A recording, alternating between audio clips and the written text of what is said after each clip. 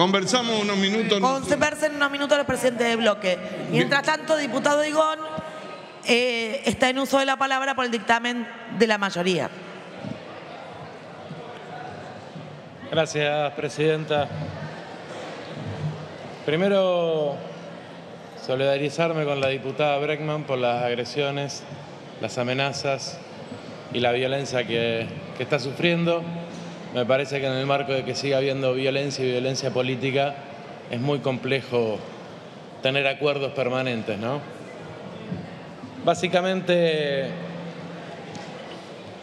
estamos acá hoy por empezar a discutir este régimen promocional porque la Argentina tiene una oportunidad única, una oportunidad que se da en base a una ventana, a una transición energética que se comienza a realizar y a discutir en el mundo, donde la Argentina también forma parte de esos países que suscribieron el Acuerdo de París en función de, de llegar a la emisión de dióxido de carbono cero, de descarbonizar.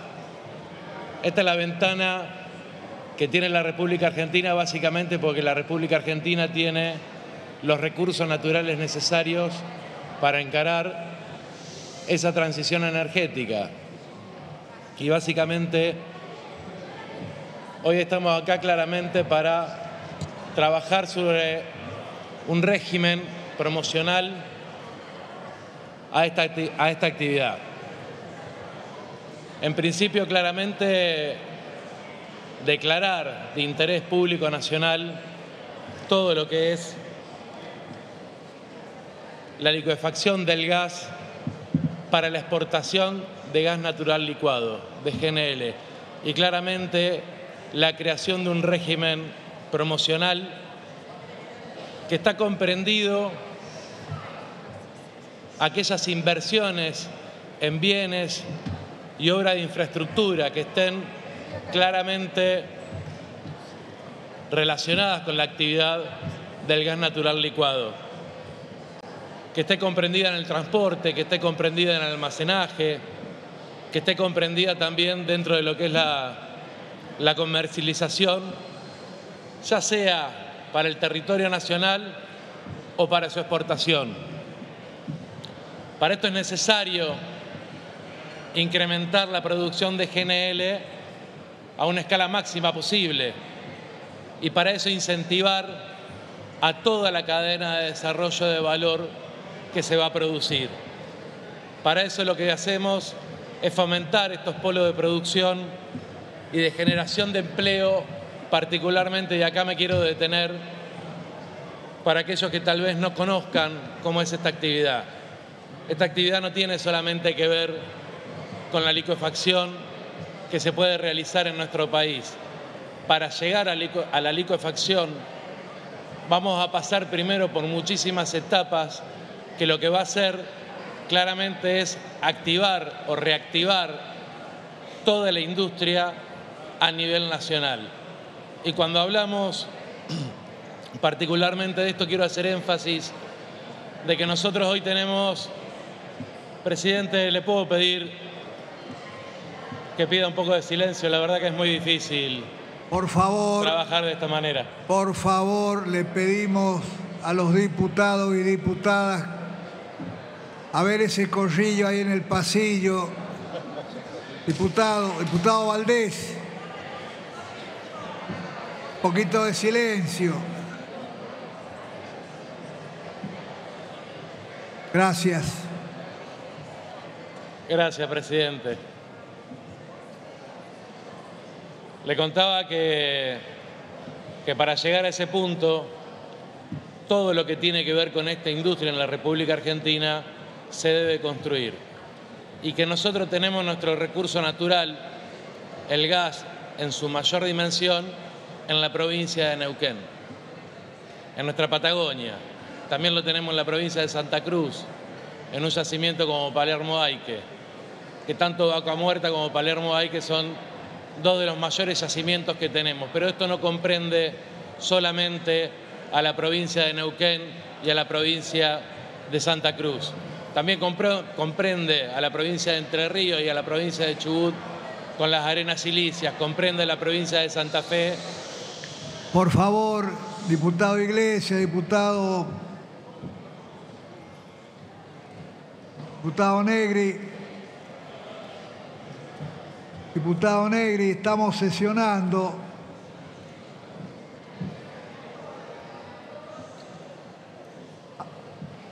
No importa, sigo, presidente. No, espere un poquito, a ver. Por ahí Diputados, más pueden, más temprano en vez de, hablar afuera. de tratar GNL. Gracias. Gracias, presidente. Le contaba que, que también comprende actividades en otras provincias. Y había nombrado la provincia de Chubut y, estaba nombrando a la provincia de Santa Fe con su metal mecánica. Y esto comprende claramente a un beneficio enorme para todas las provincias del país. Ahora, nosotros tenemos que tener en cuenta determinadas cuestiones para aquellos que pretenden hacer estas inversiones en la República Argentina. Y para eso la Secretaría de Energía claramente va a ser la autoridad de aplicación y va a ser quien tenga que controlar y fiscalizar que esas inversiones tengan la capacidad técnica, la capacidad económica, la capacidad financiera para llevar adelante este tipo de proyectos. Y acá empiezo a tratar o a comentar, mejor dicho, uno de los puntos que claramente donde fue que aceptamos modificaciones, donde por ejemplo se pedía para como inversión mínima mil millones de dólares o la capacidad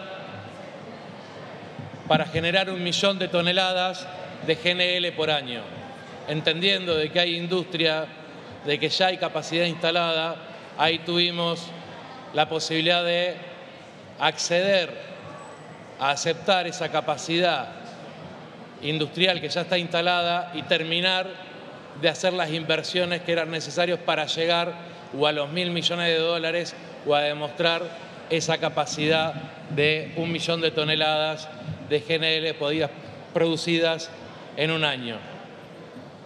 Además, este, este proyecto, presidente, contiene algo que para mí es muy importante y tiene que ver con la posibilidad del componente de la industria nacional. Nosotros tenemos que tener en cuenta que estamos planteando un régimen promocional por 30 años. Y esos 30 años tienen que ver con la ventana que hoy tiene el país para trabajar en esta transición energética. Y nosotros estamos planteando que en el primer diseño ese componente de industria nacional no tenga menos del 15%, que en, en el segundo diseño eso llegue al 30% y a partir del año 20 la posibilidad de que sea el 50%, perdón, del componente de industria nacional que, que va a tener este proyecto. Y acá me voy a detener y le voy a pedir autorización para leer, porque no quiero perder cada uno de los artículos que nombra los beneficios tributarios que va a tener esta ley. Justamente para aquellos inversores que se comprometan a trabajar en la liquefacción del gas. Tiene una amortización acelerada de impuestos a las ganancias, tiene a partir de la acreditación la devolución del IVA, tiene una cuota aplicable en el impuesto a las ganancias del 30%, la compensación de quebrantos en 10 años, las exenciones de importaciones de bienes, claramente estabilidad fiscal y la posibilidad acá también de empezar a enumerar los que son los derechos de exportación. En esos derechos de exportación también estuvimos debatiendo y discutiendo con diputados y diputadas de distintos bloques y pudimos llegar a un acuerdo donde se genera una escala con estos derechos de exportación. El país va a empezar a recibir derechos de exportación a partir de que el millón de BTU esté en un precio de 15 dólares en adelante. Se considera que entre 0 y 15 es muy fino el costo que tiene esta licuefacción del gas. Entonces, para que pueda ser rentable a partir de los 15 dólares, entre los 15 dólares y los 20, empezamos a contar con una escala que va de 0 a 8% de derecho de exportación. Pero cuando nosotros tenemos la posibilidad de que este valor aumente los 20 dólares, entre los 20 y 25 dólares, ese porcentaje de derecho de exportación va a ser del 12%. Cuando ese valor supere los 25 dólares y esté entre 25 y 30 dólares, el componente, el porcentaje va a ser entre el 12 y el 14%. Y a partir de que supere los 35 dólares, va a ser del 15% y a partir de ahí queda fijo, dando un incremento claramente en las retenciones, cuestión que beneficia a todo el Estado Nacional, pero sí generando una curva horizontal que permita darle a las, a las, a las empresas y a los inversores eh, la expectativa que necesitan para seguir trabajando. La verdad que este es un proyecto que cuenta con una estabilidad regulatoria, con una estabilidad cambiaria, y esto me parece importante mencionarlo solamente aquellos que inviertan van a tener la posibilidad de utilizar a partir de que empiecen a exportar el 50% de la moneda en términos cambiario de libre disponibilidad. El resto va a estar aplicado a la inversión en la República Argentina. También claramente le estamos dando una garantía de transporte y suministro ese transporte y suministro va a estar dado por los ductos que se van a construir y esos ductos no afectan para nada, por ejemplo, lo que es en este momento el NK, que claramente está para lo que es el consumo de gas interno y para autoabastecer de gas a toda la República Argentina. Mire, presidente, la verdad que es un régimen de promoción necesario, es una actividad necesaria es una actividad donde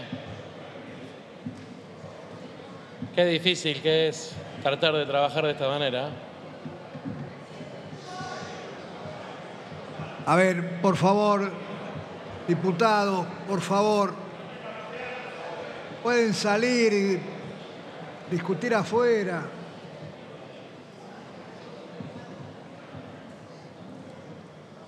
Prosiga, diputado. Bueno, vamos a intentarlo. La verdad, eh, presidente, que la posibilidad que tiene la Argentina es muy importante. Sabemos que este régimen de promoción también es muy importante. Sabemos del esfuerzo que va a hacer el Estado argentino para que esto se lleve a cabo. Pero claramente esta es una actividad que viene a cambiar una matriz productiva, que viene a cambiar también una matriz en términos de importación y de exportación, donde claramente vamos a tener la posibilidad ya no de importar gas, sino la posibilidad de, empezar a exportar gas y teniendo en cuenta que todo el territorio argentino va a estar abastecido. Es un, es un régimen y una actividad que va a generar algo que hoy estamos necesitando y mucho para fortalecer la economía argentina, que son los dólares necesarios. No solamente va a ser la zona núcleo del país quien esté aportando en su gran mayoría esos dólares a la República Argentina, sino que además esta es una actividad encabezada por las provincias patagónicas, particularmente por Neuquén, que le va a estar dando esa posibilidad también a la República Argentina y por eso digo que no tiene que ver con una región o con una provincia, sino que contiene a todo el país y a todo el Estado Nacional. Mire, presidente, yo creo que este, esta actividad y este proyecto productivo debe ser de uno de los más importantes de los últimos años y de los próximos a venir. No me animo a decir cuántos años para adelante. Lo que sí está claro es que a lo largo de todo este tiempo lo que venimos viendo en la Argentina es la dificultad en ponernos de acuerdo con determinadas cuestiones. Y claramente que es difícil, claramente que es difícil, porque cuando desde un sector político, en términos electorales, se pretende suprimir al otro, desde otro sector político lo que se intenta suprimir el Estado, acá hay un proyecto que debería ser de unidad nacional, que se encara no solo desde un sector político, sino desde distintos sectores políticos que están acompañando esta ley, que tiene que ver con el futuro de la Argentina. Mientras algunos pretenden reducir el Estado y mientras otros pretenden suprimir a su adversario político, acá estamos planteando un proyecto de país para adelante, un proyecto que tiene que ver con la exportación de nuestros recursos naturales, un proyecto que tiene que ver con que también nuestra empresa energética de bandera IPF va a ser protagonista y una, y una gran protagonista en todo esto. Por eso invito a que escuchen durante un ratito a los expositores, porque me parece que este puede ser un proyecto donde nos tiene que encontrar unidos en función de lo que se viene y el país que viene para adelante. Esto va a generar trabajo, va a generar miles y miles de puestos de trabajo, no solamente con la creación de toda la industria que se tiene que montar, sino también con el sostenimiento de esa industria. Va a generar trabajo en el sector de los hidrocarburos, trabajo que por ciento es muy bien remunerado y que además está registrado. Y que además está registrado, que es lo que está necesitando la República Argentina hoy. Por eso, presidente, por eso, presidente, tratando de, llegar a una conclusión, hoy tenemos una ventana de oportunidad que es importante. Es importante porque tenemos una empresa energética de bandera que se puede hacer cargo claramente en sociedad con otros inversores de este, de este proyecto y para eso hubo un punto de inflexión. Hoy no tendríamos empresa energética de bandera sin que haya alguien que haya visto a futuro lo que tenía la República Argentina y lo necesario que era recuperar IPF sin que se haya nacionalizado IPF, hoy no tendríamos la posibilidad de tener semejante proyecto que le va a hacer bien a toda la República Argentina, que nos puede cambiar también la matriz productiva y por sobre todo que cambia la matriz entre ser importador y empezar a ser exportador de gas. Por eso, señor presidente, me parece que dejando las chicanas de lado, dejando las mezquindades electorales. Acá tenemos un proyecto a futuro, un, un proyecto que tenemos que construir entre todos y todas. Tenemos un proyecto para la Argentina que viene y que tal vez nosotros le estemos dejando a nuestra descendencia una posibilidad de un país distinto. Tenemos una sola posibilidad para poder aprovecharlo y eso es darle media sanción hoy para que tenga sanción definitiva en el Senado y que esto pueda ser ley. Gracias, presidente. Muchas gracias, señor diputado. Tiene la palabra ahora el diputado Francisco Sánchez.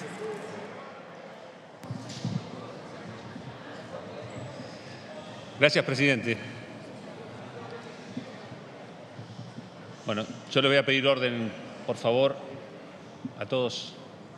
Muchas gracias, muy amables. Yo voy a insistir, diputado, es una falta de respeto hacia usted y hacia quienes están haciendo el uso de la palabra. Por favor, un poquito de silencio. Continúe. Bueno, en Argentina hoy se están consumiendo unos 120 millones de metros cúbicos de gas por día, más o menos. Por supuesto hay una variación entre invierno y verano por cuestiones obvias. La mayor parte del consumo de energía en Argentina hoy, si bien es para generación de energía eléctrica, también tenemos una gran parte del destino de la energía hacia eh, la calefacción de hogares y las industrias. Pero solamente en Vaca Muerta, solamente en Vaca Muerta tenemos gas para abastecer a Argentina por 200 años a este nivel de consumo.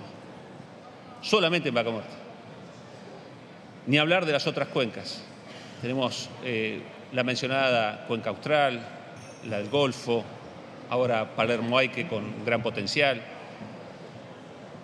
Seguramente también en el mar argentino tenemos grandes reservas.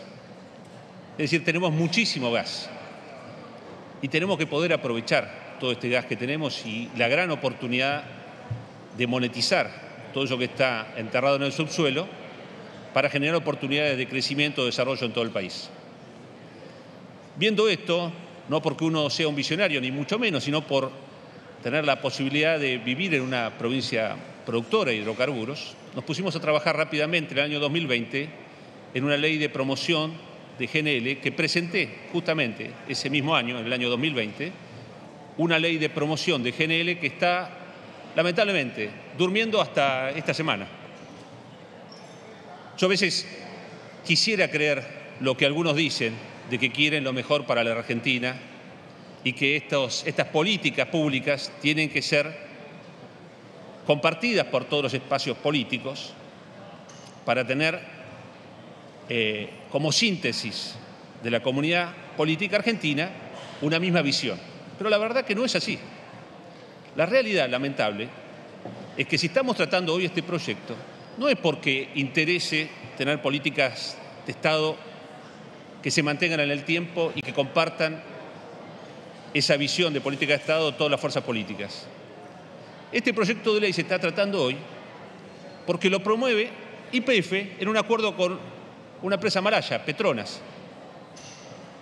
Yo no veo mal que nosotros acompañemos un proyecto importante para la Argentina y un proyecto de estas características. Todo lo contrario, me parece bien, me parece sano que lo hagamos, pero no lo vistamos de otra cosa. La realidad es que acá se está trabajando por los intereses de un sector específico, de una empresa nacional, internacional con otra nacional. Porque si no fuera así, cuando yo le mandé el proyecto de promoción de GNL que hice en el año 2020 al presidente de la Nación, como se lo mandé al entonces ministro de Economía, se lo mandé a Martín Guzmán, y se lo mandé también, se lo envié al entonces secretario de Energía, Darío Martínez, al menos hubiera tenido una respuesta, al menos alguien me hubiera respondido un correo electrónico o una llamada, o me hubieran dicho, me parece bien tu proyecto, me parece que puede ser constructivo, como lo eh, respondieron muchos sectores, empresarios, sindicales, distintos sectores de la provincia de Neuquén, política en la provincia de Neuquén. Pero bueno, eso no pasó. Lamentablemente eso no sucedió. No tuvimos la respuesta. Hoy estamos entonces discutiendo este proyecto de promoción de GNL, algo muy importante para Neuquén, para las provincias que comprende Vaca Muerta, pero también para todo el país. Ese potencial enorme que tenemos de producir energía en mi provincia es algo que nos ha bendecido a nosotros, pero nos bendice a los argentinos en general y hay que aprovecharlo. Y efectivamente esta es una buena herramienta para aprovecharlo. Este proyecto que vamos a tratar hoy es imperfecto, es muy mejorable. El mío sin duda es que es mucho mejor. Pero estamos tratando este. Bueno, yo creo que con todos los yerros que tiene, con todas las cosas que tiene para mejorar, creo que es una herramienta en la que tenemos que trabajar, tenemos que acompañar y creo que nos va a servir a todos, reitero, no solamente a los neuquinos que somos los implicados directos, sino a todos los argentinos. Gracias, señor presidente. Muchas gracias, señor diputado. Tiene la palabra ahora el diputado Rolando Figueroa. Muchas gracias, señor presidente. Hay un problema con todavía informático en aquel sector. Si serían tan amables los que están trabajando con el tema, podemos hacer un poquito de silencio porque realmente no se escuchó nada de lo que hablaba el diputado Igón ni el diputado Sánchez en un tema vital para el crecimiento de la República Argentina. Por eso les pedimos, por favor, si se pueden ordenar y podemos hablar todos claramente, si son tan amables, por favor. Señor presidente, hoy nos acompaña, sobre todo por, pido respeto, hoy nos acompaña la intendente de Rincón de los Sauces, la diputada provincial también de Rincón de los Sauces. Nos están acompañando desde la provincia del Neuquén presencialmente y también virtualmente con un acompañamiento masivo que hemos tenido de todos los intendentes salientes, los intendentes entrantes, la Cámara de Diputados de la provincia del Neuquén. Hoy se expidió también el Parlamento Patagónico y siempre estas declaraciones, además de los consejos deliberantes de toda la provincia, se han expedido por unanimidad. ¿Por qué? Porque una vez más estamos gustosos de poder poner el hombro por este país, los neuquinos me refiero. Y por respeto hacia los neuquinos, Quiero hacer brevemente una historia en la cual nosotros hemos vivido. En el año 2013, cuando existía, cuando recién estaban naciendo la posibilidad de explorar Vaca Muerta, existía el mismo escepticismo o quizá también la misma falta de respeto, la ignorancia de algunos sectores que no se dan cuenta de lo que se produce en las provincias argentinas y específicamente lo que produce el interior. En aquel momento varios escépticos creían que no éramos capaces de poder generar un crecimiento o poder lograr la soberanía energética. En aquel entonces estábamos invirtiendo más de 12 mil millones de dólares en tener que importar energía. Todo indicaba que si la seguíamos con la misma conducta, con un declino de los yacimientos convencionales, evidentemente nos íbamos a quedar sin combustible y sin gas, y lo íbamos a tener que comprar afuera. Y también íbamos a tener que transformar algunas de nuestras industrias en que sean eléctricas, trayendo también un colapso en ese sector. Ahora bien, los neuquinos levantamos la bandera, los patagónicos levantamos la bandera y comenzamos a producir a partir de los yacimientos no convencionales, teniendo una línea de aprendizaje. ¿A qué nos trajo esa línea de aprendizaje hoy en el 2023? Que Vaca Muerta provee el 52% del petróleo de este país, provee el 65% de gas de este país, que también tenemos la posibilidad en una matriz energética que depende en un 56% del gas y en un 31% del petróleo, poder abastecer a toda la Argentina en virtud de las diferentes obras que se están llevando adelante.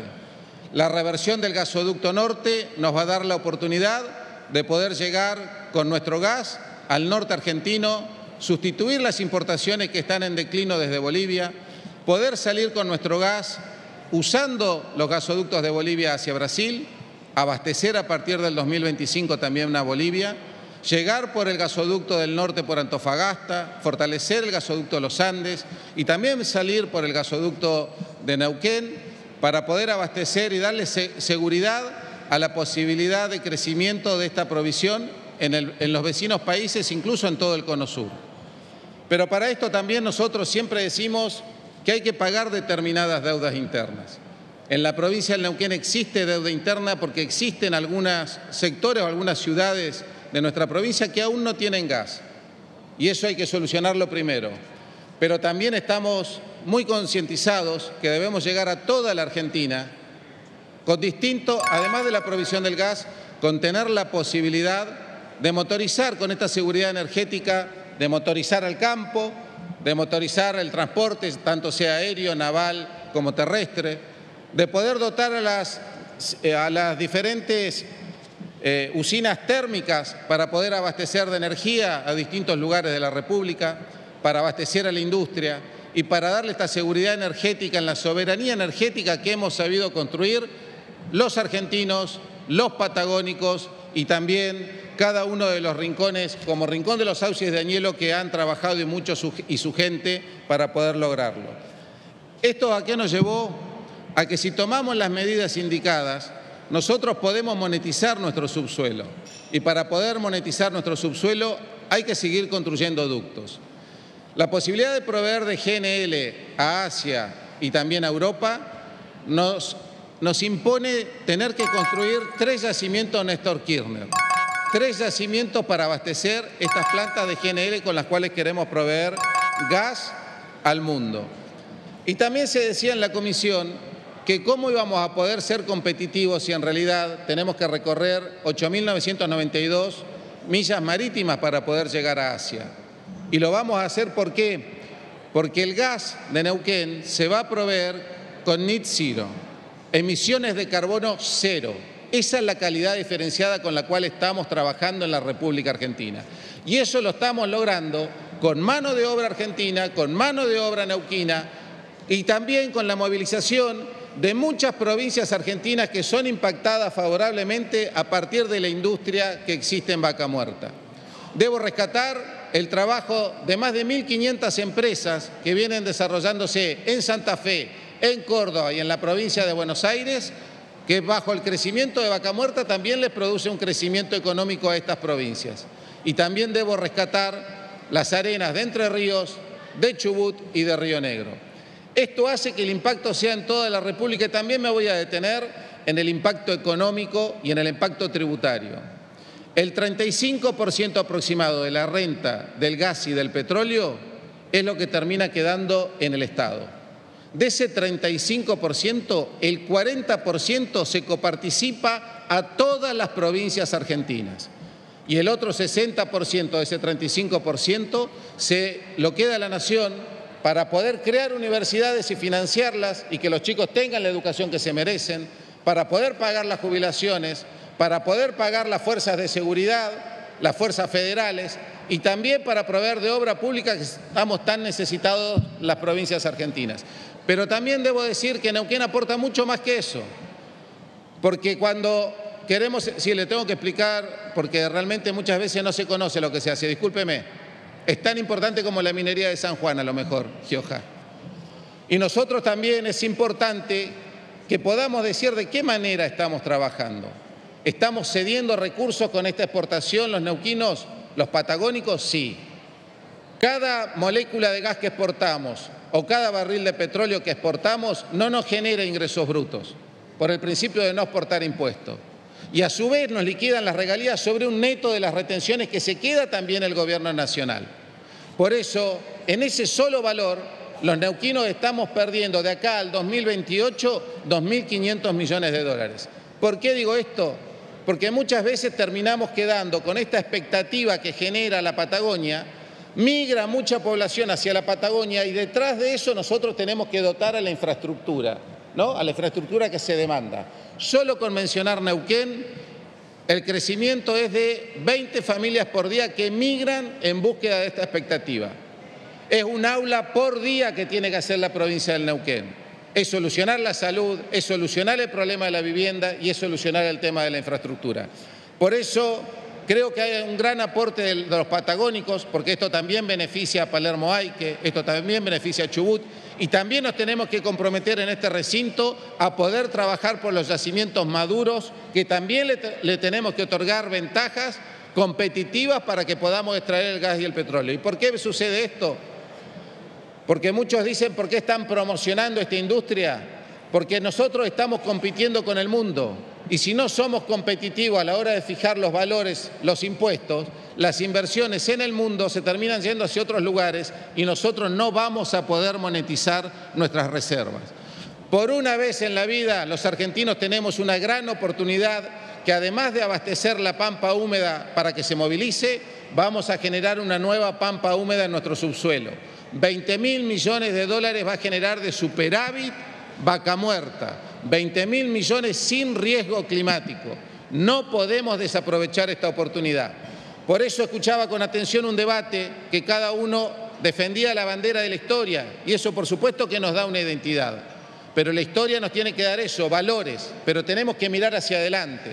Y la política significa construir políticas de Estado para la gente. No no votar algunas cosas porque queda demasiado bien uno. O no abstenernos porque no nos animamos a decir que es una buena ley que termina desarrollando la Argentina, pero no me animo a decir que esta fue una medida buena porque la propuso el otro. Porque acá también el diputado Sánchez tuvo la iniciativa como neuquino en el año 2020 de poder presentar un proyecto para que podamos desarrollar este GNL. Y también tuvo la iniciativa del Poder Ejecutivo Nacional y lo tenemos que aplaudir a los dos. No importa de quién es la iniciativa, lo importante es que la clase política hoy, en un día histórico para Neuquén, para los patagónicos y para la Argentina, va a sancionar una ley que va a probar un efecto positivo, lo va a formar a través de los años y va a ser una verdadera política de Estado dentro de ocho, dentro de diez años, que seguramente muchos de los que los vamos a votar hoy acá positivamente vamos a estar orgullosos. Muchísimas gracias, señor presidente. Muchas gracias. Muchas gracias, señor diputado. De acuerdo a lo que usted dijo, debemos dar la bienvenida a las autoridades del Rincón de los Sauces que nos están acompañando.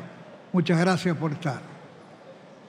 Tiene la palabra ahora la diputada Jimena Latorre. Muchas gracias, señor presidente. Bueno, antes que nada tengo que decir, eh, porque fue lo último que se dijo, que esto es una política de Estado, va a ser una política de Estado. Bueno, empezamos disintiendo porque para una política de Estado necesariamente hace falta consenso y acá no hay consenso. Hace falta una discusión seria y acá no hubo una discusión seria. Acá hay un gobierno que está presentando o está defendiendo un proyecto que es extemporáneo, direccionado y que no tuvo información suficiente para tener esa discusión que construya consensos para tener una política de Estado. Y digo que es extemporáneo porque no sé en dónde viven los legisladores del oficialismo, pero hoy el dólar superó los mil pesos y estamos pretendiendo estabilidad prometer estabilidad para dentro de, 30, de los próximos 30 años. Están pretendiendo comprometer la próxima administración para dentro de los las próximas administraciones de los próximos 30 años. Están prometiendo estabilidad regulatoria, cambiaria y tributaria. Están prometiendo lo que debe ser una excepción en, una, en un marco de promoción porque evidentemente en este país no es la regla, no es la regla la estabilidad y eso lo puede, lo puede decir cualquier ciudadano a pie que hoy vio este dólar a más de mil pesos. Y lo están prometiendo, como digo, en el fin de su gobierno, después de cuatro años sin haber presentado una política o un plan de política energética estratégica. Es, es direccionado y es discrecional porque hasta el mismo miembro informante del oficialismo lo reconoció. Este es un proyecto hecho a medida del convenio entre Petronas e IPF. IPF, esa empresa de bandera con la que se llenan la boca, la empresa recuperada, la de la soberanía energética, ¿Qué soberanía energética hablan si este proyecto de exportación no tiene en cuenta ni siquiera el marco regulatorio argentino y no asegura el abastecimiento interno. ¿De qué empresa recuperada hablan? Si acaban de condenar al Estado argentino, ergo a todos los contribuyentes argentinos, a pagar una sentencia de 16 mil millones de dólares, cuando el entonces ministro de Economía, que llevó a cabo la lúcida y eficiente expropiación de las acciones de IPF, dijo que no iba a salir, que iba a salir cero pesos. Cero pesos fue lo que pagaron los eskenazi, los amigos de Néstor, que los llevó a, la empresa y luego le vendió esas acciones a los fondos Buford y son los que hoy se van a ver beneficiados con el pago de esos 16 mil millones de pesos. Así que empecemos a sincerar los discursos. No hay ni empresa recuperada, no hay soberanía energética y no hay promoción para otras inversiones. Hay un traje a medida de ese negocio en particular. Y digo que sin información porque no hay ni cuantificación ni justificación de los beneficios que otorga este régimen de promoción. Muy por el contrario, lo que hace es convalidar 30 años de mala praxis, 30 años de una economía patológica a la que nos han llevado en este gobierno durante estos cuatro años de malas medidas y malas políticas económicas. Lo que hace es aumentar el costo de capital en vez de reducirlo convierte, como digo, la patología en, regla y hace lo que a ustedes les gusta hacer, abrir kiosquitos, abrir ventanillas para crear excepciones para algunos amigos. Pero para referirme brevemente a algunos de los números que demuestran la inconsistencia de este proyecto, y la inconducencia de este proyecto, bueno, ustedes lo que plantean es que esto es para exportar, que vamos a exportar el gas de vaca muerta al mundo, bárbaro. Para exportar hacen falta dos cosas, ¿no? Primero, la disponibilidad de ese recurso. Eso se llama reservas. Y por el otro lado, precios competitivos, porque si no, no podemos entrar en esos mercados en los que queremos vender, a los que les queremos exportar. Bueno, respecto al precio, eh, se empieza a construir a partir del precio del gas en boca de pozo. El precio del gas en boca de pozo, hoy en los mercados competitivos, el Henry, el Henry Hub, es de 2,4 dólares el millón de BTU. En vaca muerta es de 3,5 dólares el millón de BTU. De ahí ya arrancamos mal. De a eso le tenemos que sumar el transporte, la licuefacción y el flete a destino. Entonces, IPF, que es la empresa que vino a vender el proyecto acá, después vino la Secretaría de Energía, primero vino IPF, que es la dueña del proyecto, dijo que necesita un break-even, un precio de equilibrio de 12 dólares del millón de BTU para empezar a hablar, ¿no? Bueno, en el mercado internacional, que está hoy a la baja, el precio, ese break-even, es de 6 dólares el millón de BTU en, Europa y de 8 dólares en Asia. Es decir, no somos competitivos. Y ojo en, este, en esto con quienes creen que esto lo pueden votar como una baja de impuestos o como un régimen de baja de impuestos de, carga, o de baja de carga tributaria, que paradójicamente son los dos extremos del populismo, ¿no? la extrema derecha y la extrema izquierda, que al final siempre se, juntan y, se juntan y terminan votando eh, juntos. Esto en realidad es institucionalizar un nuevo barril criollo. Lo que es el barril criollo para el petróleo, bueno, ahora vamos a tener un BTU criollo, una producción de una licuefacción subsidiada por el Estado. Y digo que es subsidiada por el Estado porque en ese convenio que celebran entre Petronas y IPF, e IPF tiene el 51% y el Estado Nacional tiene el 51% de IPF. Por ende, el 26% de todos esos 50 mil millones de dólares, que es la inversión asociada que establecen en el proyecto, los va, terminando, los va a terminar poniendo el Estado argentino. Es decir, los van a terminar poniendo todos los contribuyentes, no solo los neuquinos. En cuanto a las reservas, tampoco tenemos las reservas para garantizar la contractualización de estas exportaciones. ¿Por qué? Porque tenemos hoy reservas para nueve años en la Argentina de consumo interno, de los cuales cuatro solamente son de vaca muerta. Y el mercado internacional pide, por lo menos para contractualizar este tipo de proyectos escalables de GNL, 20 años de reservas certificadas. Es decir, que tendríamos que primero duplicar las reservas para recién entonces empezar a hablar de si vamos a poder firmar contratos para atraer inversiones de otros lugares. En fin, termino, señor presidente, como empecé. En lugar de dar un salto al vacío con un proyecto que, no, que es carente de fundamentos, carente de información y con suma direccionalidad discrecionalidad y de alto riesgo, el gobierno que se está yendo debería haber definido una política energética en base a una planificación estratégica que, fue, que es lo que no hicieron desde hace cuatro años. Se van en dos meses. Faltan 10 días para las elecciones. Ya es tarde. Gracias. Gracias. Señora diputada, tiene la palabra ahora la diputada Graciela Camaño. Gracias, presidente.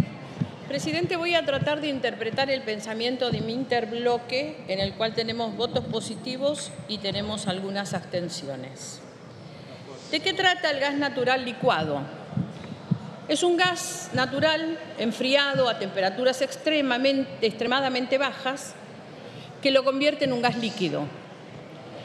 Y eso es lo que facilita el almacenamiento, el transporte, ocupa menos lugar que el gas natural, porque el otro está gaseoso y este no. Pero tiene algunos otros eh, atributos que están vinculados a las cuestiones ambientales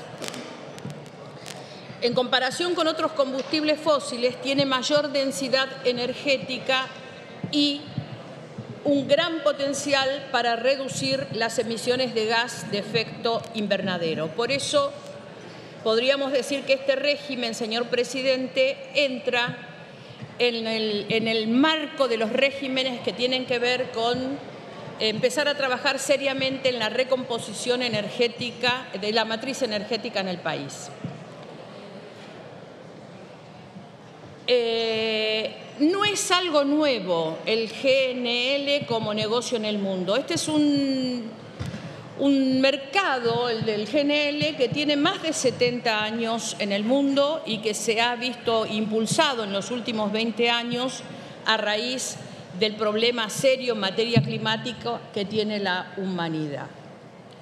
Por otra parte, para hacer el análisis del proyecto es interesante saber, señor presidente, que internacionalmente existen 20 países exportadores de GNL y 45 países importadores. Y creo que también es interesante tener como dato que cuatro exportadores concentran el 68% del mercado. Para aquellos que abrazamos la causa ambiental, señor presidente, es importante que nosotros tengamos un régimen de promoción de las energías limpias. Este es uno de ellos, el del hidrógeno verde, el otro. Eh, ¿Qué encontramos desde aquellos diputados que vamos a estar acompañando el proyecto? Encontramos algunos planteos que se lo hemos hecho al miembro informante y aquí quizás tenga una cierta razón las quejas de algunos diputados respecto a la prontitud con la que se trató el tema, o sea, la lentitud inicial y la prontitud final. Yo soy de los que creen que los gobiernos tienen que gobernar hasta último momento. Por eso muchas veces me quejo o no me gustan algunas acciones de gobierno, pero hasta el 10 de diciembre el gobierno tiene que gobernar. Eh, las cuestiones ambientales que queremos proponer como cambios primero tienen que ver, señor presidente, con el artículo 7, el artículo 10 y el artículo 35, donde lo que está tomando en cuenta el proyecto es eh, las ampliaciones y modificaciones, las transferencias de proyectos y beneficios, y la invitación que se hace a las provincias y a la ciudad autónoma para el tema de la, extensión de los permisos ambientales. En estos tres artículos nosotros consideramos que en orden al Tratado de Escazú es necesario, señor presidente, ajustarse a las posibilidades de que tengamos una evaluación de impacto ambiental o un ordenamiento territorial que visualice si efectivamente frente a la modificación, la ampliación o la transferencia se cumplen las pautas ambientales. ¿Dónde está de alguna manera los cuestionamientos que nosotros tenemos para el proyecto? Efectivamente, el proyecto estaba presentado con el objetivo de permitir que Argentina ingrese en el mercado del GNL como potencial exportador. Y esto se hace efectivamente sobre la estimación de recursos disponibles de gas no convencional asociados a vaca muerta. ¿En qué consiste? Consiste en un régimen jurídico específico para la promoción de la producción del GNL. El proyecto es un avance, señor presidente. Eh, y es presumible, exactamente como se dijo en la comisión y como lo manifestó algún diputado preopinante, que los proyectos que se están evaluando hoy para esta ley sean efectivamente el de IPF y Pampa, entre otros, y que estas empresas lo estén considerando como una suerte de piso de negociación, pero tiene ciertos problemas. Voy a leerlos para hacerlo más rápido debido a la carencia de tiempo. El proyecto tiene las distintas estabilidades demandadas para cualquier inversión de esta magnitud, pero es cuestionable que pueda aislarse los proyectos del resto del funcionamiento del mercado del gas local, algo que más o menos planteaba la diputada preopinante. El mercado de GNL no va a funcionar si a la vez no hay una definición del mercado local. Esta falta de certidumbre se observa en que solo un proyector standalone tiene posibilidades de un real aislamiento pero para justificar un gasoducto dedicado se tiene que hablar de mínimos que se han visto en el resto de los países exportadores y que acá no se ve. El privado no tendría que hacer ni el análisis ni estimar si habrá producción excedente. Es mucho más razonable que el Estado defina un máximo y que sea este quien defina esa capacidad de excedente, si no la presunción es que el Estado nunca se pronuncia sobre un objetivo de exportación más allá de la declaración de interés que se hace en el proyecto de ley. Los regímenes de autorización de exportación no están claros ni son comprensibles y tampoco son compatibles con las modalidades comerciales. Solo los proyectos financiados contra un contrato de largo eh, plazo tienen definido un precio, pero esta es una modalidad en retirada, pues solo son útiles cuando el comprador es grado de inversión. Es decir, no sirve para exportar a países emergentes como Bangladesh, China y Japón y últimamente este, estos países no ofrecen ese tipo de contrato. Los proyectos pequeños o de leasing prefieren el mercado spot y los de gran eh, eh, parte de los de gran porte, aparte de capital, donde el inversor es mayoritariamente un comercializador internacional que se queda con el sprint. La libre fijación de precios no está garantizada, primero del productor a la planta de licuefacción, o que la autorización no podrá ponerse a las condiciones pactadas como sí lo hace ahora. Y finalmente, señor presidente, para que usted no se impaciente, el precio de referencia y el cálculo de las retenciones requieren precisiones. En la redacción actual se puede construir la interpretación eh, para que la retención sea 20% más o menos, pero no queda claro. El régimen de libre disponibilidad de divisa tiene restricciones que no son usuales y el objetivo es que se usan esas divisas antes que el otro 50% para pagar importación, deuda o distribuir dividendo, pero esto no es lo usual. Además, no son de libre disponibilidad, sino que deben ingresarse al MULC, si bien no hay obligación de liquidar. Este último punto imposibilita cualquier tipo de financiación. Estos son, de alguna manera, los argumentos a favor, que están vinculados a la cuestión ambiental y a la necesidad de tener un régimen de promoción y también las críticas que tienen que ver que para nosotros este proyecto cierra demasiado, ahoga las posibilidades de que realmente tengamos inversiones en el país bajo este régimen. Al revés de lo que creen algunos, nosotros creemos que quizás aquí hay un punto flojo. El mismo punto flojo que le encontramos al proyecto que presentó el Poder Ejecutivo, que seguramente en algún momento lo discutiremos, y que tiene que ver con el hidrógeno. Si queremos en serio ser competitivos en estos dos mercados, señor presidente, tenemos que tener la inteligencia de tener una propuesta que permita la inversión privada, no solamente de nacionales, sino de otras empresas internacionales. No es lo que ocurre en este proyecto, pero sí es lo que ocurre en el proyecto de hidrógeno verde. Gracias. Gracias, diputada Camaño. Continúa en el uso de la palabra el diputado por la provincia de Neuquén, Pablo Servi. Gracias, señor presidente. Eh, el tratamiento de esta ley eh, nos brinda una valiosa oportunidad para discutir el rumbo que queremos eh, darle a nuestro país. Pensemos en qué dirección queremos ir y qué señales queremos darle a los inversores, al mercado interno, al mercado internacional y a aquellos que quieran venir a invertir a nuestro país.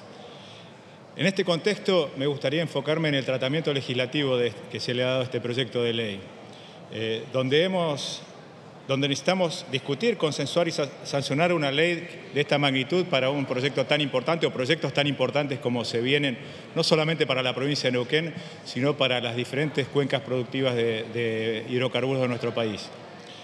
Lamentablemente, en esta ocasión hemos presenciado un proceso sin diálogo en comisión, donde nos han convocado a una sesión eh, donde en el temario ya estaba puesta esta ley y ni siquiera había sido eh, tratada en comisión o no, había sido aprobada en comisión.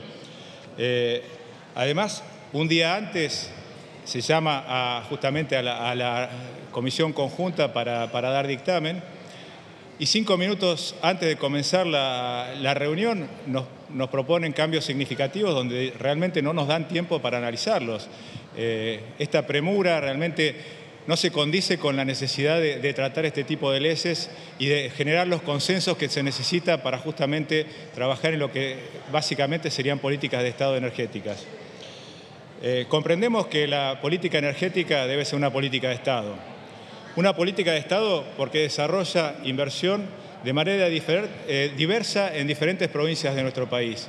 No es solamente Vaca Muerta donde se recibe las inversiones, donde tenemos la segunda reserva de gas no convencional del mundo, sino que son muchas provincias que aportan, aportan conocimiento, aportan tecnología, aportan servicios, porque Neuquén no tiene puertos para salir o ampliar las fronteras y necesitamos salir por el mar, así que le va a aportar también desarrollo y agregado de valor a otras provincias así como también debemos generar las condiciones para que se desarrollen otros proyectos incipientes, como el caso de Palermo Aike, que es una reserva equivalente a un tercio de lo que tiene Vaca Muerta y que está demostrando un gran potencial y deberíamos después tener la, posibilidad de, comercializar ese gas también.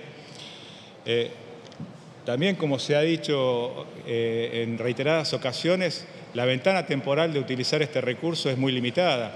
En el mundo tenemos la oportunidad de que la transición energética, uno de los combustibles de la transición energética es el gas, donde hay muchos países que todavía tienen que reconvertir la matriz energética, que en muchos casos sigue siendo a carbón, y el gas es una gran oportunidad.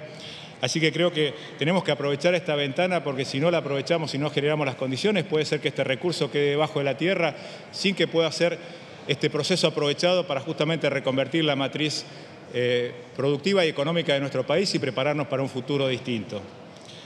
Eh, necesitamos ampliar las fronteras eh, del mercado energético. Para eso tenemos que construir los caños que hacen falta para llegar a los países limítrofes. Y no, no puede pasar lo que nos pasó, que en el 2019 ya teníamos listo para licitar un, caño como es el, Néstor Kirchner y demoramos tres años en poder hacerlo. La política energética no puede ser que, esté atada a, la, a, la, política de turno o al gobierno de turno. Tenemos que dar una continuidad, justamente que sea una política de Estado y darle continuidad en el tiempo. Y esto es lo que tenemos que garantizar porque también necesitamos salir o ampliar las fronteras hasta más allá, saliendo en barco, como bien decía antes, ya sea por la provincia de Buenos Aires, la provincia de Río Negro, va a tener la oportunidad Chubut o Santa Cruz Santa Cruz con otros desarrollos y también, ¿por qué no?, mirar hacia el Pacífico cuando gran parte del mercado está en Asia del, GNL. ¿no? Así que creo que son las discusiones que tenemos que dar eh, y justamente consensuar dentro de una política de Estado. Finalmente eh, debemos dejar en claro que también el, tiempo de puesta en marcha de este tipo de proyectos son alrededor de siete años. Recién a partir de esto se generan las condiciones para que se empiecen a elaborar los proyectos y la, ejecución de la planta o las plantas y los, gasoductos estaría demorando alrededor de dos años. Así que ni siquiera lo va a inaugurar el próximo gobierno, sino que lo va a estar inaugurando aquel que venga después del 2027. Así que esto requiere una, una mirada de mediano a largo plazo y una política de Estado, como bien decía anteriormente. Y en conclusión, señor presidente, debemos eh, abordar el desarrollo de la industria energética con una visión estratégica a largo plazo, basada en la responsabilidad, la transparencia y el consenso. Hace tiempo que venimos diciendo que el mundo requiere alimentos y energía, y Argentina tiene la posibilidad de constituirse como un proveedor confiable en un mundo con cada vez más conflictos y que requiere o que pide esa seguridad. Así que Argentina puede darla. Somos desaprovechadores seriales de oportunidades. Creo que una vez por todas tenemos que generar los consensos para poder realmente aprovechar estas oportunidades y dejar un futuro mejor para nuestros hijos. Gracias, señor presidente. Gracias, diputado Servi. Continúa en el uso de la palabra la diputada por la provincia de Buenos Aires, Romina del Pla. Gracias, presidente. Bueno, voy a coincidir con un fundamento... Disculpe, diputada, le pido a los diputados que están casualmente en el medio y está la diputada del PLA atrás. Ahora gracias, presidente. Gracias. Quiero ver la diputada. Muchas gracias. Qué amable. Bueno, voy a coincidir con uno de los, de los fundamentos con los que se ha traído este proyecto, que es que estamos en presencia de un tema que es estratégico y determinante para, cómo se aborde, determinante para el desarrollo y el futuro de nuestro país. Justamente porque considero que esto es así, es que, creo que la consideración que se va a hacer no tiene que ver con un beneficio para la mayoría de la población, partiendo de una situación singular, que es que tenemos en el subsuelo argentino la segunda reserva de gas no convencional del mundo. Y justamente por eso creo que este proyecto es muy negativo, porque justamente ya hemos visto hasta el hartazgo que los beneficios a los capitalistas, al capital, no redundan en un beneficio para la población. Lo hemos visto tan sobradas veces y que se repita una y otra vez el mismo argumento es completamente negativo, ya aburre, hasta diría el tema. ¿Por qué? Y bueno, porque lo que acá se está discutiendo son no ni siquiera exenciones impositivas o una baja una alicuota que también íbamos a rechazar. Lo que acá se está discutiendo es darle a determinadas empresas durante 30 años, 30 años, la posibilidad de beneficios particulares para la importación, la resolución de qué hacen con este, los, los dólares resultado de sus procesos y de la exportación.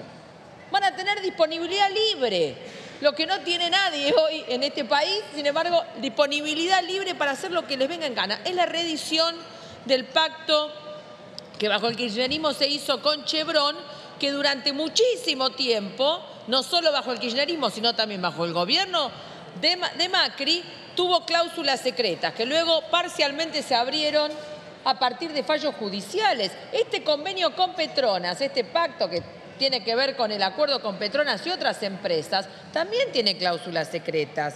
Y justamente esta libertad de girar utilidades y demás es, digamos, un beneficio fenomenal a cambio de nada, porque recordemos que todo eso que el Estado pone no termina derramando en ningún lado, sino que lo digan los vecinos de Añelo, que están sobre el petróleo y el gas, y sin embargo tienen que reclamar para acceder a gas, a agua, ni hablar de los asfaltos, solo el 2% está faltado.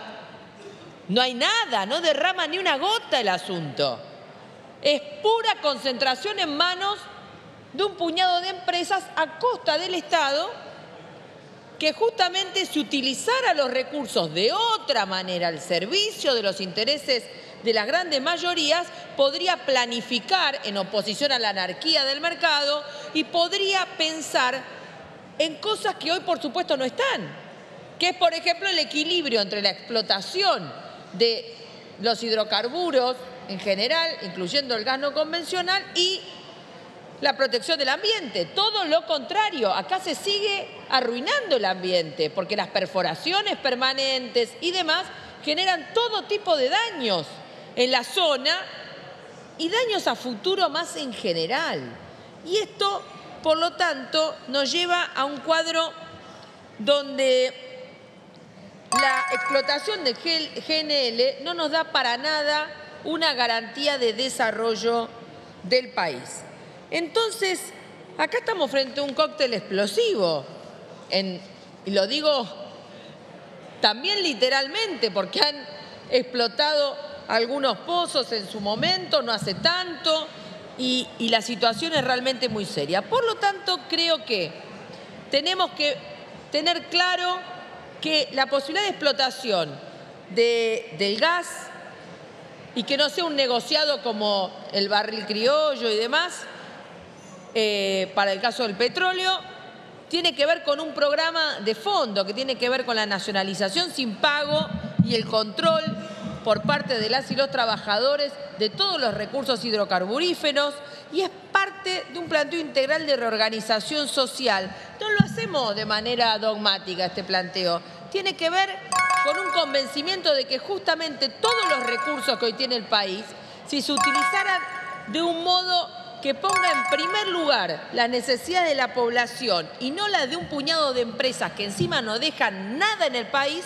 realmente podríamos abrir un curso de desarrollo nacional, de que realmente se puedan utilizar al servicio de todas las potencialidades que nuestro país tiene y no que ocurra todo lo contrario que lo que va a seguir pasando con esta ley que por lo tanto vamos a rechazar, que es que un puñado de empresas se llenan los bolsillos y la mayoría de la población sigue sumida en la pobreza. Muchas gracias. Gracias, diputada del PLA. Continúa en el uso de la palabra el diputado por la provincia de Buenos Aires, Juan Manuel López. Gracias, presidente. Por empezar, eh, ¿queremos exportar GNL? ¿Queremos exportar gas natural licuado? Sí, no tengo dudas.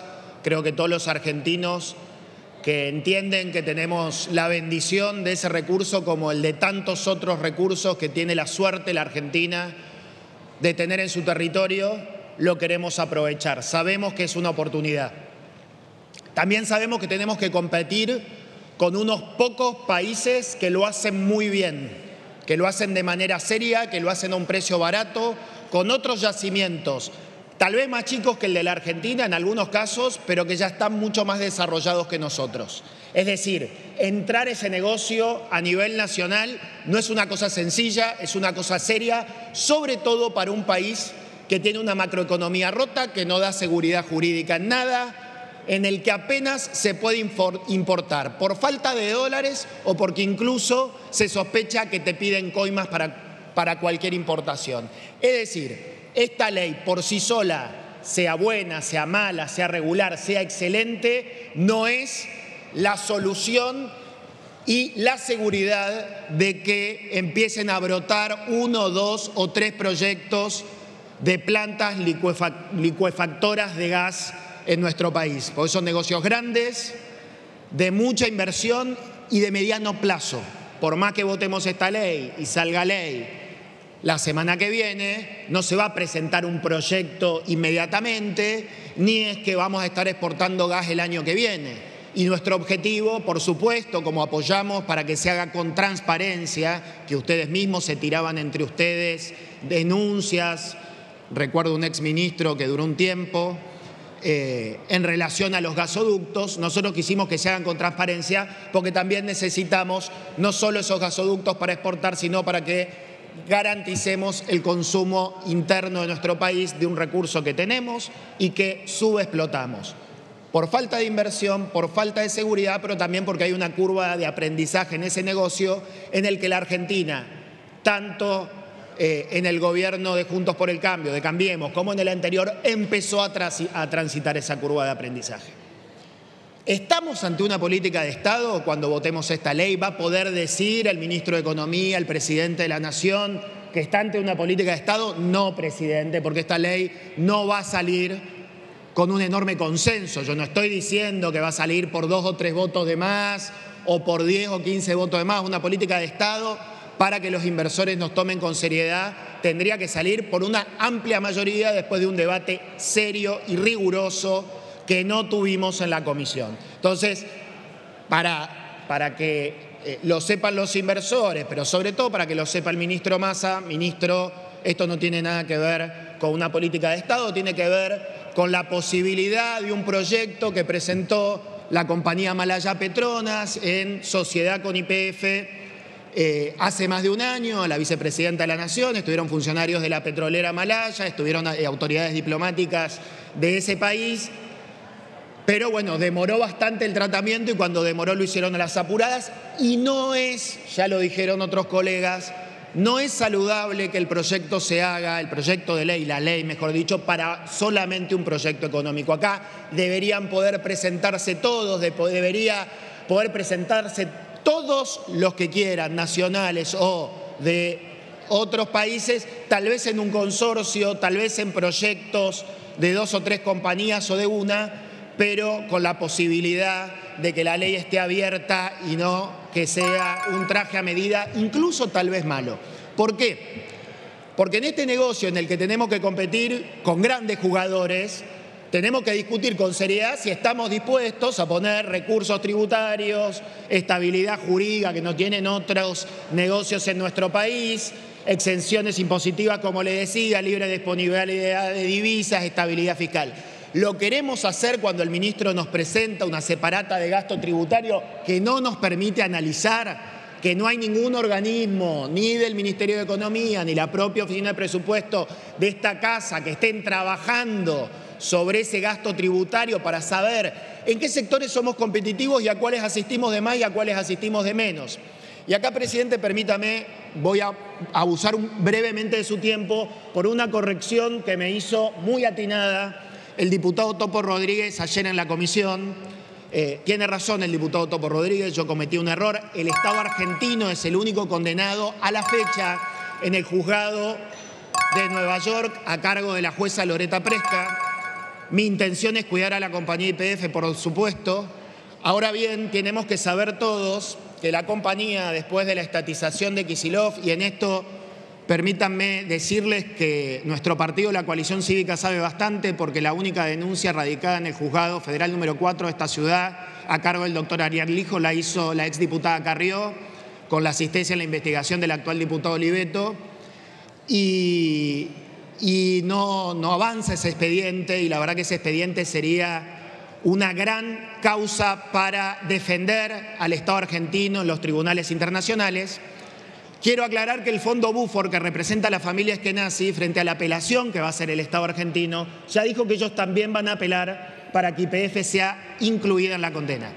Entonces, nuestra compañía estatal, que tiene una contingencia enorme, porque no sabemos en qué porcentaje está el riesgo de que sea incluida en la condena de un tribunal de alzada en, los Estados Unidos, tiene el problema de que no sabemos si va a estar en condiciones de afrontar este proyecto con algún socio internacional. No sé si hay alguna otra compañía argentina, después de los cambios que introdujo el miembro informante, sin informarlos previamente ni discutirlos con la oposición, si hay alguna otra compañía que con esos cambios del artículo 6 le cierra un poco más el negocio.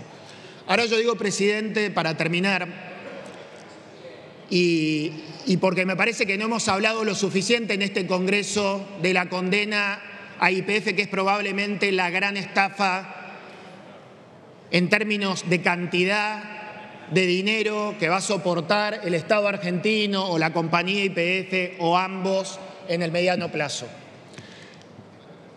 Nuestro Estado tendría que tener una unidad especial investigadora para ese caso, como lo tiene para casos muy importantes para delitos muy complejos, porque es una gran estafa que duerme el sueño de los justos en ese juzgado federal, en el Ariel Lijo. El señor Sebastián Eskenazi, socio de Néstor Kirchner, a la fecha nunca fue indagado nunca fue citado a nada. Y ese señor está litigando contra el Estado argentino en un tribunal internacional y nos está haciendo costar, más allá de la incompetencia de Kisilov, de Cristina Kirchner y del actual procurador del Tesoro Carlos Zanini, que fue empleado del banco de los señores Eskenazi, la suma de 16 mil millones de dólares, que es una carga pesadísima para los argentinos y una carga pesadísima para nuestra economía. Entonces, presidente, Pospongamos este tratamiento, no lo votemos ahora, trabajémoslo con seriedad y que la Comisión de Energía, al mismo tiempo que se dedica a un marco regulatorio para el GNL, se dedique a presentarse ante el tribunal del doctor Ariel Lijo y ante el tribunal de la jueza Loreta Presca para que nuestra compañía estatal, que explota hoy en Vaca Muerta, todo tipo de yacimientos en todo el país, cuencas más nuevas, cuencas más viejas, y que nos da combustible a todos los argentinos, se pueda liberar de esa condena. No va a haber régimen de GNL que nos salve de la mala administración de este gobierno. Muchas gracias. Gracias, diputado. Yo les pido al resto de los diputados que nos ciñamos al tiempo porque hay una cuestión compleja de vuelos y, de término tarde esta sesión. Por eso les pido, por favor, ceñirse lo más posible al tiempo acordado. Continúa en el uso de la palabra el diputado por la provincia de Santa Fe, Gabriel Chumpitas. Muchas gracias, señor presidente. Siendo la única vez que, voy a hablar en el día, hago un paréntesis previo para repudiar los ataques terroristas al, pueblo de Israel. Dicho esto, ya entrando en el tema que nos convoca, en el régimen de promoción del gas natural licuado, quiero comunicarle al Pleno que ya lo han hecho muchos de, los diputados que hablaron, que en la comisión no se dio tratamiento, en la comisión de energía no se dio tratamiento bajo ningún punto de vista, no se debatió, no se recibieron las, las consultas, no se pudo discutir un tema estratégico para nuestro, nuestro país. Con la gravedad que fue presentado por una empresa, por una compañía que es IPF, en la cual vino el CEO, el presidente, el gerente general, vino gerente operativo, vinieron 11 funcionarios de IPF a querer instalar la gran solución para la República Argentina. Y una semana después vinieron los funcionarios de la Secretaría de Energía para continuar con el mismo relato. En este régimen de promoción nosotros encontramos varias inconsistencias técnicas, pero me voy a limitar a las dos más importantes. La primera tiene que ver con el costo de extracción. Lo vengo planteando en la Comisión de Energía. Es una inconsistencia operacional. Es imposible comparar un producto no convencional con uno convencional. Es imposible comparar las extracciones de vaca muerta con, por ejemplo, Qatar. Y sobre todo si no tenemos ningún tipo de operación como modalidad off-taker, con contratos preexistentes que nos permiten visualizar un acuerdo de negocios o un acuerdo programático que sea sostenible en el tiempo. La segunda gran inconsistencia tiene que ver con la distancia, algo se mencionó, la distancia a los centros de consumo de energía. Estamos a más de 12.000 kilómetros de estos centros de consumo, estamos hablando del hemisferio norte. Por eso la pregunta es, ¿quién paga esta diferencia? ¿Quién paga ese contraflete? Es imposible comparar la capacidad de extracción y producción de la Argentina con, por ejemplo, la de Arabia Saudita. Comparar IPF con Aramco, la petrolera saudí, tercera compañía de cotización bursátil, luego de dos compañías tecnológicas como son Apple y Microsoft. Compañía petrolera que controla y comercializa el 10% del petróleo en el planeta, compañía que produce más de 10 millones de barriles de petróleo diarios, con lo cual la comparación que se hace es realmente desopilante. Por eso pregunto a quién se le ocurre que este proyecto pueda tener futuro. Solo se le puede ocurrir al socio IPF, a Petronas, desde las torres de Kuala Lumpur, hablando de una compañía como IPF que es la peor compañía de la historia de la República Argentina. Y esto no lo digo yo, lo dice la cotización bursátil, cosa que no pudo responder el presidente de IPF en la Comisión de Energía. Una compañía que valía 30 mil millones de dólares y hoy tiene una cotización de 1.700 millones de dólares. Siendo este un ámbito de naturaleza política, me gustaría dejar justamente un concepto estrictamente político.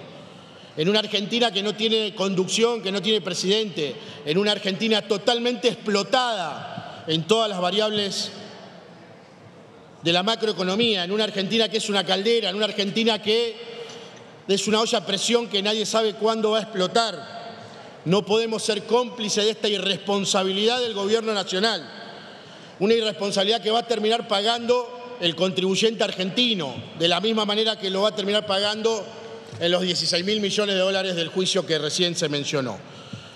Como advertencia, está muy bien y es importante monetizar los recursos de la República Argentina, pero hay que saber de qué manera hacerlo.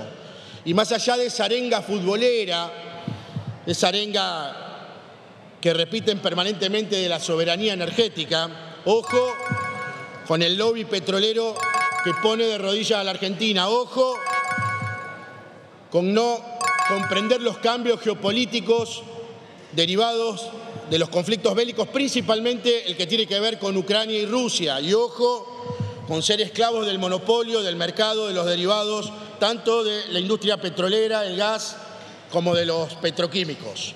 Por lo tanto, y para finalizar, señor presidente, nosotros, los santafesinos, tenemos bien en claro que somos el quinto productor mundial de biocombustibles, con lo cual no falta capacidad en la República Argentina, lo que está faltando son políticas públicas innovadoras y modernas para realizar una verdadera transición energética. Muchas gracias, señor presidente. Gracias, diputado Chumpitas.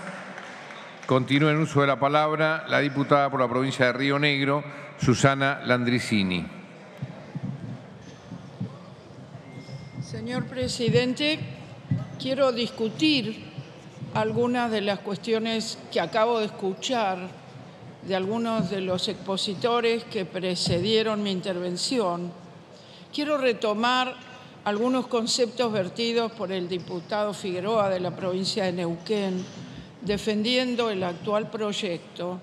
Y también quiero repudiar que se esté diciendo que no hay política de Estado en materia gasífera, petrolera, de exploración, de explotación y de construcción de infraestructura, cuando deberían recordar que en el periodo anterior de gobierno, 2016-19, atentaron claramente contra el avance productivo y el crecimiento económico de IPF, empresa que fue recuperada en un 51% de las acciones en 2012 por el gobierno encabezado por la actual vicepresidenta Cristina Fernández de Kirchner, en aquel momento presidenta de la Nación, a través de la Ley de Soberanía Energética y de Recuperación de IPF, que fue seguida asimismo por la Ley 27007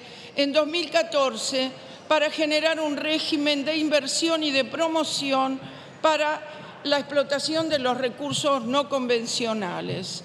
Ahí empezó la política seria de Estado para las inversiones de mediano y largo plazo en los hidrocarburos, nuevamente en la Argentina de la mano de los no convencionales. Y no se detuvo en nuestros gobiernos. No sé si saben de que existe y existió el plan GAS-AR hasta en pandemia y continuó y ha llegado a niveles eh, extraordinarios en materia de producción de gas niveles inéditos por parte de compañías nacionales y extranjeras que llevaron a concretar en tiempo también récord la construcción de la primera etapa del gasoducto presidente Néstor Kirchner. Y ya en proceso de licitación la segunda etapa y el gasoducto, la reversión del gasoducto norte para sustituir la importación del gas de Bolivia de qué falta de política de Estado nos están hablando. Y esto, que tiene que ver con la licuefacción, es imprescindible para la monetización de las reservas y para poner en marcha nuevas etapas de todo el tejido productivo que tiene que ver con la exploración de nuevas cuencas, con la extracción y el aumento del nivel de fracturas que hoy es récord en la cuenca neuquina para el shale oil y para el gas en Neuquén y las provincias vecinas.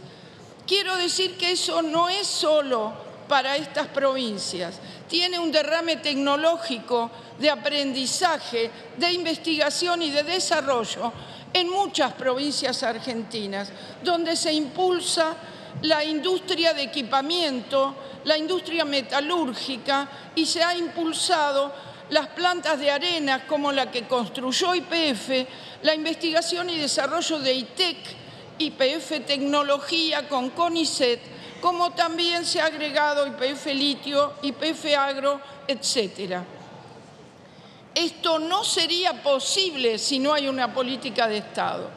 Y el actual proyecto que estamos discutiendo y que entró a, discusión el primero de septiembre del 2022, hubo tiempo de estudiarlo, hubo tiempo de investigarlo y no es cierto que es un proyecto a medida de Petronas e IPF, porque está convocando a inversiones de otras compañías a lo largo del tiempo de ejecución en los primeros años y en los años subsiguientes.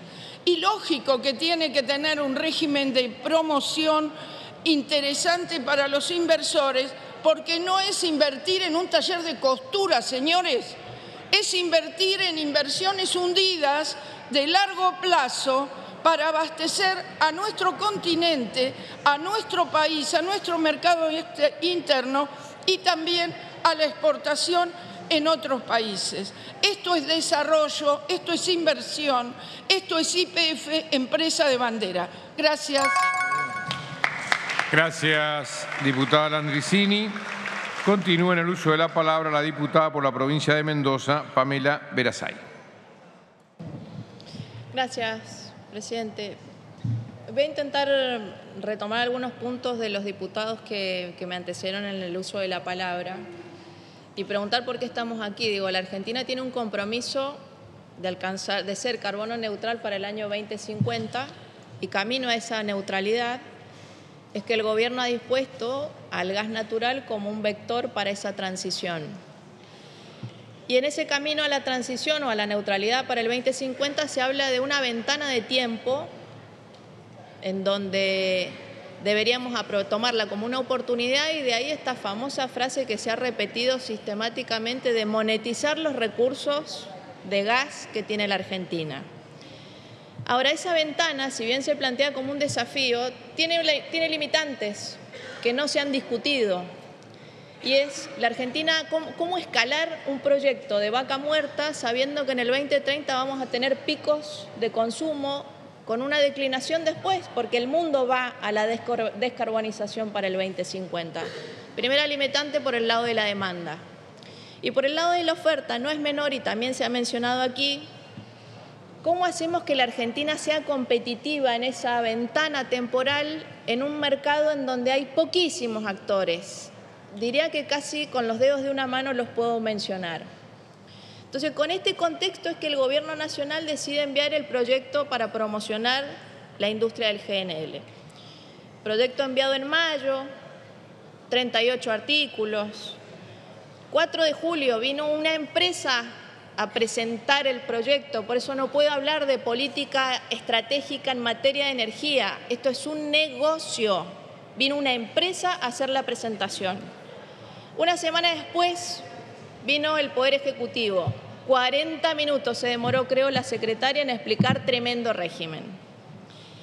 Luego de varias preguntas que hice, por supuesto ninguna fue respondida, nos trajeron a los empujones hasta acá, faltando al compromiso de haber más plenarios para escuchar otras voces e intentar sacarle el, el velo, este mito de que era un negocio, una ley armada para una empresa y no una, política de promoción, como decía el, Poder Ejecutivo. Se han mencionado muchas cosas respecto del articulado de este, de este proyecto, pero lejos de ser una política industrial para un sector, para promocionar un sector, claramente es un proyecto hecho a medida. Yo no coincido con la diputada preopitante. Es más, de hecho, la primera modificación que yo sugeriría al proyecto es que sea régimen de promoción de GNL para IPF y Petronas. Entonces ahí empezamos a hablar de manera sincera. Pero miren si no es a medida el proyecto, el artículo que establece qué proyectos entran en este régimen, lo ablandaron ayer, porque el requisito original era un millón de toneladas por año y una inversión de mil millones de dólares. Ayer aflojaron ese requisito. Y aún así descartan proyectos de menor escala que podrían dar resultados más rápidos y de esta manera poder aportar a esta transición energética que vamos para el 2030-2050. Ni mencionar, nadie lo ha dicho aquí, la enorme discrecionalidad que se crea este proyecto para el Poder Ejecutivo a la hora de decidir qué proyecto, de qué manera, con qué criterio le, da el beneficio del régimen de los 30 años con esta estabilidad tributaria, cambiaria y regulatoria. Ninguno. Al criterio que le piache al Ejecutivo vemos quién entra y quién sale. Ahora vamos a hablar de números, porque acá no se ha dicho nada de números. paréntesis, ¿no? Los transportistas que participen de este proceso están por fuera de la regulación del control del Enargas. Quiero, detenerme en los números. Cuando hablamos de monetizar recursos, yo pregunté qué es lo que tenemos que monetizar. ¿Cuánto mide ese potencial? ¿Cuántas reservas tenemos? No hubo respuesta. pero sí hubo respuesta sobre el precio de referencia. La secretaria de Energía habló de 12 dólares, el proyecto habla de 15. ¿Por qué tenemos 3 dólares de diferencia? No solamente que alcanza el precio de referencia, arranca en 15, sino que también lo escala a 35 en, esta, en, esta, en este artículo que manda el Ejecutivo para determinar los derechos de exportación. No sabemos cómo se conforman esos 15 dólares, no sabemos costo de producción, costo de operación, costo de mantenimiento, porque esto es un proyecto integrado, no es solamente una foto.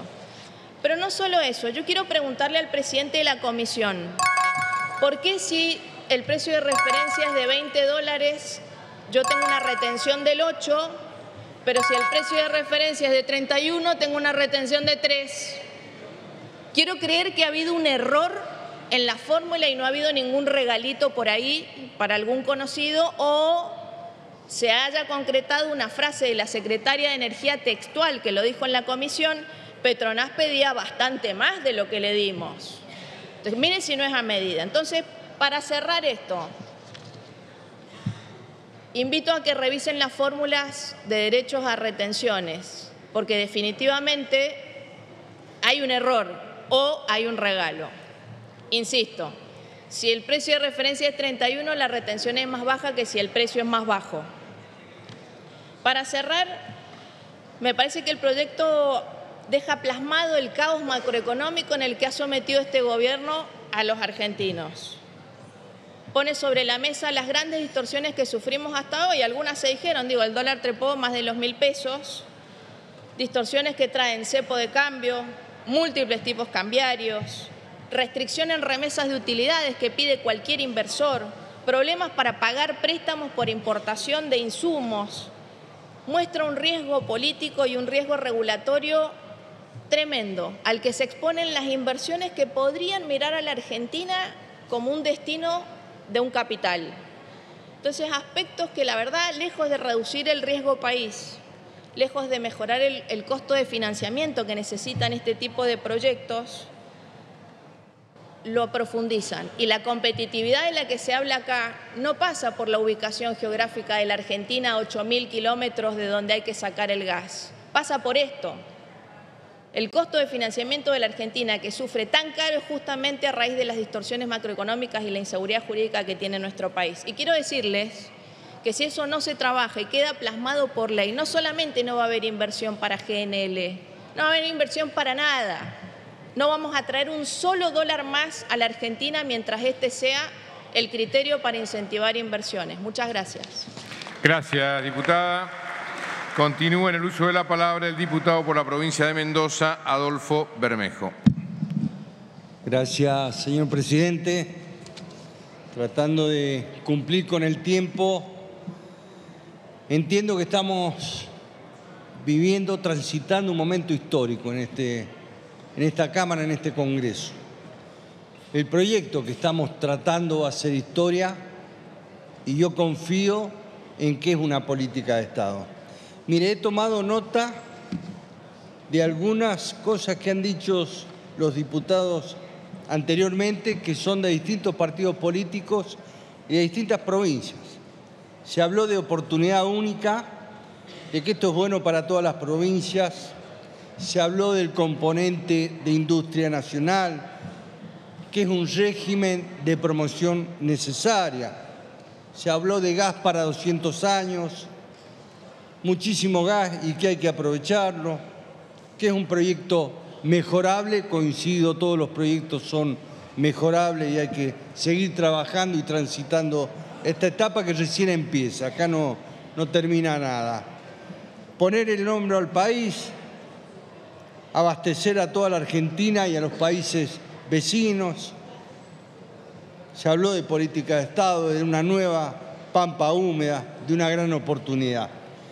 Yo comparto todos estos dichos y como diputado mendocino vengo a acompañar y a apoyar este proyecto con el convencimiento que estamos avanzando en materia de soberanía energética y que estamos apostando al trabajo y al empleo. A los peronistas nos gusta decir que, que gobernar es crear trabajo y hoy estamos haciendo un aporte importante. Vaca Muerta es la segunda reserva de gas no convencional del mundo. Estamos hablando de casi 30.000 kilómetros cuadrados. 10.000 kilómetros cuadrados están bajo Mendoza. Un tercio de Vaca Muerta está en la provincia de Mendoza.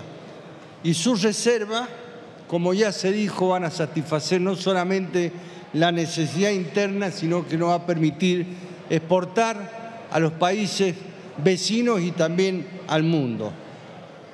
Jamás podría no apoyar esta política de Estado.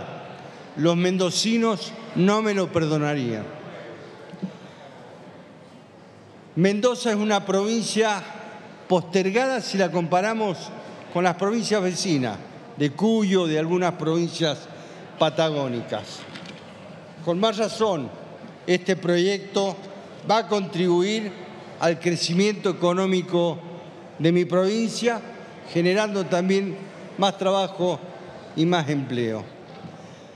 Ayer en la comisión se comentaba, se anunciaba la incorporación de 28 modificaciones. Esto es que ha habido apertura, que se ha permitido trabajar en la, en la comisión y en esto un reconocimiento al presidente Igón, presidente de esta comisión, por la tarea desarrollada. Hubieron dos plenarios fundamentales. En una estuvo el presidente de IPF y también en la otra la secretaria de Energía. Reuniones importantes que aportaron al debate que hoy seguimos dando. Se cuestionó el subsidio o se habló de un subsidio a IPF. Este es un ruido que llega desde mi provincia, de Mendoza que cuando el Estado Nacional subsidia a INSA, en mi provincia, ahí nadie se queja y todo el mundo aplaude. También se habló de que es un kiosquito nuevo, cosa que entiendo que es una falacia absoluta.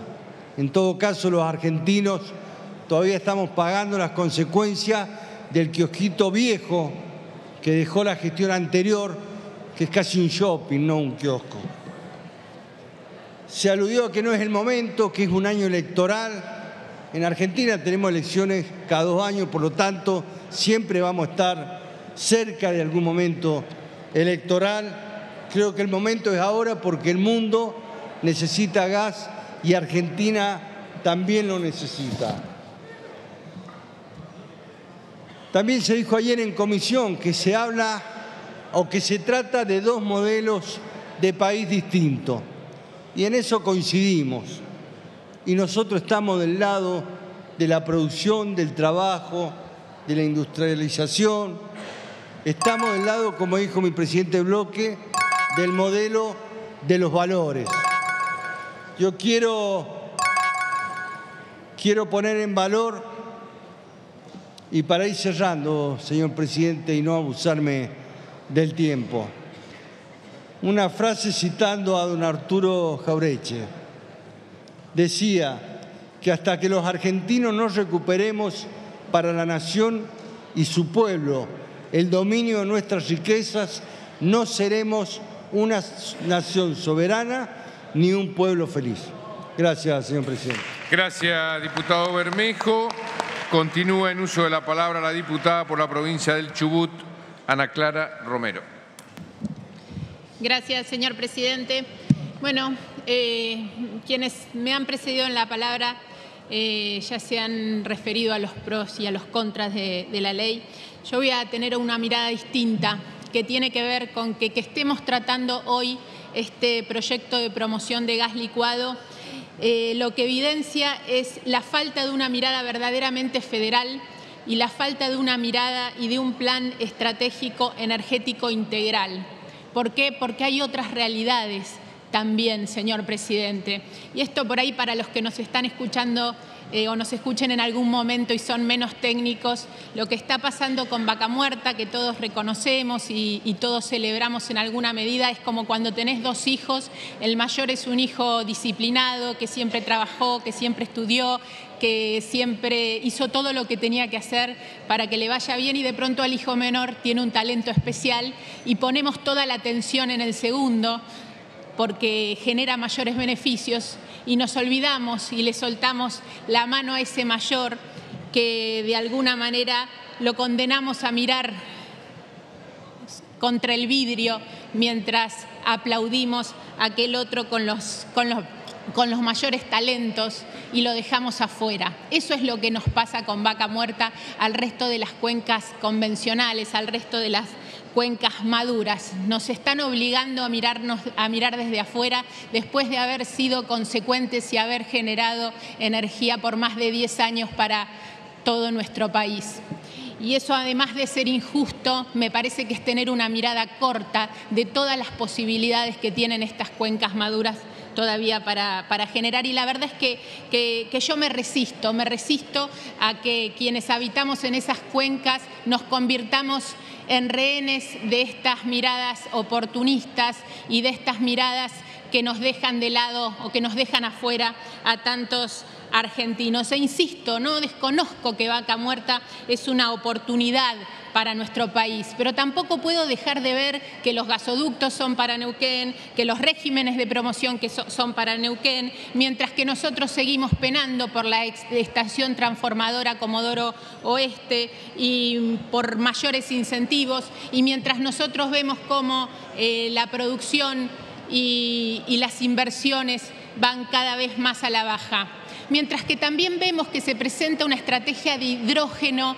que pone al hidrógeno azul en base al gas bajo un mejor régimen y con mejores condiciones que el hidrógeno verde, que es en base a, energías renovables, que son los vectores eh, de transición energética que debemos apoyar y que apoyan la mayoría de los países, nuevamente en beneficio de vaca muerta de vaca muerta. Mientras que además este, nosotros vemos cómo nuestro barril de petróleo interno sigue de alguna manera subvencionando el precio de los combustibles a la baja en todo el país, el congelamiento, las medidas de congelamiento, mientras que eh, nosotros no logramos tener esos beneficios ni ningún tipo de compensación en ese sentido. Eh, he presentado una ley de promoción de las cuencas maduras. Es el proyecto número 1808 del 2023, programa especial de promoción para las inversiones, para la recuperación y producción en cuencas maduras convencionales. Las cuencas maduras existimos y venimos haciendo aportes enormes al sistema energético nacional. IPF nació hace más de 100 años en Comodoro. Nuestro petróleo escalante por sus características sigue siendo muy requerido por las refinerías y muchas veces nuestro cupo de exportación es menor porque debemos porque está afectado por la ley de abastecimiento. Entonces, hay que tener todos estos elementos en consideración al momento de plantear estas discusiones y al momento de presentar un plan energético integral que también nos tenga en cuenta a todos. Entonces, por eso espero que el presidente de la Comisión de Energía eh, también invite a tratar este proyecto de cuencas maduras, ya que hay varios diputados que lo hemos requerido a tenor del artículo 109, 109 para que en la próxima comisión de energía se trate este proyecto, tratando los incentivos, las inversiones para las cuencas maduras y sobre todo pedimos que se lo trate con la misma premura con la que se le dio tratamiento a este régimen de promoción eh, de gas natural licuado, eh, para que también eh, se amplíen los beneficios a otras cuencas para que justamente los, residentes en, lugares y en yacimientos donde tenemos cuencas maduras para que todos aquellos que para que todos aquellos chubutenses y para que todos aquellos que habitamos en la cuenca del Golfo San Jorge tengamos las mismas oportunidades, tengamos incentivos de producción y no nos obliguen a seguir mirándola desde afuera. Muchas gracias, señor presidente. Gracias, diputada Romero. Continúa en uso de la palabra el diputado por la provincia de Neuquén, Guillermo Carnaghi. Gracias, presidente. Este proyecto ingresa a la Cámara de Diputados con la firma del presidente de la Nación, Alberto Fernández, y el ministro de Economía, Sergio Massa, en mayo de, este año. Se trató en reuniones informativas, dos reuniones informativas, uno, como dicen, con Pablo González, presidente de IPF, CEO de IPF, donde viene a presentar el proyecto, y otra con Flavia Rollón y funcionario del Ministerio de Economía. En esas reuniones lo que la oposición primero planteaba en ese tiempo si era oportuno en tiempos electorales discutir estos temas y justamente lo que se le respondió es esto, que la fortaleza de diputado es que en tiempos electorales discutir políticas de Estado. Otro cuestionamiento que se hacía, ¿por qué venía IPF a presentar el proyecto? Lo que la oposición plantea como una debilidad, desde nuestro punto de vista es una fortaleza. Bien IPF porque es la empresa, la empresa del Estado que está llevando adelante la explotación de vaca muerta con éxito a partir de la reestatización de IPF. Estamos tratando un proyecto totalmente relevante. Tenemos que escuchar de otros diputados que esto es un kiosquito, un kiosquito que puede generar inversiones por 10 mil millones de dólares, un kiosquito que puede generar en el mediano plazo eh, ingresos por 10 mil millones de dólares anuales, con lo cual vendría a dar respuesta a planteos que hacen permanentemente la oposición en cuanto al déficit fiscal, en cuanto a la falta de dólares en, el Banco Central, generando estos problemas, problemas de inflación la falta de trabajo, esto generaría trabajo calificado y en blanco. Un proyecto sostenible ambientalmente, porque es el gas dentro de la. es una fuente de energía más limpia que otros combustibles fósiles. Un proyecto que nos hace, que nos nos daría posicionamiento internacional como un, un actor importante exportando GNL. Y acá me detengo un minuto para reivindicar IPF. Eh, hace sí, ocho años aproximadamente visité eh, Vaca Muerta, el yacimiento, y ahí el desafío de la gente de IPF, sus ingenieros, sus técnicos, sus trabajadores, era bajar el costo de extracción del gas, que en ese momento estaba de inicio en 20 dólares el barril y se comparaba con la zona de Permian en Estados Unidos. En estos seis años, gracias a IPF, en una visita que hicimos con otros diputados y diputadas de esta Cámara, se han logrado que este valor esté en 8 dólares 10 contra 8,90 que es Permian en Estados Unidos. Claramente esto genera puestos de trabajo, genera ingresos y genera, inversiones inicialmente en lo que es la infraestructura, ya lo dijeron otros diputados, en la construcción de las plantas de licuefacción y también de los gasoductos que son necesarios. Otro tema que preocupa y que hoy se planteó bastante es el tema de la coparticipación. Claramente que este proyecto puesto en marcha generaría ingresos importantes de coparticipación a la provincia de Neuquén y a otras provincias. Y termino con algo que también se ha, se ha reiterado bastante en esta noche por otros diputados, que es la falta de consenso.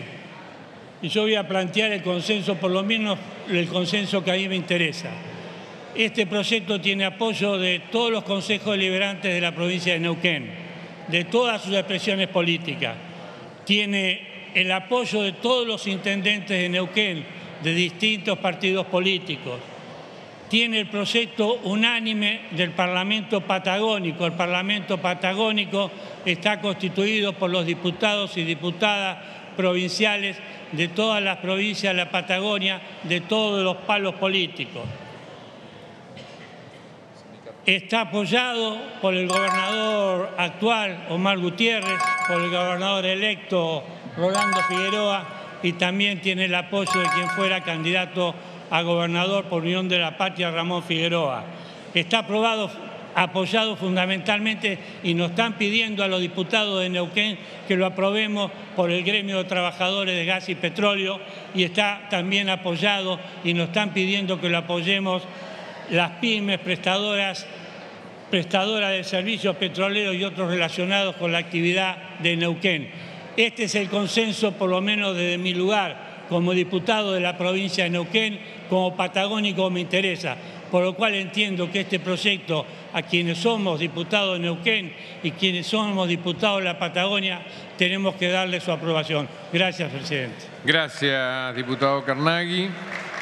Continúa en uso de la palabra el diputado por la provincia de La Pampa, Martín Maquieira. Previo al uso de la palabra del diputado, les pido Quedan solamente dos oradores que se aproximen a las bancas y vayan logueándose. Eh, tiene la palabra el diputado Maquieira. Gracias, presidente. Hoy estamos en este recinto tratando un proyecto importantísimo para el futuro de la Argentina, pero que lamentablemente no ha tenido el tratamiento que se merece. Quisiera hacer referencia a tres puntos por los cuales voy a argumentar mi posición. El primero es el fondo de la cuestión, de la cual estamos de acuerdo en tener un proyecto que nos implique poder exportar y poder generar no solo divisas, sino desarrollo en el interior de nuestro país y en toda la Argentina. El segundo es cómo se dio el proceso con demasiados mal manejos en, esta, en, este, en este Congreso, en la Comisión de Energía. Y un tercer punto son aspectos técnicos con los cuales diferimos y vemos en el articulado muchas deficiencias que voy a ir nombrando. Como decía en la cuestión de fondo, por supuesto que estamos de acuerdo en el potencial que tiene la industria de los hidrocarburos en nuestro país, no solo en Vaca Muerta, también en Palermo Aique, también en la cuenca argentina norte, posiblemente con reservorios y ojalá que así sea con la exploración del pozo Argelich, también en la cuenca del Golfo San Jorge, en la cuenca austral y en todo nuestro país tenemos un potencial muy importante. También consideramos que tiene que haber una política energética para poder darle impulso a nuestra industria hidrocarburífera, pero en toda la industria general de la energía, que lamentablemente no la hay, porque el gobierno se ha encargado de variar y de virar constantemente en esta política, en su lo que cree ser una política energética. Y por supuesto, como decía, estamos de acuerdo en que la importancia de exportar es lograr el desarrollo en el interior de nuestro país, es poder tener una industria que exporte, es poder dar desarrollo, trabajo y progreso a nuestra Argentina, que es lo que nos va a permitir salir del estancamiento que lamentablemente estamos hace varios años. Pero no será lamentablemente esto una política de Estado, y eso me lleva al segundo punto de cómo se dio el proceso, y a la cual la responsabilidad, por supuesto, es del gobierno de no lograr que esta ley sea una política compartida por la mayoría de los bloques. Y toda política de Estado no se debate a la ligera. Estamos hablando de un proyecto a 30 años, de la Argentina que nos imaginamos. No podemos pretender que en dos reuniones de comisiones, donde primero vino una empresa a exponerlo y después el gobierno y donde solo tuvimos una instancia de debate podamos consensuar una política en común. Las políticas de Estado se debaten, presidente. Por eso consideramos y lo expusimos en la comisión que necesitábamos escuchar otras voces de la academia, de la industria, de los sindicatos, a los gobernadores. Por supuesto, está el gobernador electo de la provincia de Neuquén, pero también hubiera sido bueno escuchar a otros gobernadores de los puntos de vista positivos o los cuestionamientos que puedan tener a este proyecto. Por eso me cuesta creer y me apena que esto no llegue a ser una política de Estado, porque las políticas de Estado se trabajan, se consensuan, se discuten, se acuerdan y se votan al menos con los dos tercios de esta Cámara. Y hay numerosos ejemplos de políticas de Estado en energía, como la Ley de Energía Distribuida, que tuvo más de 160 votos, como la Ley de Biocombustibles del 2006, con más de 180 votos, o la Ley de Hidrógeno de ese mismo año, del 2006 el voto y el acompañamiento de una gran parte de este recinto le da credibilidad, le da poder pensar en una ley que trascienda a los gobiernos, sino que no venga otro y quiera cambiarlo. Y le da la seguridad jurídica que esta industria se merece. Por eso quisiera hablar también de algunos de los aspectos técnicos por los cuales nos genera dudas que esto llegue a ser una ley que le dé futuro a la explotación y a la exportación de en este caso del GNL, de gas natural licuado. Planteamos garantía cambiaria y libre disponibilidad de divisas, pero ya ponemos un límite del 50%. No quiero pensar que de acá a 30 años vamos a seguir teniendo limitaciones para poder generar divisas y para poder exportar y seguir con límites y cambios y sobre todo con trabas a la exportación y a la explotación de cualquier economía de nuestro país. Seguimos planteando retenciones, así como nos oponemos a cualquier derecho de exportación en todas las actividades, también lo hacemos en este proyecto, porque no podemos pensar que en 30 años vamos a seguir con retenciones en nuestro país. Los cupos fiscales que terminan siempre desactualizados, que además siempre se dan de alguna manera la poca transparencia que un funcionario de turno decida a qué empresa dárselo. No estamos de acuerdo con eso. Reducir ganancias, ¿Por qué a la misma industria o el mismo sector como es la explotación offshore no le bajamos ganancias y a esta industria sí, que potencialmente tienen las mismas posibilidades y que también tienen costos hundidos eh, y, grandes beneficios, que consideramos que ya con la devolución de IVA o la amortización acelerada es suficiente. Y consideramos que también podía haber tenido un control del Congreso este proyecto, como lo ha planteado el diputado Sánchez en su proyecto. Ya para ir concluyendo, presidente, lo que sí resaltamos de este proyecto es que al menos el kirchnerismo se ha dado cuenta y ha recapacitado en el desastre que ha hecho en la política energética en todos sus gobiernos y en todas sus formas, sobre todo del 2003 al 2015, donde nos dejaron un déficit energético de más de 6 mil millones de dólares. Me alegra que en este proyecto no vuelvan con esas ideas que tanto nos costaron a los argentinos de romper contratos con nuestros países vecinos, de subsidiar la demanda, de expropiar una empresa que nos va a costar millones de dólares a todos los argentinos y de dejar ese déficit fiscal tan grande. Pero lamentablemente siguen con estas prácticas de retenciones, de, de controles, de trabas que van a dificultar este proyecto. Resumiendo, presidente, consideramos muy importante poder tener un proyecto de GNL, poder tener una, una ley que nos permita dar credibilidad, dar previsibilidad. Y por eso, y prestando la atención de todos, es que vamos a pedir una moción para que el proyecto vuelva a comisión, para poder tratarlo con la seriedad que el debate se merece, para que podamos escuchar otras voces y para que podamos darle a esta a este proyecto una real política de Estado. Por eso, presidente, le pedimos y le pido una moción para que se vote en este momento, para que el proyecto vuelva a comisión y le demos el respaldo político que la actividad se merece. Gracias, presidente. Gracias, diputado.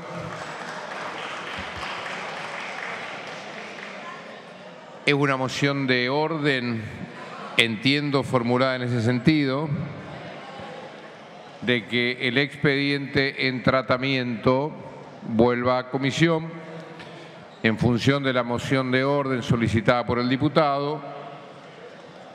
Voy a poner a consideración a mano alzada. Está pidiendo la palabra el diputado Martínez.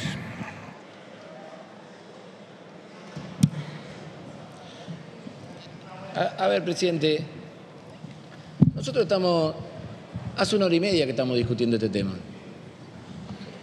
Y llegado este momento del, del análisis, viene un diputado al cual tiene toda la posibilidad de hacerlo, obviamente, plantea una vuelta a comisión que realmente me da toda la sensación de que lo que está tratando de empiojar el debate. Me parece que lo que inclusive hay una cantidad de, de diputados que ya hablaron, que se manifestaron, que dijeron cuál es su mirada. ¿Cómo?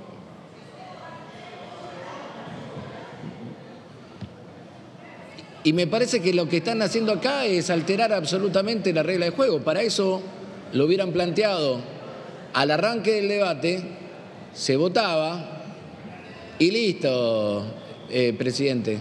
A ver, hay una moción de orden. Si el diputado no la retira, por reglamento estoy obligado a ponerla en consideración. Si insiste el diputado, voy a poner la consideración. Permite hablar, presidente. Eh, no, no la retiramos. Queremos que vuelva a comisión para poder darle el tratamiento que el régimen se merece y además pedimos la votación nominal. Si está suficientemente apoyada, se va a proceder a hacer la votación nominal correspondiente con respecto a la moción de orden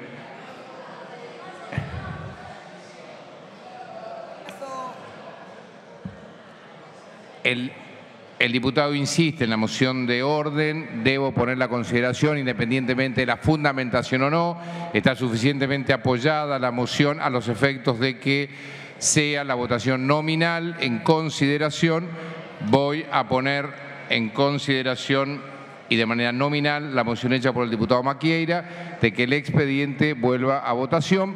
El reglamento establece la mitad más uno de los votos de los presentes en el supuesto de que sea afirmativa para que vuelva a comisión. Están logueados los... Faltan 13, 13 diputados faltan que se logueen, les pido por favor que así lo hagan, sino que se indiquen por secretaría cuáles son los diputados a los efectos de agilizar la votación. Estoy sacando el trabajo a la presidenta.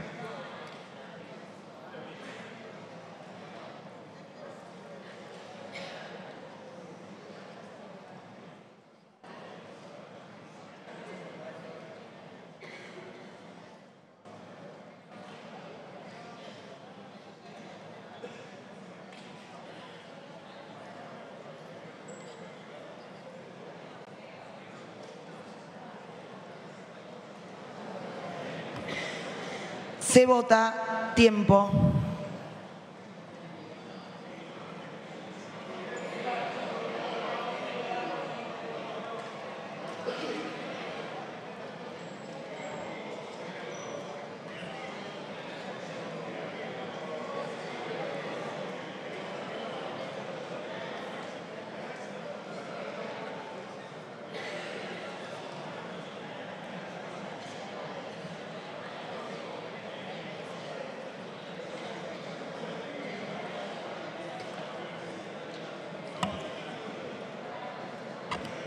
Diputado Ponce.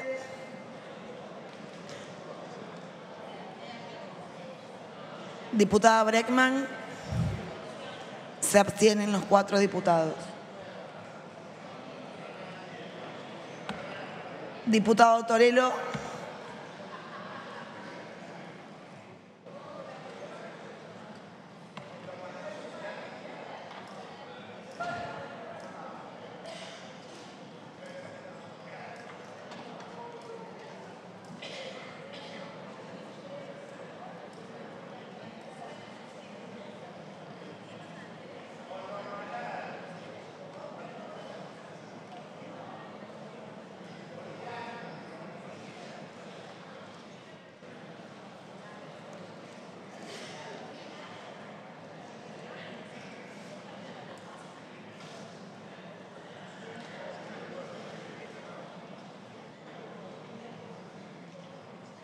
Por secretaría se dará lectura del resultado de la votación.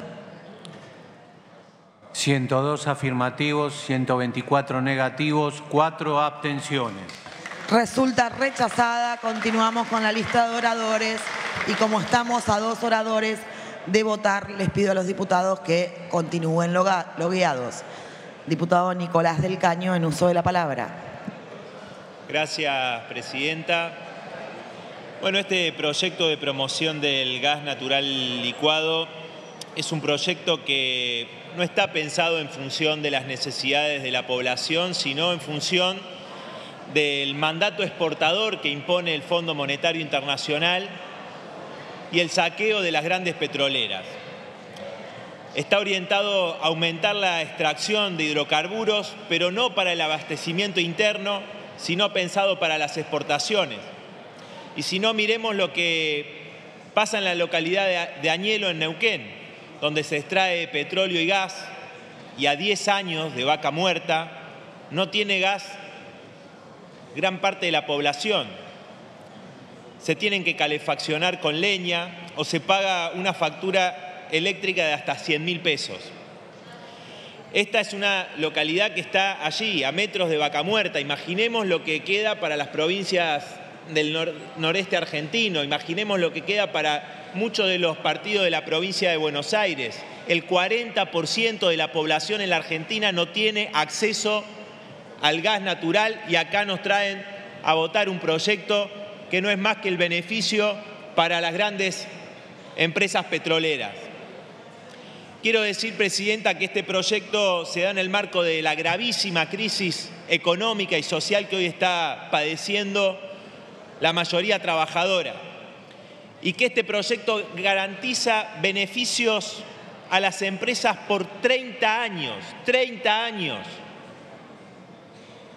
Quiero decir que este proyecto además implica retenciones cero en los hechos para estas grandes multinacionales. Y además se pueden llevar los dólares mucho más rápido, mucho más fácil. Le dan una libre disponibilidad del 50%. Le dan exenciones en derechos de importación, devolución del IVA, entre muchas otras entre muchos otros beneficios quiero preguntarle cuánto más le van a regalar a estas grandes empresas. Porque todos sabemos que en última instancia los beneficios van a ir a los bolsillos de estas grandes multinacionales, de estas grandes empresas como Tecpetrol de Paolo Roca, que ya se vienen llenando los bolsillos, ¿no? Con el plan gas, con el dólar vaca muerta y tantos otros beneficios que reciben y ahora además van a tener más incentivos para el saqueo.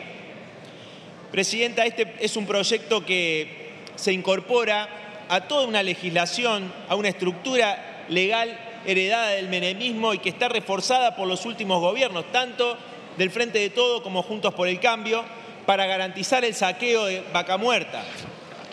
Este es un modelo que permite que las petroleras paguen las regalías, paguen regalías de las más bajas del mundo y por simple declaración jurada.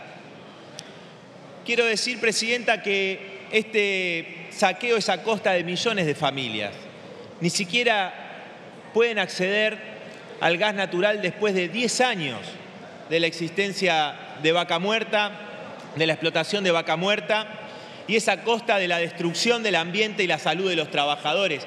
15 trabajadores murieron por las condiciones de trabajo que hay este, para los trabajadores petroleros allí en vaca muerta. Quiero decir también que nosotros de la izquierda siempre hemos planteado la necesidad de avanzar en una nacionalización integral de todos los recursos energéticos para poder desarrollar un plan racional, debatido, discutido con las comunidades, con los trabajadores, con los especialistas, los científicos y científicas de nuestras universidades públicas. Un plan racional que esté en función de las necesidades de la población, de las grandes mayorías trabajadoras y que no esté puesta en función de entregarle por 30 años enormes beneficios a las multinacionales petroleras. Esto es lo que está detrás de este proyecto y por eso lo vamos a rechazar. Y quiero decir también, Presidenta, volviendo a lo que decía anteriormente de el marco en el que se da este proyecto, que mientras tenemos el dólar paralelo arriba de mil pesos y que esto obviamente es producto de los que nos vienen gobernando, del acuerdo con el Fondo Monetario Internacional, los que tomaron la deuda y los que votaron, porque todos votaron ese acuerdo que dijimos que era inflacionario. Votaron ese acuerdo y siguieron ajustando como hizo el, actual ministro Massa, 22% de devaluación con una inflación con una inflación... Diputado del tiempo. Sí, ya terminó, Presidenta. Todos se pasaron. Déjeme un minuto más. Sí.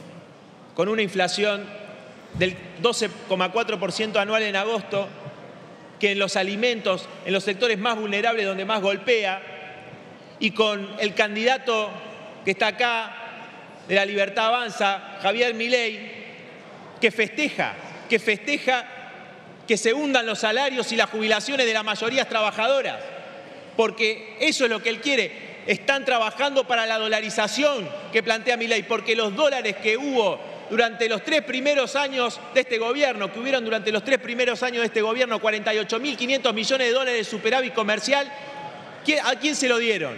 Se lo dieron a las grandes empresas en los pagos de la deuda. Por eso hoy existe una gran fragilidad, entre otras cosas, en la economía argentina y la presión del capital financiero por una devaluación que favorezca la dolarización que, quieren, que quiere implementar mi ley. Por eso nosotros del Frente de Izquierda planteamos que la única forma, la única salida frente a esta crisis es que los trabajadores y las trabajadoras se organicen y planteen una salida integral a favor de las grandes mayorías y no de un pequeño puñado de grandes capitalistas y empresarios para los que han venido gobernando y para los que quieren gobernar Javier Milei, que como dijo mi compañera Miriam Bregman, es un gatito mimoso del poder económico. Muchas gracias, presidente. Gracias, diputado. Les pido que se vayan logueando. Quiero aclarar que la diputada Cañas ya tiene en sus manos el informe de informática que también fue anexado en la votación. En uso de la palabra la última diputada, la diputada Tania Bertoldi. Muchas gracias, señora presidenta. Primero mi solidaridad a la diputada Miriam Breckman y un saludo también a nuestra intendenta de Rincón que nos está acompañando y nuestra diputada electa provincial también de Rincón de los Sauces. Este debate quizás no tenga grandes titulares de los principales medios nacionales mañana, pero no tengan dudas que esta ley de promoción para el GNL va a marcar un hito en el desarrollo energético para nuestro país y particularmente para nuestra provincia, que va a recibir con muchísimo agrado el tratamiento de esta ley. Además, desde Neuquén, los neuquinos y las neuquinas estamos listos para seguir trabajando en el desarrollo hidrocarburífero y aprovechar al máximo uno de los recursos energéticos que está demandando el mundo no solo ahora, sino para las próximas décadas. Señora Presidenta, usted y mis colegas tendrán presente, porque de hecho ayer en la comisión, en el plenario de las comisiones de presupuesto y energía se, expresó con mucha claridad cómo desde algunos sectores reclaman frecuentemente políticas públicas a largo plazo, planificación con un horizonte a 5, 10, hasta 20 años, seguridad jurídica para invertir y varias cosas más. Ahora bien, cuando esos sectores pasan a ser gobierno, están del otro lado del mostrador, sufren una amnesia galopante y no aplican nada de lo que reclaman. Minga con la planificación, minga con la búsqueda de previsibilidad. Sin embargo, hoy, y a partir de una visión desarrollista y estratégica de nuestro ministro de Economía, Sergio Massa, traemos una propuesta de crecimiento y desarrollo a largo plazo, con reglas claras para la industria y garantizando a la Argentina no solo el autoabastecimiento de gas, sino también tener con qué atravesar la transición energética y posicionarse en el mercado hidrocarburífero internacional, permitiendo además revertir la balanza fiscal generando un superávit con el ingreso de divisas que supone esta ley.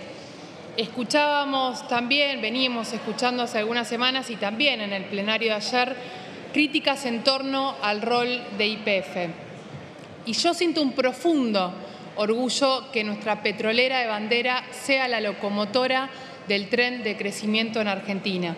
De la misma manera que lo pensó Mosconi, de la misma manera que lo desarrolló el radicalismo de Hipólito Irigoyen y de la misma manera que en el año 2012 se tuvo la decisión política de nacionalizar lo que nunca jamás se tendría que haber privatizado. Y creo que es una buena instancia para que todos los diputados y diputadas expresemos el posicionamiento, el posicionamiento que tenemos respecto a IPF. Señora Presidenta, este proyecto es la oportunidad de generar recursos genuinos para el país. Tenemos reserva de gas para más de 150 años y un proceso de transición energética global en el que el GNL es vital y clave. Un proyecto de 5 MTPA millones de toneladas de GNL por año, supone una inversión de más de 6 mil millones de dólares, exportaciones por más de 2.700 millones de dólares anuales, 80.000 nuevos puestos de trabajo en su construcción, 20.000 nuevos puestos de trabajo en su operación. Un proyecto con estas características, un proyecto exportador, generaría más de 2 millones de regalías por semana para las provincias. Nuestra IPF está planificando una inversión tres veces mayor a lo que acabo de describir. Hoy tenemos la decisión desde el Estado Nacional de asegurar inversiones que generan trabajo y recurso para el país. Ya lo hicimos con la construcción del, gasoducto Néstor Kirchner, lo estamos haciendo con la reversión del gasoducto norte y lo vamos a hacer para GNL. Quiero traer y sumarme también a lo que decían mis compañeros diputados neuquinos hace un rato, Guillermo Carná y Rolando Figueroa, que comentaban acerca de un comunicado que expresaron todos nuestros intendentes e, e intendentas de cada rinconcito de la provincia manifestándose a favor de este proyecto. Lo mismo el las distintas, los distintos consejos deliberantes, la legislatura de la provincia, el gobernador de nuestra provincia, el sindicato de petroleros a partir de, de, su secretario general Marcelo Rucci. Y en Neuquén dejamos de lado las tibiezas, las mezquindades frente a temas que mejoran nuestra calidad provincial y nacional. Y creo que es un buen momento para que acá todos los partidos políticos hagamos lo mismo. Este es el perfil de la Argentina comprometida con el crecimiento y la producción que nos está proponiendo nuestro ministro de Economía, Sergio Massa, generando condiciones para el desarrollo y la inversión, pero siempre, siempre cuidando y priorizando la soberanía y el interés nacional. Gracias.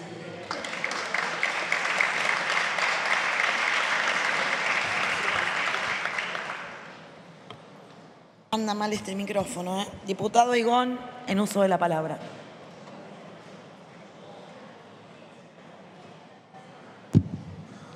No sé si hay más oradores, Presidenta, yo no pedí la palabra. No, es el último orador. Como miembro informante, nos dijeron que había modificaciones. Sí, hoy estuvimos charlando sobre modificaciones que le iba a presentar la, la diputada Camaño. No sé si la quiere presentar ahora. Sí, diputada Camaño.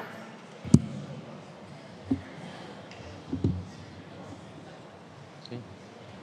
Todo para arriba.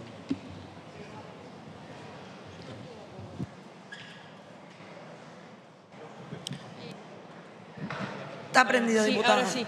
Presidenta, como usted diga, es el artículo 7, es el artículo 10 y el artículo 35.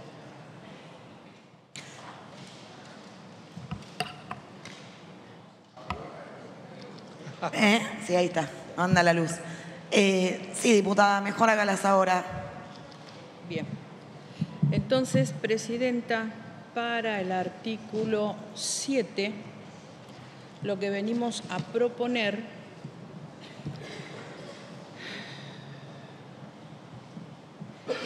es lo siguiente.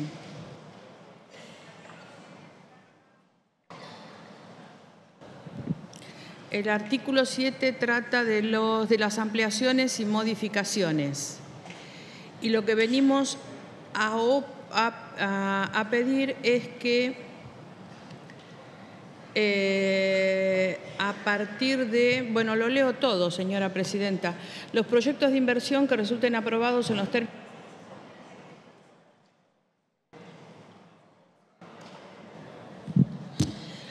Eh, en la presente ley podrán ser modificados y o ampliados en lo que respecta al monto de la inversión proyectada, forma de ejecución y o a su capacidad de liquefacción o transporte previa aprobación de la autoridad de aplicación en la medida en que ello no implique un compromiso inferior a la inversión mínima prevista en los términos de los párrafos tercero y cuarto del artículo 6 y esta es la modificación, ni una modificación significativa en los términos que fue presentado el informe de impacto ambiental previsto en el estudio preliminar contemplado en el artículo quinto, considerado al admitirse el proyecto. Continúa, las ampliaciones aprobadas gozarán de los mismos beneficios promocionales aplicables al proyecto original. En cuanto al artículo 10, lo que estamos planteando como modificación es cuando menciona los incisos, que menciona tres incisos, hacemos un inciso más que dice lo siguiente, los adquirentes de los proyectos transferidos deberán asegurar el cumplimiento de las obligaciones ambientales asumidas por el transferente en cuya virtud se hayan otorgado los correspondientes permisos ambientales. Ese es el inciso que se incorpora en el artículo 10.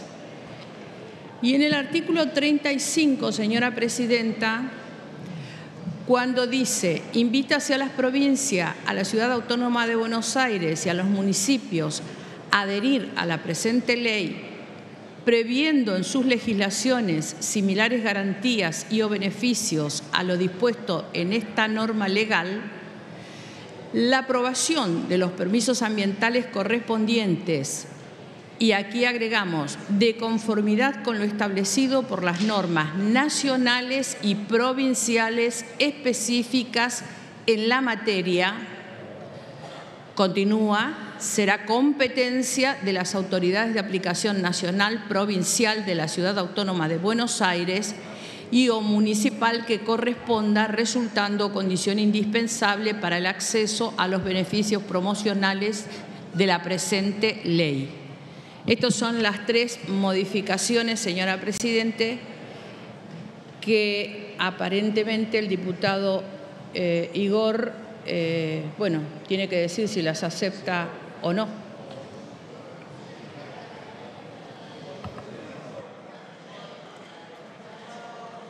Igor, en uso de la palabra. Sí, señora presidenta, se van a aceptar las modificaciones. Le solicito, la molesto de diputada, si puede volver a leer eh, la modificación del artículo 6. 7. No. Artículo 7. 7. Sí. Diputado, la idea es, le leo el artículo completo.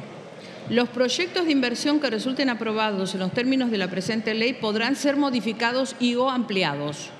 En lo que respecta al monto de la inversión proyectada, forma de ejecución y o capacidad de licuefección o transporte, previa aprobación de la autoridad de aplicación en la medida en que ello no implique un compromiso inferior a la inversión mínima prevista en los términos de los párrafos tercero y cuarto del artículo 6, coma, y esto es lo agregado, ni una modificación significativa en los términos que fue presentado el informe de impacto ambiental previsto en el estudio preliminar contemplado en el artículo quinto, considerado al admitirse el proyecto. Punto. Continúa el, artículo. Las ampliaciones aprobadas gozarán de los mismos beneficios eh, promocionales aplicables al proyecto original. Diputado Igón. Sí, Presidenta, se aceptan las tres modificaciones. Bueno, les pido a los diputados que están parados, tomen asiento y se loguen. Se va a votar en general y en particular. Sí, diputado Igón. Presidenta, la, la diputada Verazay advirtió un error. No sé si lo quiere plantear la diputada, si no puedo leer cómo podría quedar establecido. Diputada Verazay en uso de la palabra. Sí, gracias. No, en realidad yo planteé el error para que lo corrijan ustedes, no, no es una modificación que yo esté pretendiendo hacer de un proyecto que no comparto pero lo que, te, lo que le explicaba el presidente de la comisión básicamente es que en el cálculo de la retención, cuando cambia el precio de referencia y aplica el porcentaje que le corresponde a ese precio de referencia, es una retención escalonada en vez de ser una, una retención progresiva. Y hay un error en la fórmula, básicamente es eso. Si dejan fijo el valor base, la retención es progresiva. Diputado Igón. Es cierto lo que planteaba la, la diputada Brasay, había un error en la fórmula, fue subsanado, o puedo leer la fórmula o cómo quedaría redactado el artículo. Por favor, lea cómo queda redactado el artículo. Hay dos posibilidades. No escucho. Silencio, diputados. Lea todo el artículo, diputado, directamente.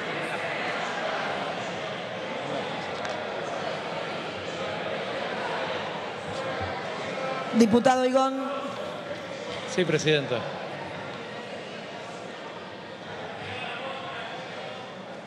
Se establecen distintas fórmulas en función de los derechos de exportación. Hasta 15 dólares es cero. Entre 15 y 20, la fórmula que se propone es precio FOB menos precio valor de referencia 1 sobre valor de referencia 2 menos valor de referencia 1 por 4. ¿Sí? Silencio, diputados, por favor, continúe, diputado Igón.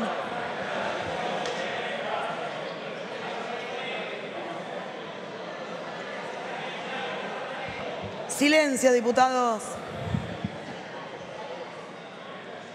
Continúe, diputado Igón. La segunda fórmula cuando va, cuando el valor supera ¿sí? de 20 a 25 dólares, la fórmula sería la siguiente. 12% más valor FOD menos valor de referencia 2 sobre valor de referencia 3 menos valor de referencia 2 por 2. La cuarta y última fórmula. Silencio, diputados. Piden respeto, respeten a los que están hablando también. Hubiese ido ayer a la comisión, diputado. Bueno, si fue, ahí lo vieron. Al presidenta.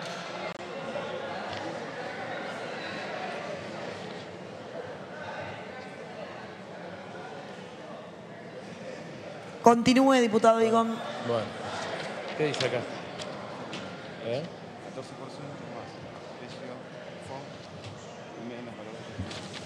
es 14% más precio FOB menos valor de referencia 3 sobre valor de referencia 4 menos valor de referencia 3. Así quedaría establecido porque lo que encontró la diputada Verasay, y le agradezco, es justamente que en el error de esa fórmula no generaba la curva que pretendíamos en el espíritu de la ley. Gracias, diputado. Diputada Verazay. Eh, me, queda la duda de qué pasa con el precio de referencia cuando es 35 y la fórmula que aplica para el 15. Diputada Stolbizer. No, Presidenta, por las mismas razones que fueron expuestas al pedir el pase a comisión y las evidencias que estamos teniendo adelante nuestro sobre la desprolijidad que este proyecto tiene, adelanto por nuestro bloque nuestra voluntad de abstenernos. Gracias, diputada. Diputado Igón. Le pregunto a la diputada Verasay por la interrupción la última pregunta que me realizó. A partir del valor de 35, me dijo, a partir del valor de 35 queda fijo en 15 puntos, en el 15%. No, no. Se va a votar. ¿Hay alguna otra modificación?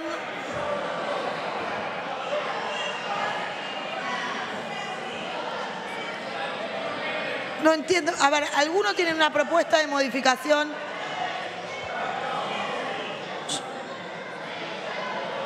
Diputada Penaca en uso de la palabra. No piden la palabra, no hemos pedido modificaciones. Gritan, no entiendo. A ver. No. Terminó el debate. Es que, eh, Presidenta, discúlpeme, yo también quisiera entender en qué segmento de la sesión estamos y en qué momento del debate. Ya se debatió durante un rato largo. Los diputados que están, los diputados y las diputadas que están haciendo uso de la palabra no están planteando modificaciones al texto. Entonces, lo que yo propongo es que si no hay más modificaciones al texto, se pase a votar. No se entiende qué estamos haciendo, Presidenta, no se entiende. Miren, el proyecto se debatió largamente. Se cerró la lista de oradores. ¿Hay alguna pregunta concreta o alguna propuesta de modificación concreta? Diputada Verasay. Pero, perdón, eh, no estamos discutiendo el proyecto, estamos corrigiendo un error de ustedes. Proyecto vino mal, vino mal. De ustedes, de ustedes, aceptado por el presidente de la comisión. Así que por lo menos la amabilidad de leer un artículo que está mal escrito por ustedes, por ustedes. No estoy debatiendo nada, esto está mal. Gracias, diputada Verasay. Diputado Egón, ¿podemos repetir ese artículo? A ver, la diputada Verasay encontró un error. Lo acepté, lo modificamos, pero entre la pregunta de la diputada y la respuesta mía hay un bochinche, básicamente porque no tienen ganas de escuchar. Lo vuelvo a leer y así queda modificado. ¿sí? Usted me preguntó sobre el valor de referencia cuando está entre 30 y 35 dólares. ¿Está bien, diputada? La fórmula es la siguiente. 14%, ¿sí? Precio-valor FOB menos valor de referencia 3 sobre valor de referencia 4 menos valor de referencia 3. Creo que quedó claro, como lo dije, ahora que nadie pudo interrumpir. Gracias, diputado Igón. Se va a votar en general y en particular el dictamen de las comisiones recaído en el proyecto de ley sobre régimen de promoción del gas natural licuado en nuestro país, con las modificaciones aceptadas y leídas por el miembro informante. Orden del día número 855.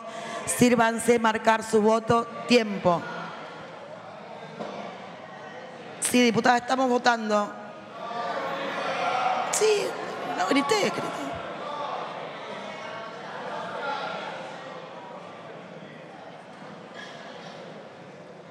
Espera que terminamos de votar y a ver. Y empezó la votación. Para pedir la abstención, diputada Los Penato. Sí. Bueno, la diputada Los Penato pide la abstención del interbloque de Juntos por el Cambio. No le escucho, diputada, porque no le prendan el micrófono, le pueden prender el micrófono. Silencio, diputado. ¿Le pueden prender el micrófono? Ahí lo tiene, lo tiene prendido, diputada. Presidenta, es para pedirle la autorización para la abstención del interbloque de Juntos por el Cambio.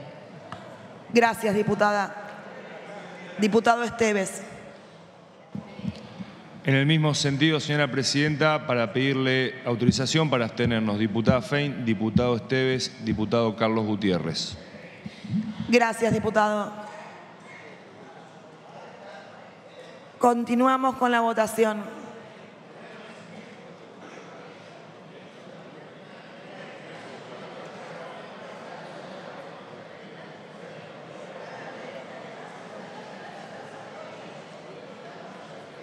Diputado Álvarez, ¿se abstiene? Se abstiene. Diputado Vidal, ¿se abstiene? Sí. Diputado Selva, afirmativo. Diputada Graciela Navarro, afirmativo. Diputado Bernardo Herrera, afirmativo. Diputada Neder, afirmativo. Diputada Píparo,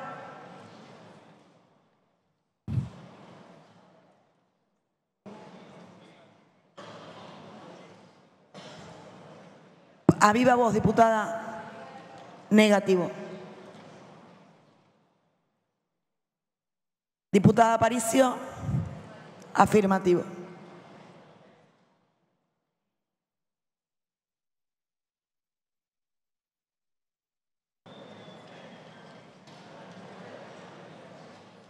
Se cierra la votación. Por secretaría se dará lectura del resultado. 126 afirmativos, 7 negativos, 102 son las abstenciones. Resulta afirmativo, se comunicará al Honorable Senado de la Nación. En consideración, en general, el dictamen de la Comisión recaído en el proyecto de ley por el que se crea el régimen de promoción de la industria del calzado y su cadena de valor, orden del día número 786, tiene la palabra el diputado Marcelo Casareto. Muchas Presidenta.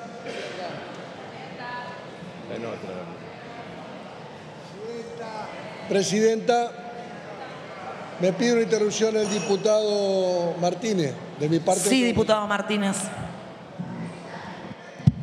Gracias, Presidenta. Gracias, diputado Casareto.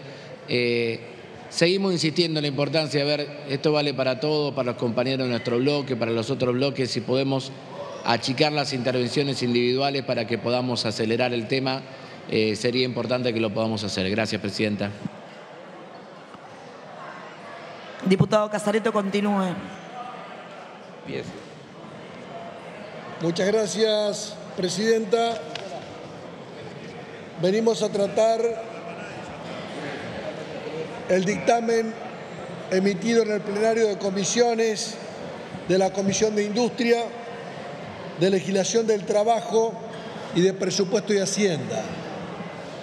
En relación a la ley del calzado argentino que se ha venido trabajando con los distintos sectores involucrados en la actividad, especialmente con la SIC, la Cámara de la Industria del Calzado, CAIPIC, que es la Cámara Industrial de Proveedores de la Industria del Calzado, y con UTICRA, que es el sindicato, la Unión de Trabajadores del Calzado de la República Argentina, que hace un rato está movilizándose aquí en la calle frente al Congreso en apoyo a esta ley. Esta es una actividad que prácticamente surge con la nación, la industria del calzado, que ha tenido distintas vicisitudes a lo largo del tiempo, según las políticas económicas que los gobiernos han promovido de mayor fomento de la industria nacional o un cambio hacia políticas destinadas a la apertura económica. Por supuesto, si miramos los últimos años, nos encontramos con un gran crecimiento en algunos momentos y una gran caída, por ejemplo, entre 2016 y 2020, en la cual el sector cayó en la producción un 55% en su nivel de actividad, producto de una apertura indiscriminada de la economía nacional. Es nuestro criterio defender la industria nacional y defender los puestos de trabajo en la República Argentina. Entonces, el sector se pregunta si queda expuesto a que de buenas a primeras aparezca un gobierno que decida un viraje en las políticas económicas y otra vez la apertura que genere el cierre de fábricas y genere la pérdida de puestos de trabajo. Así que se generó esta iniciativa con la diputada Constanza Alonso, que ha sido la que presentó el proyecto, y con decenas de diputados de nuestro bloque que la hemos acompañado y que hemos presentado públicamente el proyecto de ley en la EFICA, en la exposición del calzado que se hizo en Diputado Casareto, si me disculpa, hay varios diputados que me vinieron a plantear que a las 4 o 4 y media de la mañana tienen que ir a tomarse el vuelo. Le voy a pedir si podemos intentar reducir la cantidad de oradores en este tema. Entiendo que el tema de alquileres es un tema que tiene mucha expectativa. Y este tema también, pero me parece que como hay un amplio consenso, podríamos reducir la cantidad de oradores. Principalmente lo pido a mi bloque. Continúe, diputado.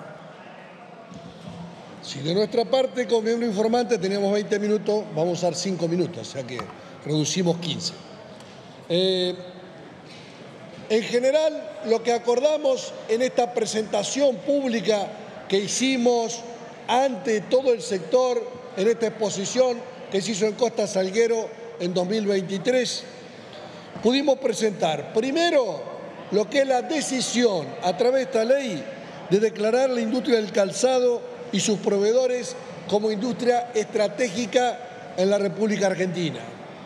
Y lo hemos discutido muchas veces en las comisiones si hay que dictar una gran ley de promoción de las actividades económicas o vamos sobre ciertos sectores puntuales. En este Congreso hemos tratado una ley como la ley automotriz que ya ha tenido un impacto directo sobre la sociedad, la ley de bio y nanotecnología con un importante impacto en toda la Argentina, la ley de economía del conocimiento y otras que tenemos pendientes de tratamiento en este Congreso.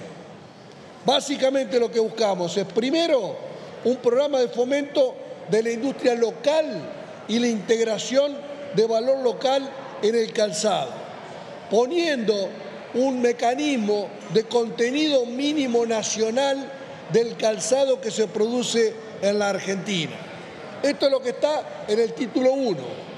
Lo que está en el título 2 es un programa de fomento de inversiones para el desarrollo de nuevos proyectos que se puedan radicar a la luz de estos beneficios, que básicamente son créditos fiscales por las inversiones realizadas con una amortización en tres periodos fiscales, una amortización acelerada en el impuesto a las ganancias por las inversiones en bienes de capital, equipos especiales, partes y componentes, y la conversión en bono de crédito fiscal del 50% de los gastos.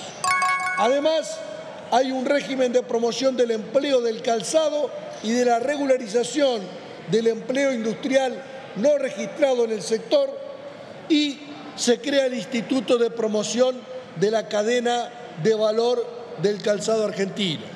Señora Presidenta, para concluir, informo al cuerpo que sobre el texto que está en el orden del día hemos acordado modificaciones en nueve artículos que lo va a informar la diputada Brenda Vargas. Son artículos que hemos consensuado con la Cámara de Industria del Calzado, con la Cámara de Proveedores, con el sindicato y en algún caso tomando conceptos que nos han brindado diputados de otros bloques parlamentarios. En definitiva, señora Presidenta, lo que venimos a plantear es acá la defensa de la industria nacional, la defensa del trabajo argentino en la industria del calzado. Es la primera vez que la Argentina trata en el Congreso una ley de promoción del calzado argentino y eso es lo que proponemos en su aprobación. Muchas gracias. Gracias, diputado. Diputada Anaí Costa, en el uso de la palabra. Gracias, señora presidenta. Pido permiso para leer un párrafo de un medio de publicación de fecha 24 del 9 del 2018. Catamarca es la provincia más perjudicada. A los 200 despidos de en calzados Catamarca se suman 50 trabajadores de planta textil de alpargatas.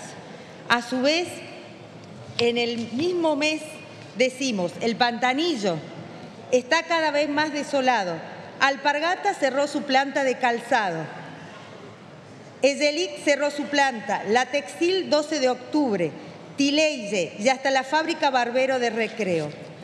Esto que acabo de leer, señora presidenta, fue un retrato que se replicó en nuestro país durante el 2015 al 2019.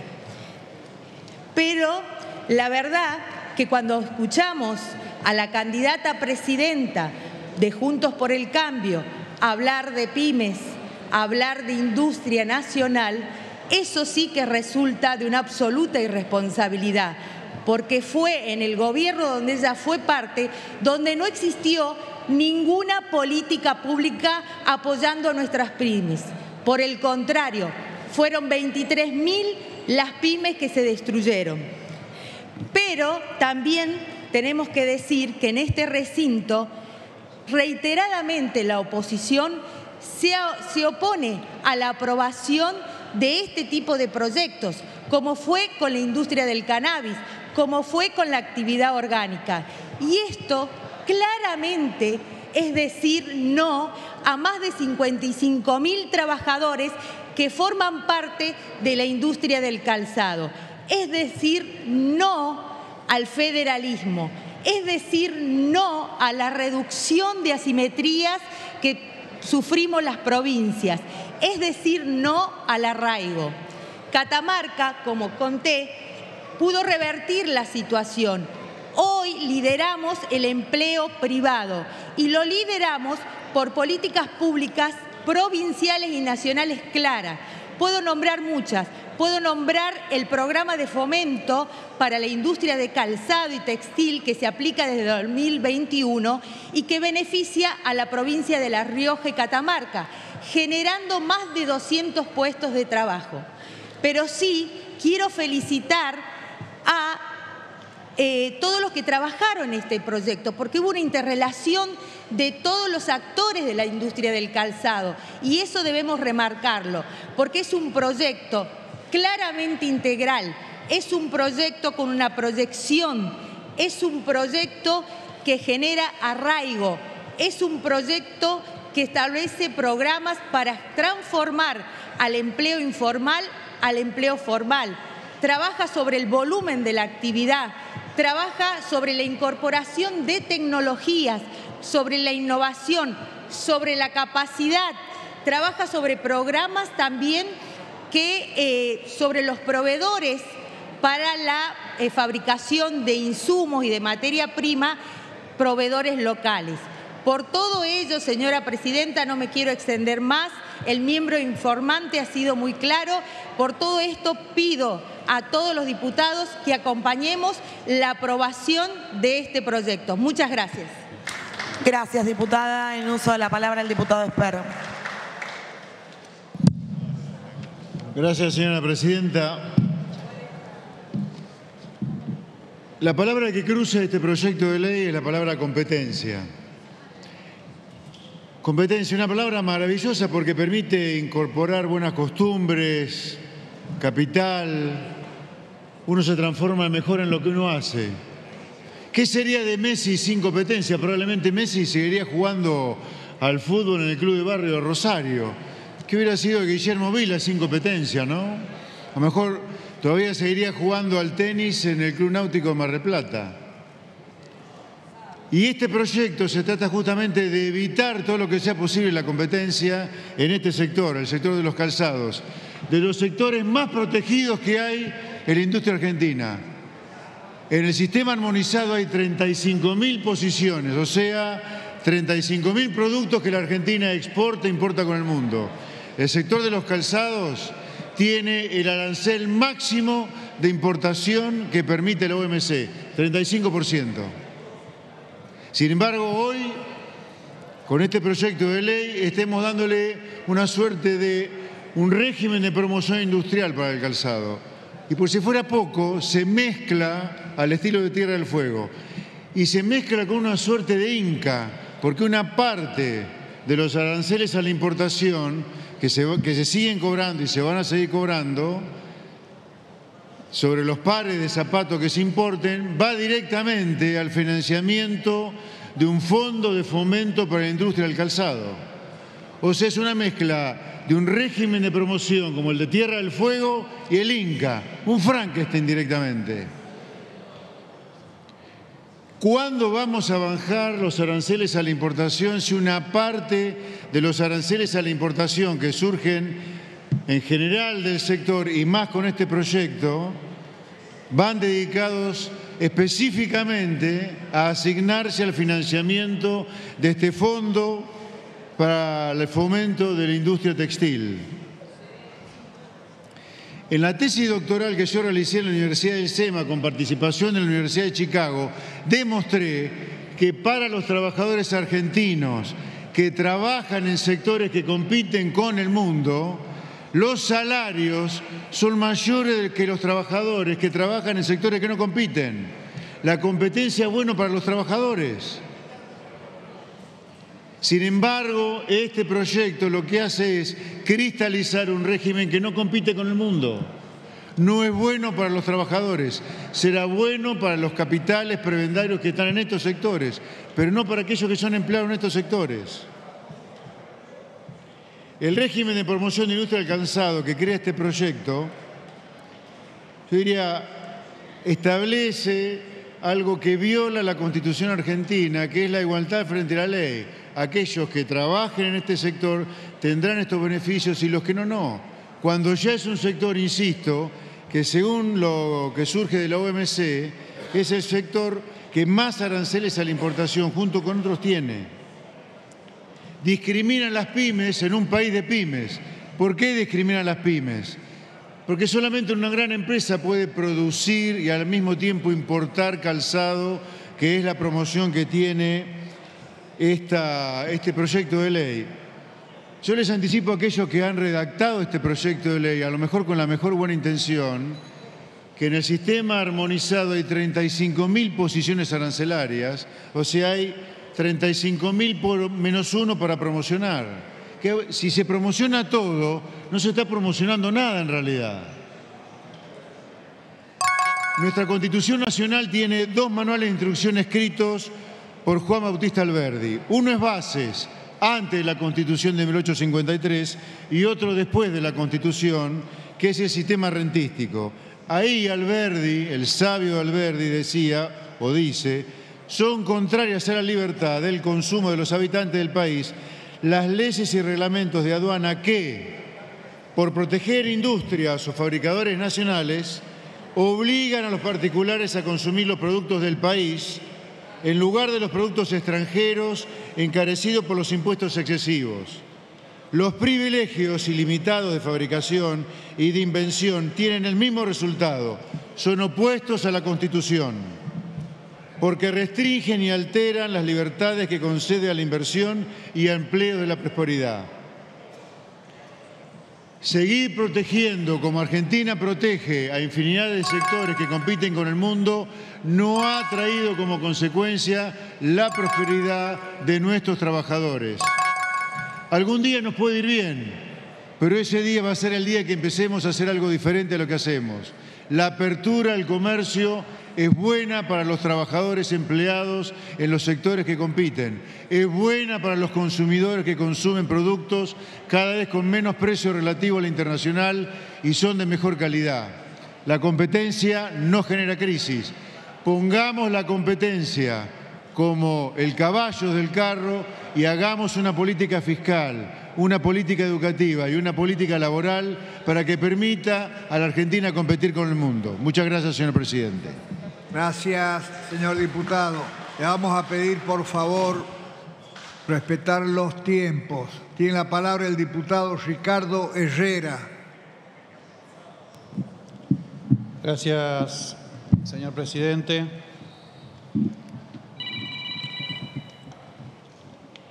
Celebramos la, la sanción, la media sanción de este proyecto. Vamos a acompañar como diputados de la, de la provincia de La Rioja. Lo mencionado por la diputada de, Catamarca anteriormente es un reflejo también de lo que vivimos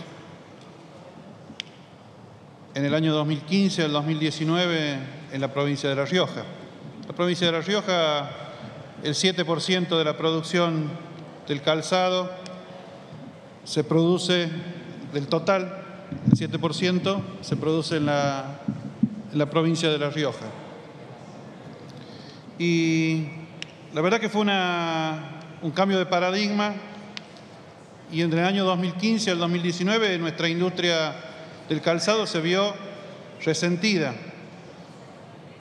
llegando a cerrar fábricas, llegando a cerrar sucursales, la empresa Puma, Unisol, que tiene la única empresa que tiene una sucursal o una planta matriz en otra parte del mundo, la tiene en la provincia de La Rioja, llegó a resentir su producción y prácticamente estuvo al borde de cerrar sus puertas, 370 empleados quedó esa empresa. Hoy, gracias a ese cambio de paradigma, gracias a un fomento, de la, a un trabajo en conjunto entre el gobierno nacional y el gobierno provincial, hoy esa fábrica y a distintas políticas activas que hoy celebro que se conviertan en, en ley, esta planta pasó de tener 370 personas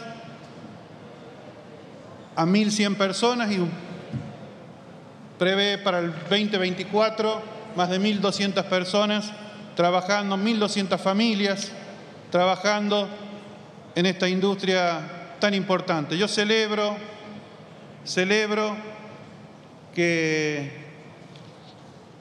se declare en este artículo 4 a la industria del calzado y sus proveedores como una industria estratégica en la República Argentina, señor presidente.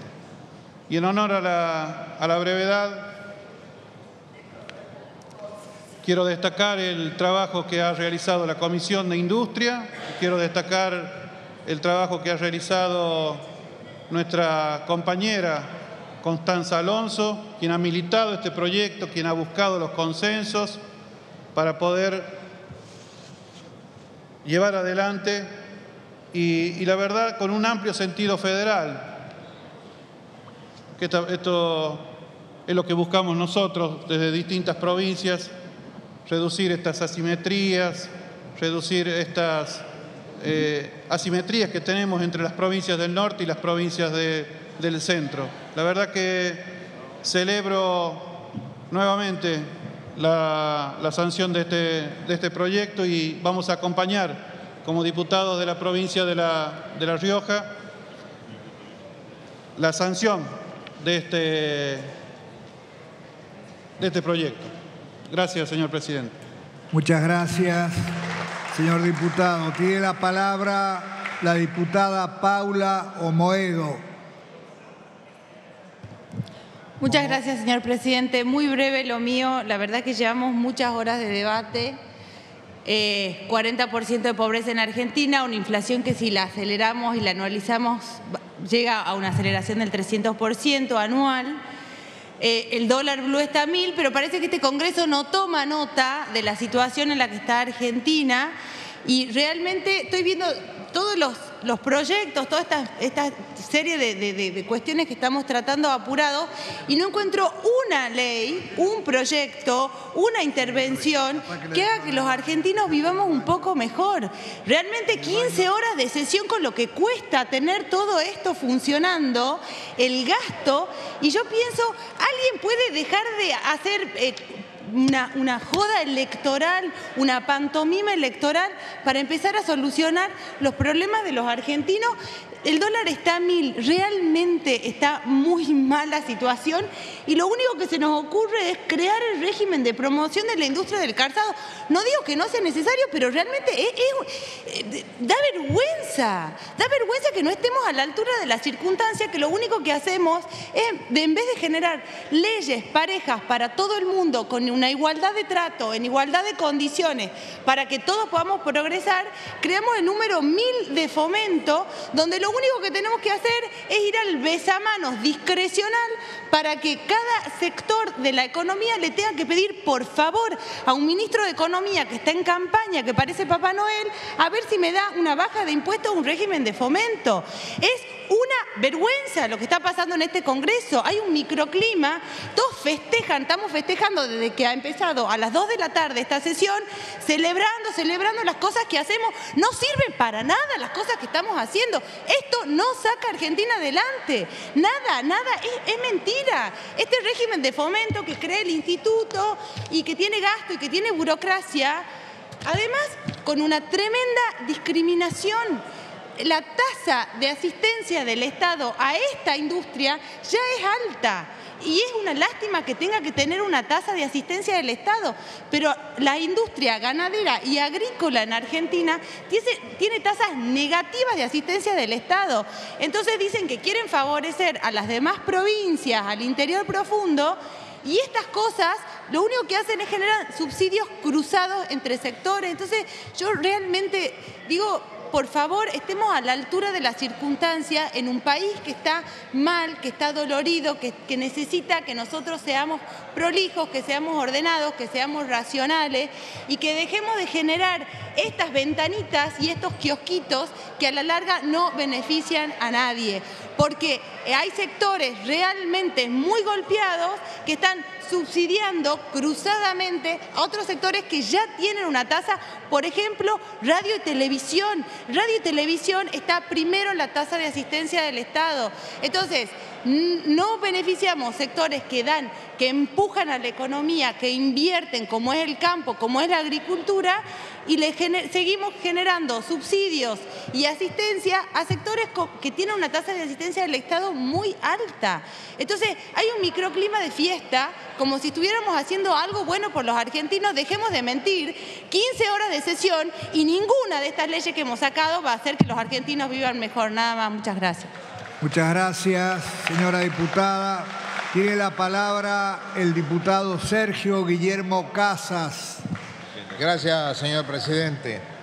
Mire, vivir en la Argentina, que es un país extenso, grande, de norte a sur, de este a oeste, significa que no tenemos todas las mismas posibilidades de oportunidades. Para eso nuestra constitución dice que vivimos en un país federal. No es lo mismo vivir en capital o en el centro que vivir en el norte o vivir en el sur del país. Para eso se deben dictar políticas activas. Por otro lado, tenemos que proteger nuestra industria nacional. ¿Desde cuándo lo que viene de afuera es más importante que lo nuestro? No tenemos que proteger la fuente del trabajo, Acá parece que lo único que nos tiene que avergonzar son las palabras necias, así que felicitaciones, diputada Constanza Alonso, por su insistencia para que podamos tener un régimen de promoción a la industria del calzado. Eso es defender la industria nacional, eso es buscar el federalismo, en serio, no con palabras bonitas únicamente. Entonces vamos a insistir con esta ley porque queremos defender nuestra industria nacional porque no hay nada más injusto que distribuir igual a los que somos desiguales. No somos desiguales porque seamos de segundo o de tercera, somos desiguales porque vivimos a distancias distintas y eso tiene un costo. Y para eso un país tiene que dictar políticas, normas que nos ayuden a armonizar para que podamos vivir iguales todos. Nuestros trabajadores, los que trabajan en nuestros parques industriales, necesitan de promoción y las provincias que vivimos lejos del centro vamos a insistir con el régimen de promoción, les guste o no les guste. Esa es la Argentina federal. Así que seguimos adelante, votemos con confianza, con justicia y con equidad. ¡Viva la patria! Nada más. Gracias. Gracias, diputado. Tiene la palabra el diputado Eduardo Fernández. Dos minutos.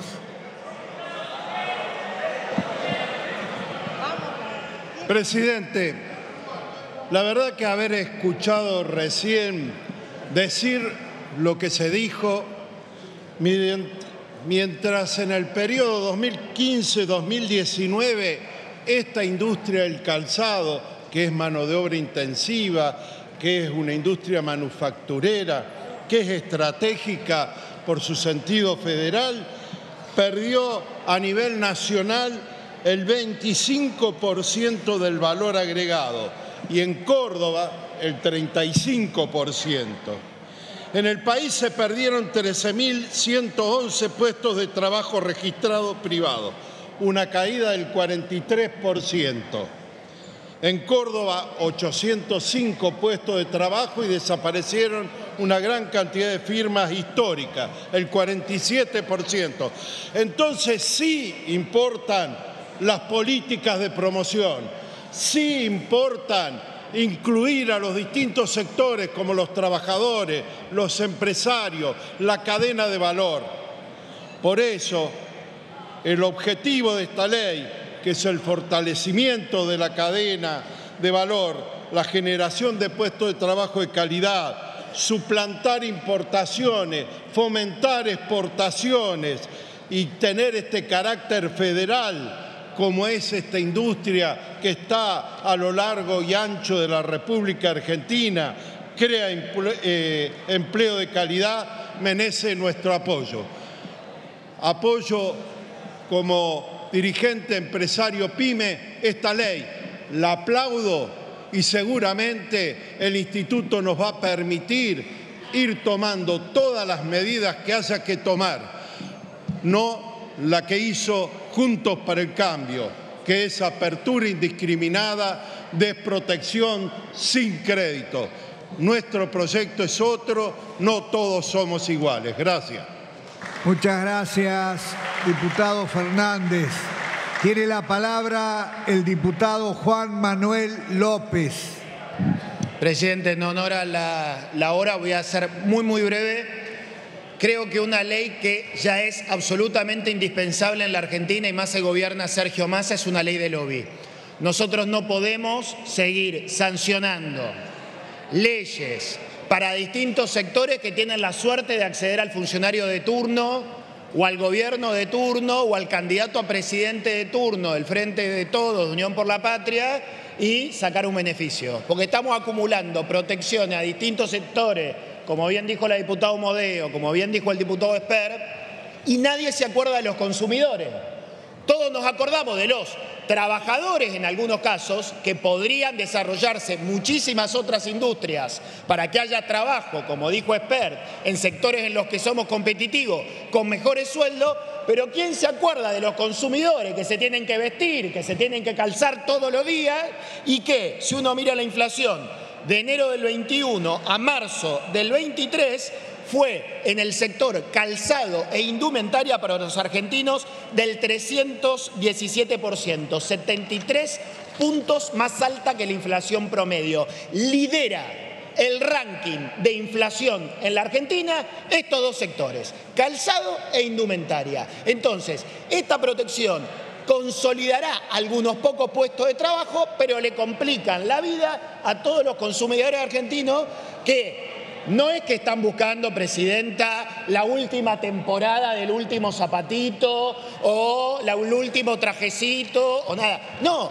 vestirse dignamente y calzarse dignamente. Es una de las cosas, junto con los productos electrónicos que gozan de la más amplia protección en la provincia de Tierra del Fuego, el país Segundo país más caro para comprar ropa y calzado. Lo sabe cualquier argentino que está tratando de comprarse cualquier prenda para ir a la escuela, empezar las clases, ir bien vestido al trabajo o simplemente estar abrigado en un lugar frío de nuestra enorme y hermosa Argentina. Entonces, Presidenta, el sector que como ya se dijo y solamente voy a repasar brevemente, tiene está tercero entre las industrias más protegidas de la Argentina. En el contexto, perdón, antes voy a decir con qué, porque hay que repasarlo. Cualquier calzado importado, es decir, de estos que vienen a competir con nuestra industria nacional, para competir tiene que pagar un 35% de arancel, como dijo el diputado Esper, la alícuota máxima, el impuesto país del 7,5%, la tasa estadística del 3%. Por supuesto, tienen licencias no automáticas, no es que uno entre un calzado, eh, si quiere importar un calzado así nomás, te lo tiene que autorizar un burócrata de turno. Tiene un derecho antidumping para los calzados chinos de un precio FOB de, de 15, 7 dólares. Es decir, acá no puede entrar ningún calzado que valga menos de casi 16 dólares. Es decir, nuestras industrias evidentemente hacen calzado muy por arriba de costo de los 16 dólares, que es bastante plata. Son, al día de hoy en la Argentina es mucha más plata. Entonces, si el ministro de Economía por segunda vez nos manda una separata con todo el costo fiscal que tienen todas las industrias que tienen algún beneficio fiscal, como esta la tiene en amplia magnitud. Si de esa separata está hablando todo el frente de todo, por izquierda y por derecha, pero en el medio creamos otro régimen especial más o otra ayuda más. Si además, como le hemos pedido al diputado Heller, que tuvo una respuesta eh, más o menos afirmativa, pero digo, espero que lo podamos ver, un estudio para que el estudio que se hizo en el año 2019 se repita y sepamos la tasa de asistencia efectiva en relación al valor agregado a cada sector de la economía para que podamos ordenar toda esta cantidad de beneficios tributarios que se dan. Porque en algunos casos hay que revisarlos o no hay que darlos más, o hay que dárselos a otro sector. Insisto, tasa de asistencia efectiva del sector calzado, 107% sobre el valor agregado que producen. ¿Qué significa esto? Que en la Argentina no somos buenos para hacer calzado. Hay gente que lo hace como tradición, hay gente que lo hace bien, pero son los pocos. Tenemos que ver si los asistimos de esta manera, solamente, Presidenta, pensando en los consumidores. Así que nosotros no vamos a acompañar un régimen que encarece estos productos de la canasta básica a los consumidores argentinos. Muchas gracias.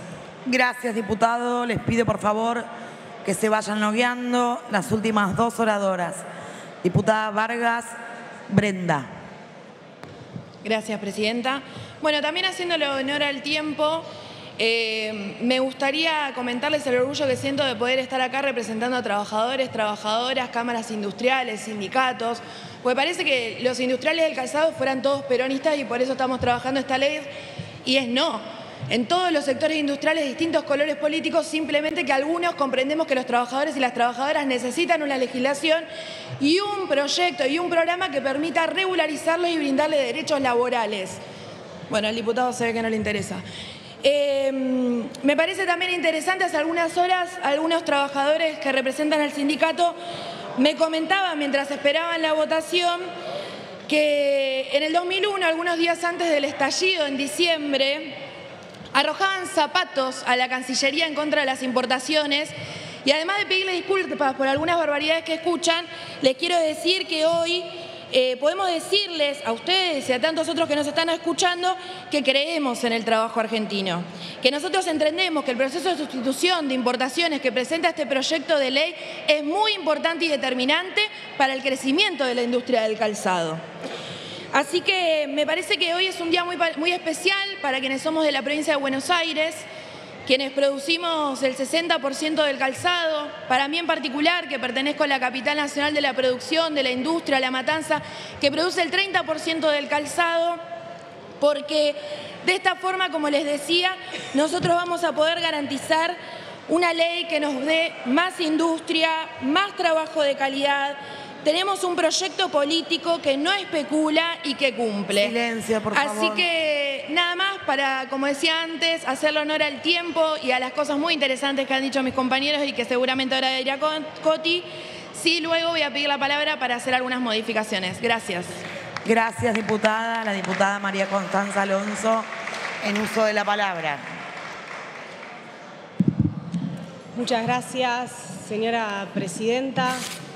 Bueno, un momento de mucha emoción, de mucha alegría, poder estar aquí en este recinto como impulsora de la ley, pero en realidad eh, me siento simplemente una compañera que trabajó a la par del sector con toda su diversidad para llegar a un proyecto de consenso, un proyecto que trabajamos durante más de un año, que llega a este recinto eh, con la participación de la Cámara de la Industria del Calzado, que llega a este recinto con el aporte del gremio del calzado, que llega a este recinto con el acompañamiento también de gremios hermanados, como el de curtidores, eh, que el ministro de Trabajo de la provincia de Buenos Aires, Walter Correa, eh, me, pidió específicamente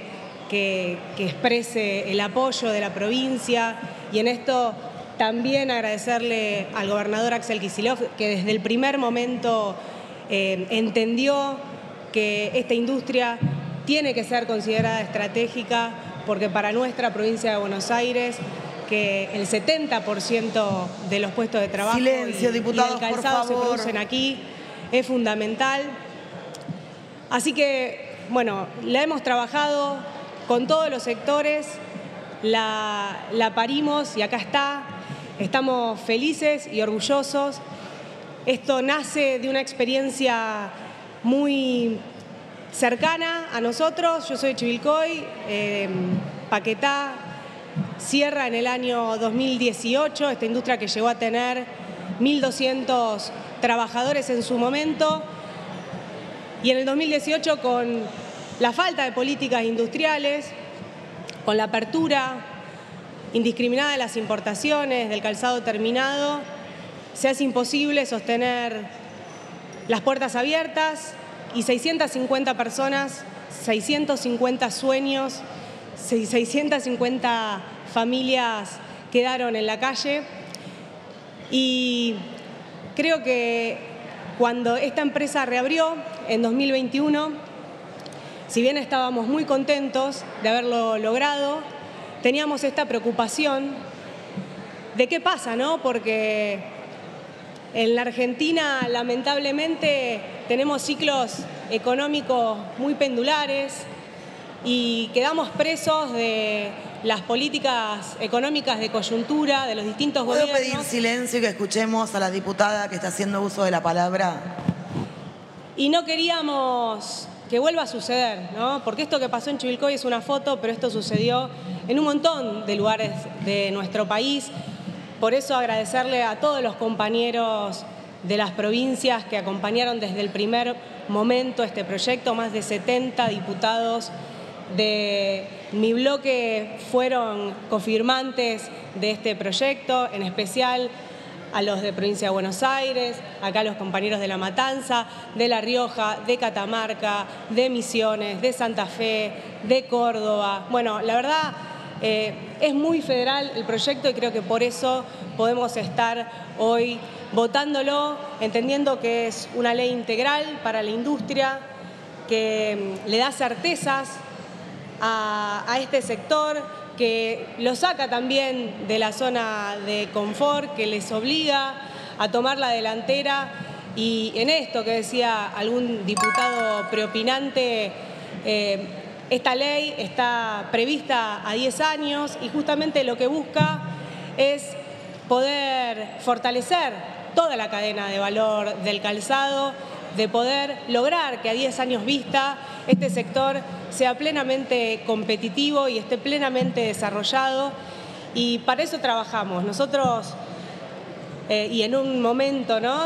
donde se escucha tanto la palabra libertad, tal vez eh, no de la misma forma en la que la entendemos nosotros, sino para esconder el sentido eh, espurio de destruir al Estado, y con eso eh, ir contra los derechos de todos los argentinos y las argentinas, nunca está de más recordar algo que nos decía el general Perón hace muchos años, que decía que la economía nunca es libre O la controla el Estado en beneficio del pueblo o la controlan las grandes corporaciones en prejuicio de este y de su gente.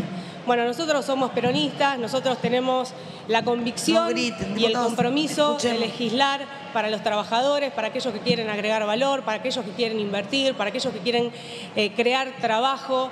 Esta ley eh, va, va a ir en ese sentido, va a multiplicar los puestos de trabajo, va a permitir que toda la cadena de valor se desarrolle, que los, que los insumos que hoy se importan se puedan producir en nuestro país y estamos profundamente orgullosos de poderlo hacer con un sentido tan federal, tan integral y, junto a, todos los compañeros eh, y compañeras que nos van a acompañar en la votación. Hay compañeros de otros bloques que también están acompañando, compañeros de bloques opositores que entienden la importancia de, de esta ley para sus provincias, así que los agradecemos y eh, vamos a hacer también en honor a, la amplitud y al criterio que hemos tenido durante todo este tiempo de consensuar, de llegar a acuerdos. Eh, vamos a hacer algunas modificaciones que nos han propuesto eh, bloques eh, de, la oposición, que ahora las va a leer la diputada Vargas. Y bueno, estamos felices y, y bueno, vamos, vamos por la ley, vamos a seguir en el Senado para que esto tenga la sanción completa antes de fin de año. Muchas gracias. Gracias, diputada. Diputada Vargas Mati, para leer las modificaciones. Ahí está. Bueno, son varias, así que les pido paciencia. En el artículo 3 del, del dictamen se modifica el punto 2, quedando redactado de la siguiente manera.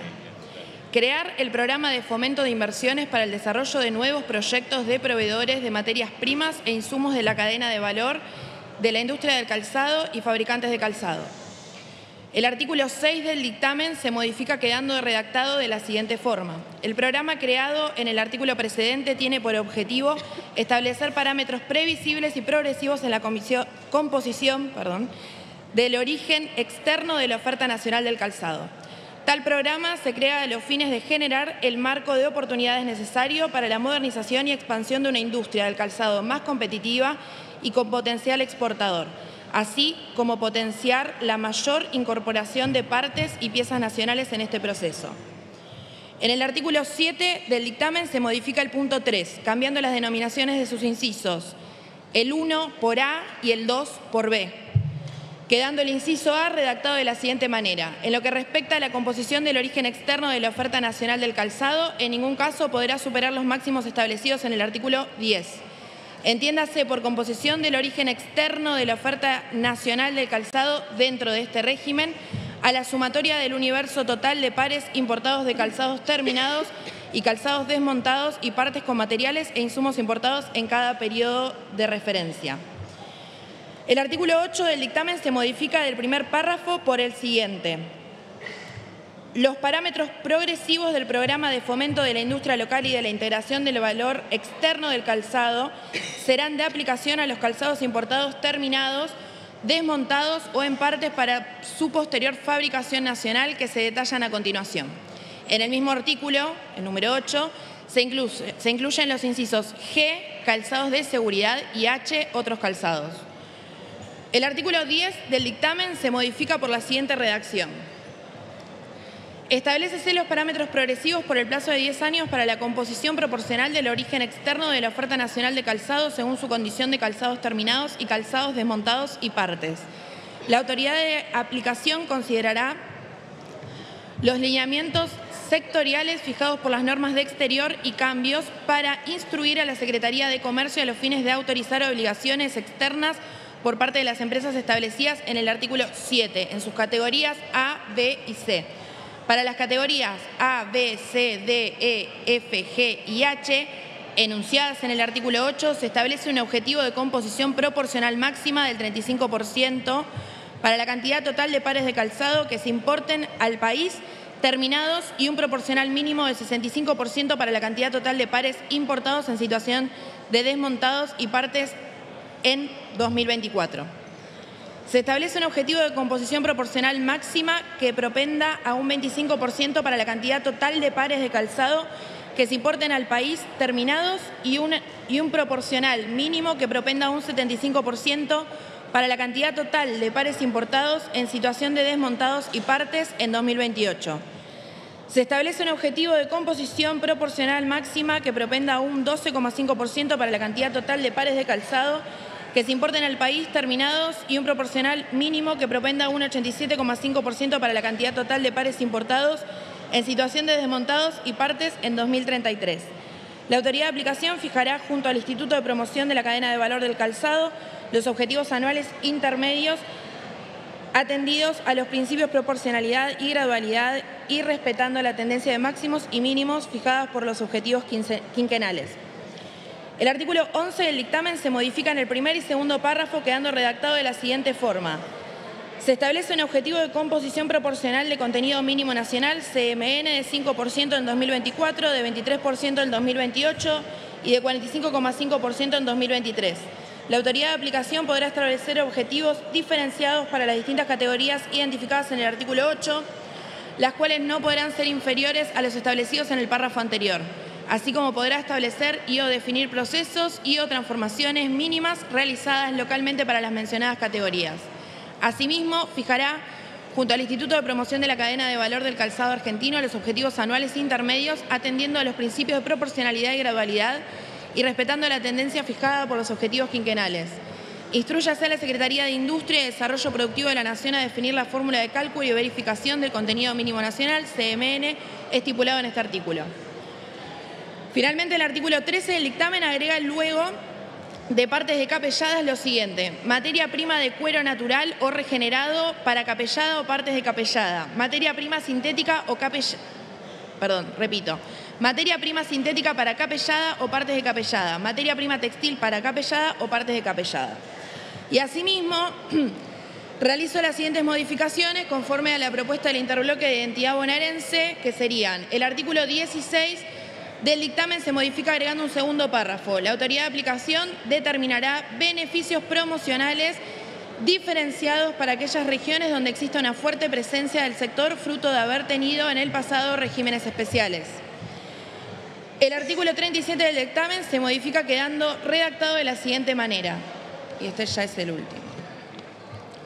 Crease el Instituto de Promoción de la Cadena de Valor del Calzado Argentino como un organismo público-privado integrado por las cámaras empresarias que integra la cadena de valor del calzado, el Sindicato de Calzado, representantes del Gobierno Nacional, a través de responsables de la política de producción y organismos de investigación y desarrollo, la Universidad Tecnológica Nacional, universidades nacionales y o privadas representativas de la geografía territorial de la industria del calzado y el Instituto Nacional de Tecnología Industrial, INTI.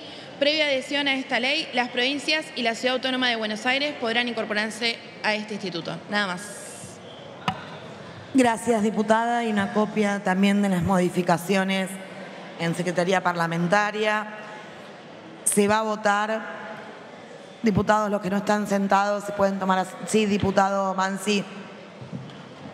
Eh, ah. Presidenta, voy a pedir autorización para abstenerme en esta votación. Gracias, diputado Mansi, pero espere que ponga a consideración y, y después lo consignamos. Diputado Casareto.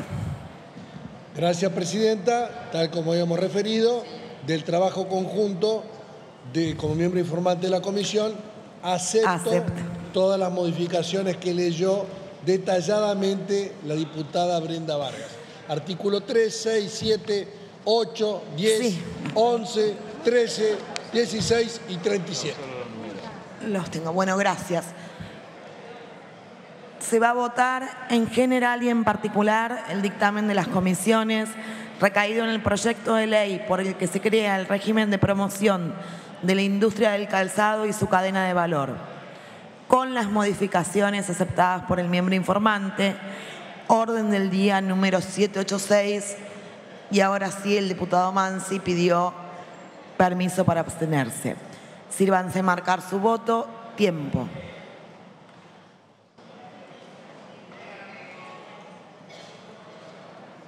Sí, diputada, diputada Estalvice se abstiene.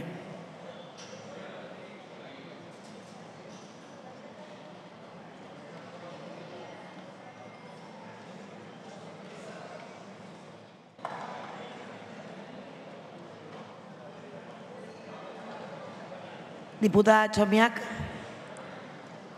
eh, agarré distraída.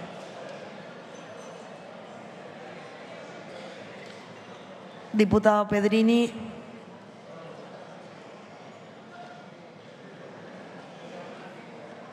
Diputado Yasky.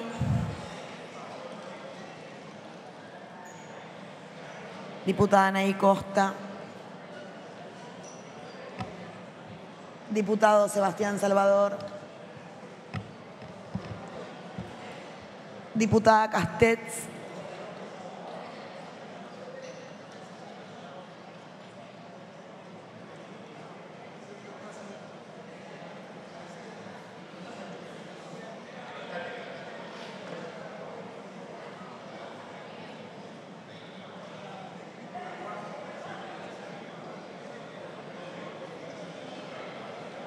Diputado Moro. Se cierra la votación. Por secretaría se dará lectura del resultado de la votación. 127 afirmativos, 88 negativos, 2 son las abstenciones. Resulta afirmativa. Se comunicará al Honorable Senado de la Nación.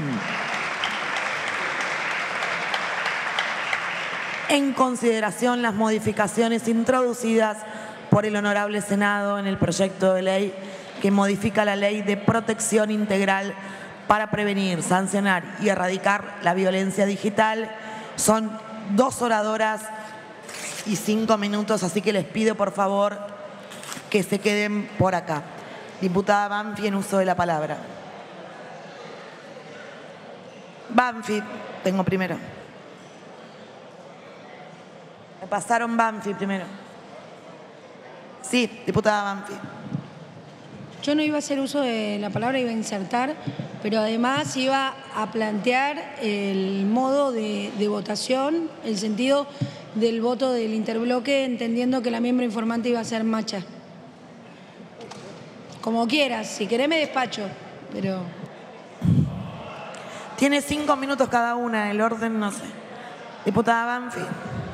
Bueno, brevemente, señora presidenta, gracias. A ver, la posición que vamos a tener de Juntos por el Cambio es acompañar las modificaciones que vienen del Senado, teniendo en cuenta que estas mismas modificaciones habían sido tratadas en, su momento en la Comisión de mm, Comunicación e Informática y que no se había conseguido las mayorías para el acuerdo.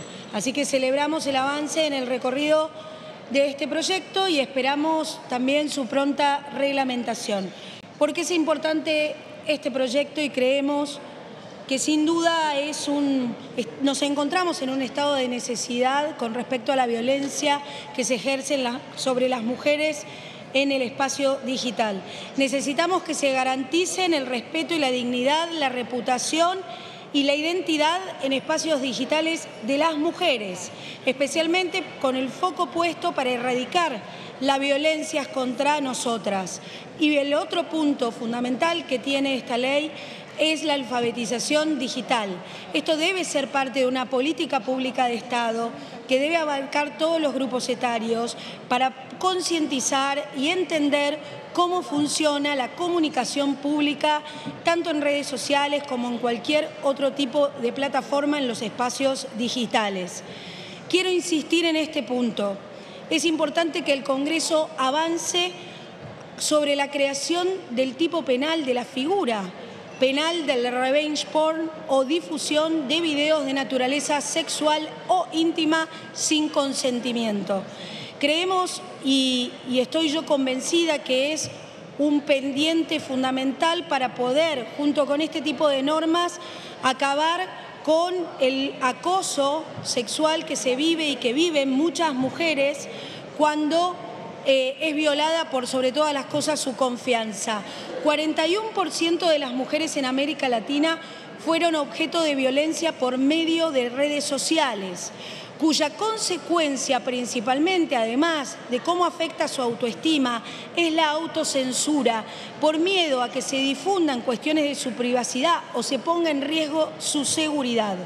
Pero también 40 y 50% de las víctimas eran, conocían o conocen a sus agresores en línea.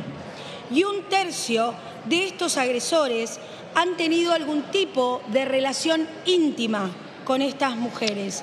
Por eso insisto en que, por favor, en las comisiones de legislación penal podamos trabajar este tipo de eh, iniciativas para tipificar el acoso sexual en redes, en, en el espacio digital.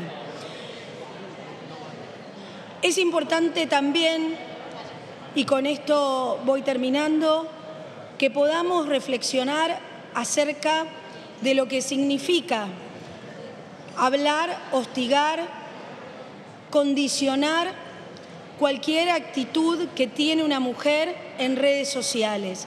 Y esto poco tiene que ver con el discurso. Creo que ahí tenemos que hacer una separación de cómo nosotros tenemos que comprender la diferencia del decir del hacer.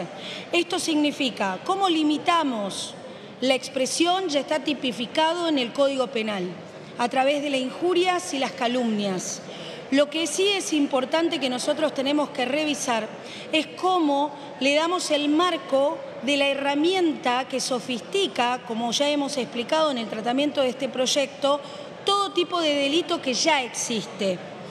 El ciberacoso, el ciberbullying, el grooming, ya están tipificados en el Código Penal y algunos tienen como el ciberbullying una ley especial. Por lo tanto, lo más importante que nos queda saber es cómo concientizamos con el uso de nuestra plena libertad de expresión lo que verdaderamente hace a la convivencia social en redes sociales, a la conversación pública y a la tolerancia que tenemos que llevar adelante y que lamentablemente las mujeres somos objeto permanente del hostigamiento en todos los sentidos de nuestra vida, mucho más que otros grupos sociales o etarios. Gracias. Gracias, diputada. Les pido que se vayan logueando. La última oradora, la diputada Mónica Macha. Gracias, presidenta. También muy sintética, eh, pero quería eh, destacar en principio que este proyecto de ley, que hoy va a ser ley, que finalmente llega del Senado con una pequeña modificación, eh, es producto también de, de, la definición de distintas organizaciones como GENTIC y como el grupo de Argentina, Ley Olimpia en Argentina, eh, que digo, me parece esto importante destacarlo porque tiene que ver con la organización de las compañeras, con el activismo. Eh, muchas de ellas son víctimas y sobrevivientes de la violencia digital y me parece que en este sentido también es bueno cómo desde el feminismo y el transfeminismo nos organizamos para poner en agenda, en esta agenda política, temas que tal vez hasta ahora estaban acallados. Algo que me parece central es nuestra ley 26485, que fue sancionada en el 2009 y que tiene como una, una, cuestión particular que es ubicar la violencia por motivos de género en distintos ámbitos. En esos años el ámbito digital, el entorno digital no era un espacio ni de amenaza ni de violencia, no existía. Y en este momento que sí es un territorio donde pasamos mucho tiempo en redes sociales y también en todo lo que implican las nuevas tecnologías, bueno, empieza a ser también un espacio donde sufrimos esa violencia. Em, en verdad, la violencia por motivos de género es una violencia estructural, estructurante de nuestra sociedad y los lugares por donde circulamos entonces comienzan también a ser espacios donde padecemos esos tipos de violencias. Obviamente la violencia digital, que pido autorización para leer la definición que, que consta en nuestro proyecto de ley, es aquella que se ejerce mediante el uso de las tecnologías de la información y la comunicación y que implique la obtención, reproducción y difusión por cualquier medio de datos personales, material digital, real, simulado, íntimo o de desnudez de las mujeres sin su consentimiento, discursos de odio de género, patrones estereotipados sexistas o que impliquen situaciones de acoso, amenaza, extorsión o control, o control virtual, o acciones que atenten contra la integridad sexual o identidad digital de las mujeres a través de las TIC. Eh, las formas de violencia son diversas. Puede ser la obtención y la difusión no consentida de material íntimo de desnudez y datos personales. Pueden ser extorsiones o amenazas digitales, violencia sexual en Internet, acosos virtuales, daños informáticos, discursos de odio virtuales y sus variables, ataques coordinados masivos hacia mujeres a través de las TIC. Digo que también algo que me parece central y que trabajamos mucho con las compañeras es este concepto de que lo virtual es real, eh, no es algo que, que no trascienda a la vida, a la vida cotidiana y permanente de las mujeres, generando instancias a veces de, daños psíquicos, eh, aislamiento, este, intentos de suicidio, depresiones, con lo cual eh, tiene, tiene, esa instancia de, de, dañar a las mujeres, de hacer que cambien conductas, de que de repente no salgan de las redes sociales o no se animen a plantear las cosas como las piensan y las sienten por temor a este tipo de violencias. En este marco yo ubico también eh, el intento de magnicidio que sufrió Cristina Fernández de Kirchner. Creo que toda esa situación de violencia digital también genera después acciones en el mundo real y también quiero en este punto solidarizarme con la diputada Miriam Breckman que está sufriendo violencia digital en estos precisos momentos para digo, tener en cuenta y poder eh, de algún modo eh, poner en valor lo que significa este tipo de violencia. Decirles que la ley Olimpia se complementa con la ley Belén. La ley Olimpia apunta a todas las instancias de prevención, de asistencia y acompañamiento a las víctimas y sobrevivientes de la violencia digital. Mientras tanto, la ley Belén lo que busca es la incorporación de la violencia digital como delito en el Código Penal, de modo que se pueda sancionar a aquellas personas que difunden material íntimo sin consentimiento, aquellos que suben el material y aquellos que lo difunden también. Nos parece central este, poder pensarlo de manera complementaria y en este punto también un reconocimiento al trabajo que viene realizando Marcelo San Román, que es el papá de Belén.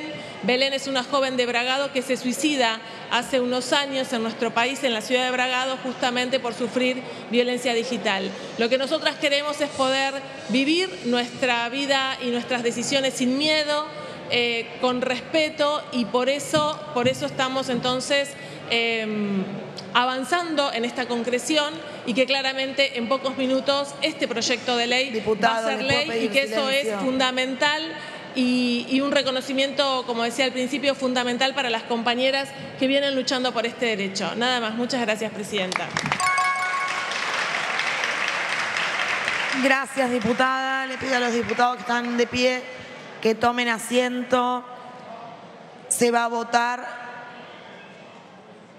la aceptación de las modificaciones introducidas por el Honorable Senado al proyecto de ley que modifica la ley de protección integral para prevenir, sancionar, diputado Monzó, erradicar la violencia digital. Expediente 2756 de 2022. Sírvanse marcar su voto. Tiempo.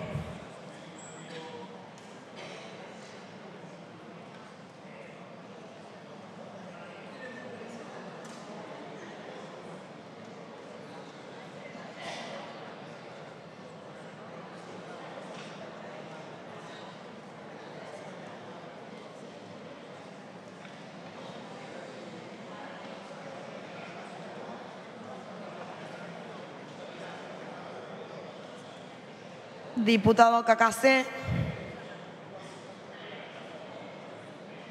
Diputado Baldassi. Diputado Tetas.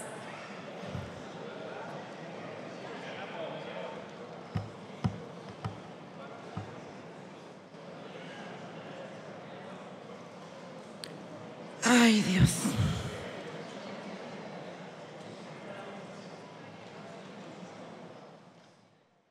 Se cierra la votación.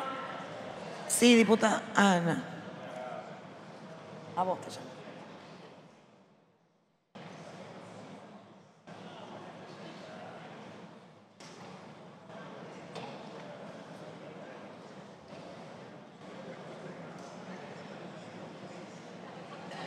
Por secretaría se dará lectura del resultado de la votación.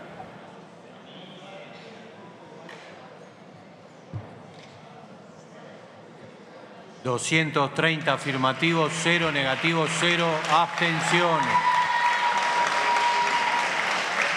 Resulta afirmativa, se comunicará al Poder Ejecutivo.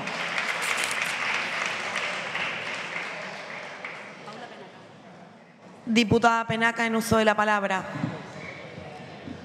Gracias, Presidenta. Bueno, eh, visto la hora de la madrugada en la que estamos sesionando y en función de un acuerdo con todos los bloques y entendiendo la importancia de uno de los temas que tenemos que tratar hoy, quiero solicitar en los términos del inciso 7 del artículo 127 del reglamento aplazar la orden del día 741 en Ciencia, Tecnología e Innovación 2030, hasta luego que le demos tratamiento a la orden del día 854 eh, de modificación del Código Civil y Comercial de la Nación. Si hay asentimiento, resulta afirmativa la moción. En consideración el dictamen de mayoría de las comisiones aceptando las modificaciones introducidas por el Honorable Senado en el proyecto de ley sobre alquileres, orden del día número 854.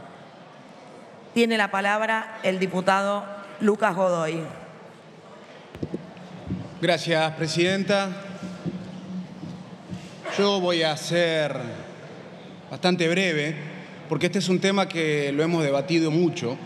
Viene un largo camino recorriéndose con dos sanciones, una de diputados, una del Senado, pero previo a eso, recordemos que el año pasado hicimos eh, tres reuniones, cuatro reuniones informativas, eh, expusieron 81 personas, representantes de los distintos sectores y particularmente, lo importante, representantes de las 23 provincias, de la Ciudad Autónoma de Buenos Aires, es decir, una discusión con opiniones con, con una característica profundamente federal.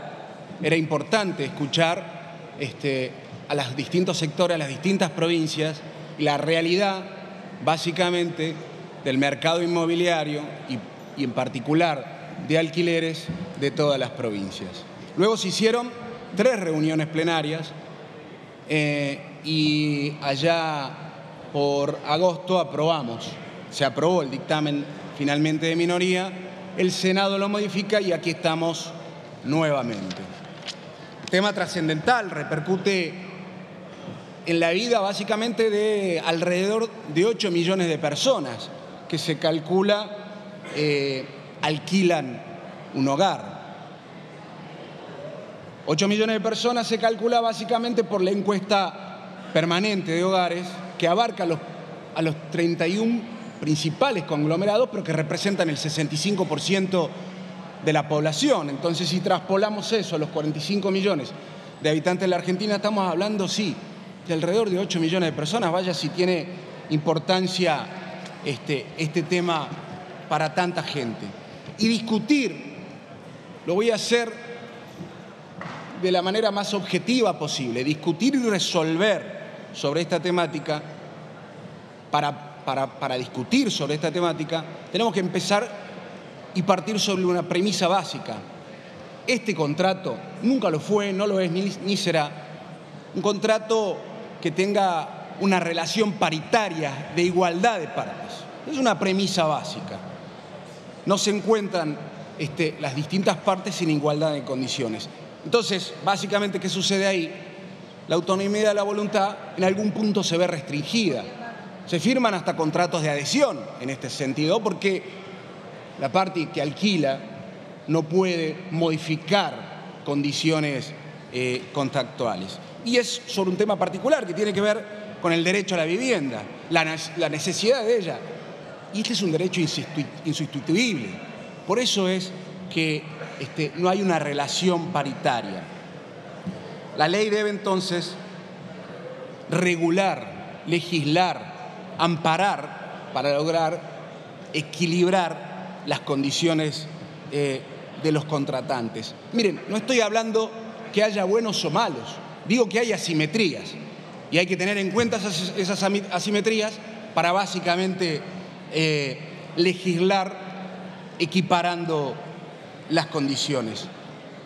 La ley vigente ha ha, recibido críticas, claramente desde mi punto de vista no ha sido lo mejor. De hecho, la estamos modificando. Ha sido modificada por diputados, eh, ha sido modificada por el Senado.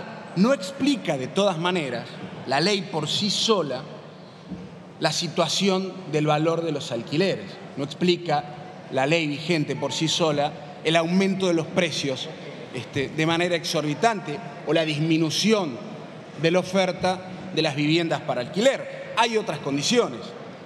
El turismo es una de ellas. La- la- se han mudado muchos inmuebles hacia los alquileres temporarios. Vamos a suponer otro ejemplo, la minería en mi provincia explica también un aumento de precios porque es una oferta que no existía de trabajadores en el sector minero con gran poder adquisitivo o de, este, no solo de trabajadores, sino de gerentes que vienen y presionan sobre el precio de los alquileres, los contratos temporarios en otras, en otras actividades. Estas son unas de las razones, que no lo explican solamente en la Argentina, se explica a nivel mundial y se están buscando mecanismos en las distintas ciudades de regulación, por ejemplo, en lo que tiene que ver con los alquileres temporarios, en particular este, referidos al sector turístico. Y es una deuda pendiente esa que tenemos en el Congreso, que no solamente debe y puede resolverse por parte del Congreso de la Nación, sino también por parte de las provincias. Nada obsta y tienen competencia las provincias para regular sobre los alquileres temporarios, los alquileres del turismo. De hecho, Salta lo ha regulado a través de registración, pero también puede regular otros aspectos. Em, también presiona sobre el precio de los alquileres el hecho objetivo, vuelvo a insistir, que en el mundo se ha empezado a generar un proceso de concentración de la propiedad. La producción de vivienda está cada vez más relacionada con la renta, con la rentabilidad y ya no solo con la necesidad de un hogar. Entonces, bajo estos parámetros, estamos en esta instancia de dos sanciones, tanto la de diputados como la del eh, Senado. Y hoy tenemos dos posibilidades.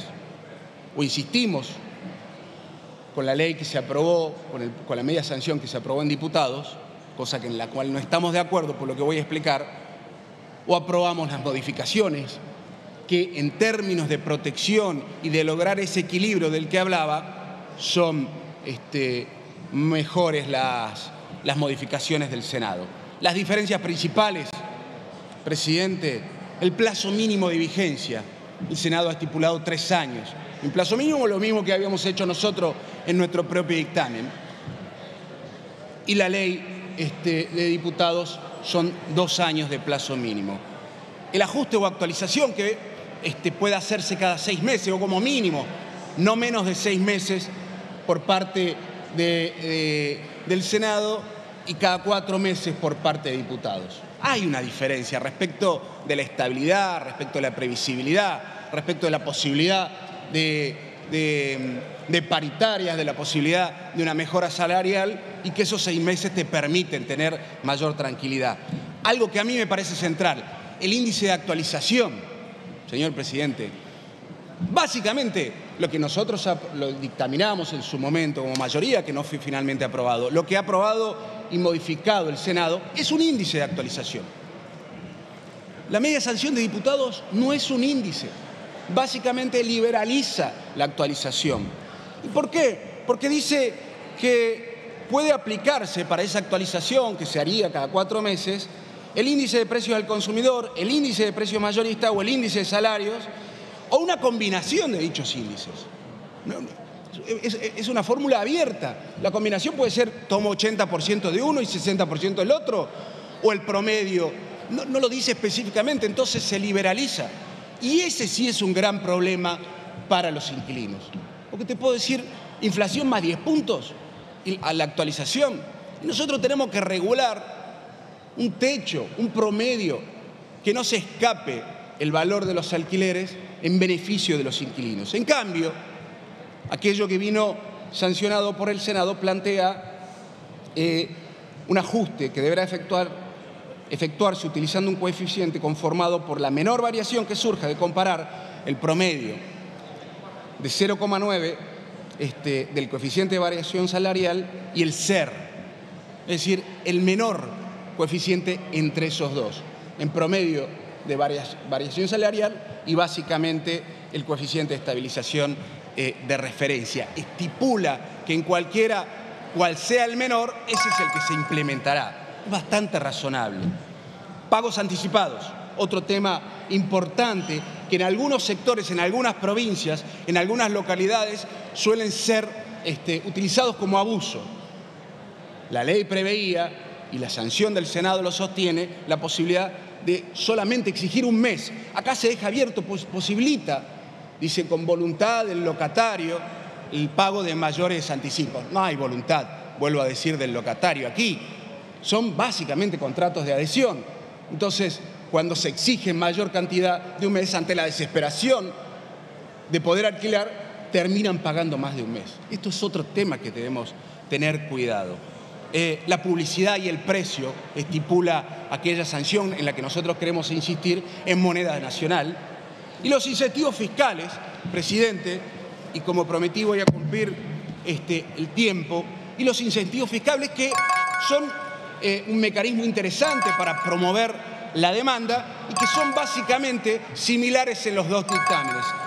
Eh, exención del monotributo, exención en bienes personales, eh, en el impuesto a los créditos y débitos bancarios y hace una introducción el Senado respecto del impuesto a las ganancias, incorpora una modificación para que las partes puedan deducir un equivalente del 10% de la suma de alquileres. Eh, por estas razones, nosotros vamos a insistir en la sanción dada por el Senado, porque genera mayor equilibrio y mayor protección a los inquilinos. Gracias, presidente. Gracias, diputado. Para fundar el dictamen de minoría, tiene la palabra el diputado por la Ciudad de Buenos Aires, Pablo Tonelli. Gracias, presidente. Mire, la ley 27.551, la aplicación de la ley 27.551 produjo un resultado negativo en el mercado inmobiliario, en el mercado de las viviendas para alquilar. Particularmente perjudicó a los inquilinos, que eran justamente a quienes se pretendía proteger o mejorar en su situación al sancionar la ley 27.551 los perjudicó porque la aplicación de la ley provocó una enorme retracción en la oferta de viviendas para alquilar. El caso de la ciudad de Buenos Aires es muy ilustrativo. Al momento de sancionarse la ley, la oferta oscilaba de manera permanente entre unas 7.000 y 8.000 unidades en oferta. Hoy en día la oferta se ha reducido a bastante menos de mil. Según los martilleros y las cámaras del sector, hoy por hoy está en el orden de las 500 unidades. Esto es evidente que perjudica a los inquilinos, a quienes les cuesta enormemente encontrar una vivienda para alquilar y, y que además, dada la escasez de la oferta, les impide negociar en igualdad de condiciones los términos del contrato. Es decir, que está claro que más allá de las buenas intenciones que pudo haber tenido esa ley, su aplicación en la práctica dio un resultado negativo. Y el resultado negativo tengo para mí que se debe a una razón sencilla y que en su momento la, discutimos al momento de discutir la ley, y es la alteración del equilibrio entre las partes. El contrato de locación de viviendas requiere, para funcionar adecuadamente, que haya equilibrio, que haya equivalencia en las contraprestaciones, en los derechos y obligaciones de las partes. Y la verdad es que hay que concluir que la ley 27.551 alteró ese equilibrio y con la pretensión de proteger a los inquilinos los terminó perjudicando. Los resultados están a la vista y son irrefutables. Por eso fue que una vez comprobada esta, esta lamentable consecuencia de la ley empezamos a proponer modificaciones. Y esas modificaciones apuntaron siempre a los tres puntos más críticos de la ley, de la 27.551. El primero, el plazo de la locación, porque esa ley innovó en lo que había sido nuestra historia tradicional y de siempre en el plazo de las locaciones urbanas, que había sido dos años, y lo elevó a tres. Pero además de extender tal vez excesivamente el plazo mínimo del contrato, prohibió los ajustes por periodos inferiores a un año. Y además estableció la obligatoriedad de que esos ajustes se hicieran exclusivamente por un único índice de actualización. La combinación de estos tres factores produjo como resultado una enorme caída, una enorme merma en la rentabilidad de los locadores. Por supuesto, la consecuencia fue el retiro de la oferta, porque si no hay rentabilidad, no hay oferta. Como acaba de decir el miembro informante del dictamen de mayoría, efectivamente desapareció buena parte de la oferta, que se fue o a los alquileres turísticos o los inmuebles que estaban en alquiler se pusieron en venta. Pero el resultado fue una retracción muy grande en la oferta. Lo cierto es que advertidas, advertidos de estas dificultades, bueno, comenzó un largo procedimiento aquí en la Cámara de Diputados para modificar la ley 27.551. Procedimiento que fue largo porque hubo que aunar y consensuar posiciones disímiles entre los distintos bloques, pero en agosto en agosto pasado logramos una media sanción que en su momento nos había dejado satisfechos. Media sanción que consistió en volver al plazo originario de dos años, al plazo mínimo de dos años, de allí en más el plazo puede extenderse, por supuesto. Redujimos el periodo mínimo de los ajustes de un año a cuatro meses, cosa que luce más que razonable en una situación como la actual en la que la inflación está en el orden del 140, 150% anual y con tendencia a crecer. Y además le dimos a las partes libertad para escoger entre distintos índices para actualizar, de los cuales hay que elegir uno. No es posible, como dijo el mismo informante, la mayoría elegir inflación más 10%, no. Inflación, salarios, precios mayoristas, pero no cualquier cosa. Sin embargo, aprobado que fue el proyecto aquí en la Cámara de Diputados, pasó al Senado, como es lógico y como corresponde, y el Senado lo modificó. Y la verdad que el Senado modificó nuestra sanción en términos que asemejan mucho la ley a la que ya había fracasado, a la 27.551, a la que produjo esa enorme retracción en la oferta, a la que perjudicó a los inquilinos. Sin embargo, el Senado insiste en esa fórmula, es decir, vuelve a elevar el plazo mínimo de las locaciones a tres años, lo cual está claro que es mucho, sobre todo en situación de incertidumbre económica como la que vive la Argentina, eleva el periodo mínimo de los ajustes que nosotros habíamos fijado en cuatro meses a seis, pero lo peor del caso es que establece un único índice de actualización que desde el vamos sabemos, por su propia enunciación, que va a ser inferior no solo a la inflación, sino que inclusive va a ser inferior a la actualización de los salarios, porque es un índice que toma el 0,9 del incremento de los salarios. Es decir, que desde el vamos sabemos que es un índice que va a estar por detrás de la inflación, por detrás del aumento de los precios y por detrás del aumento de los salarios. Con lo cual, también sabemos desde el vamos que esto va a afectar la rentabilidad de los propietarios, de los locadores y ya hemos visto lo que ocurre cuando se afecta de manera irrazonable la rentabilidad de los locadores. La oferta se retira y los perjudicados son los locatarios. Como ya se dijo, y es cierto, de acuerdo con el artículo 81 de la Constitución Nacional, tenemos ahora dos posibilidades, y únicamente dos posibilidades. Una sería insistir en nuestra sanción originaria y la otra sería aceptar las adiciones, las modificaciones que hizo el Senado. La segunda alternativa, es decir, aceptar las modificaciones del Senado, es casi lo mismo que volver al régimen de la ley 27.551 con mínimas diferencias, con mínimo maquillaje. Es decir, no esperemos resultados distintos. El resultado, si aceptáramos las modificaciones del Senado, va a seguir siendo el mismo que vemos hoy en día en el mercado inmobiliario.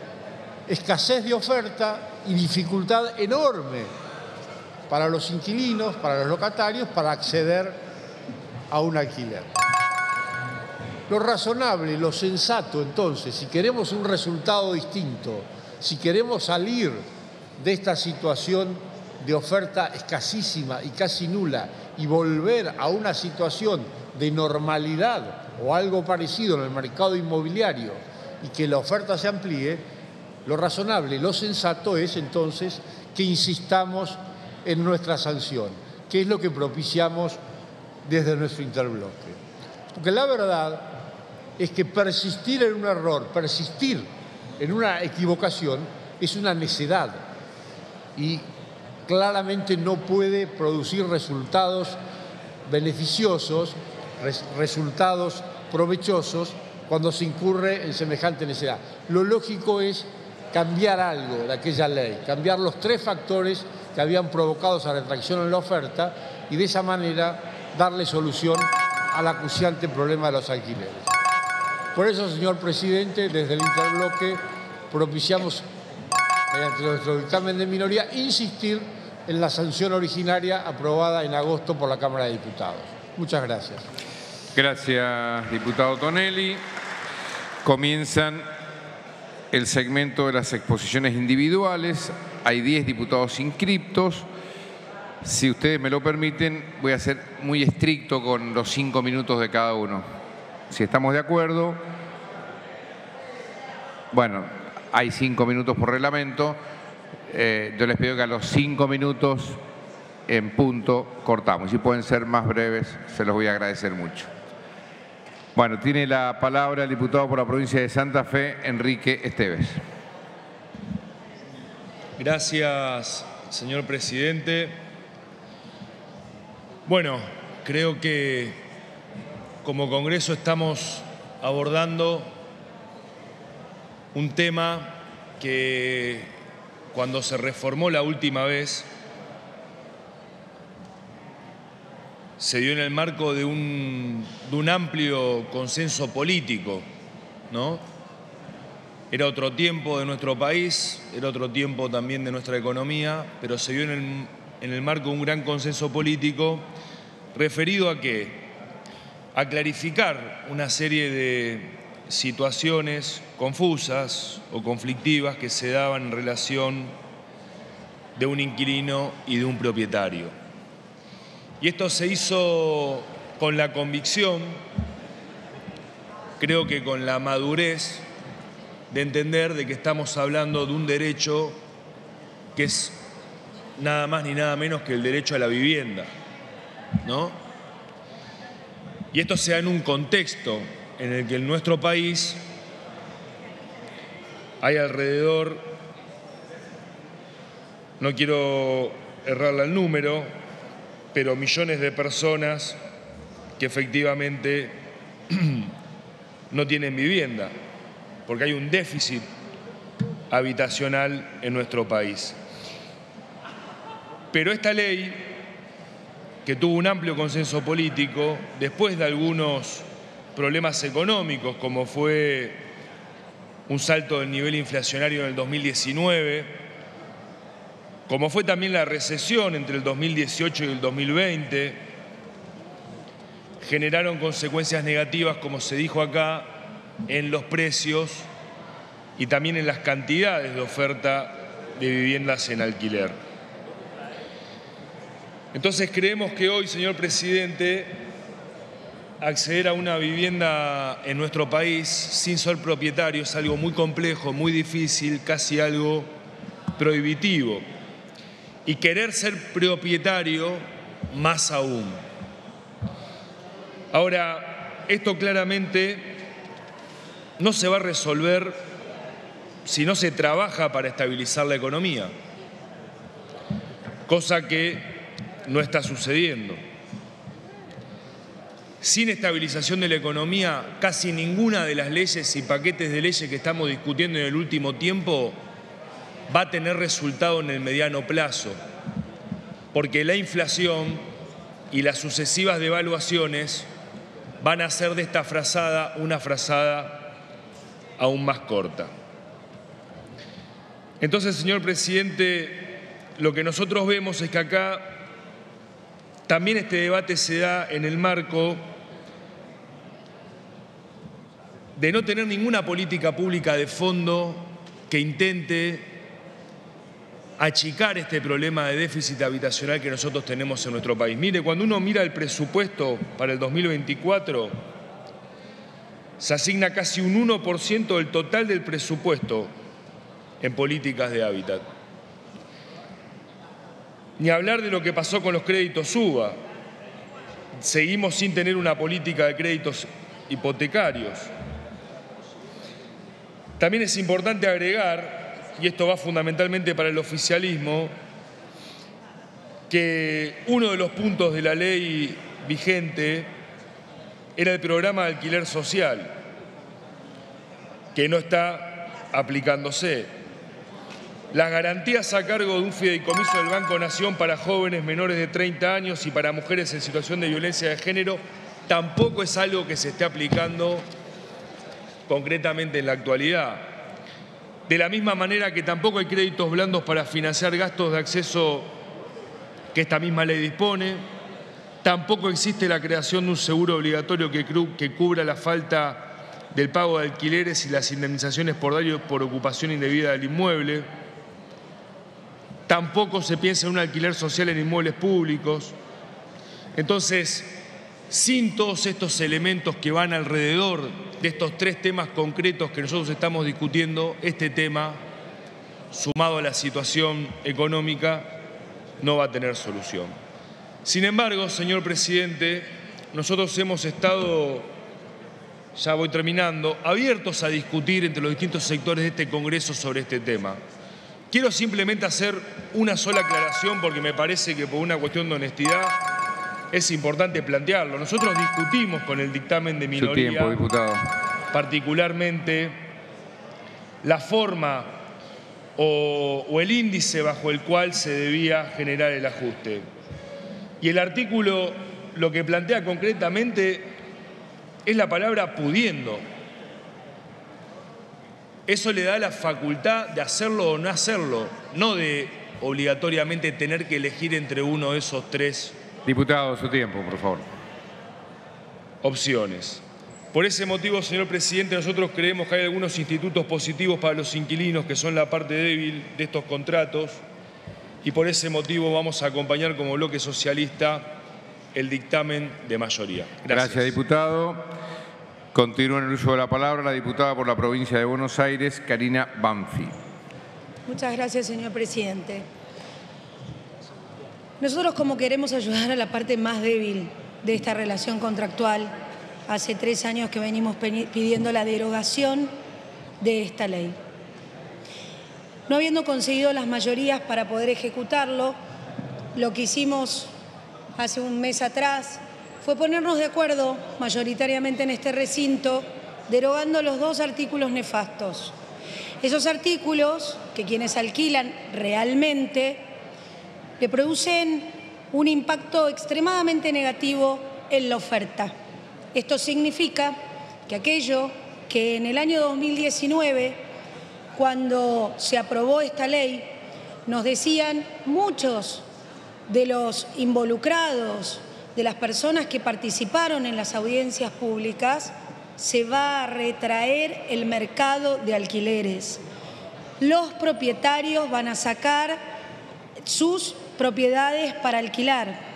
Y nosotros avanzamos igual. Y lo que pasó fue eso.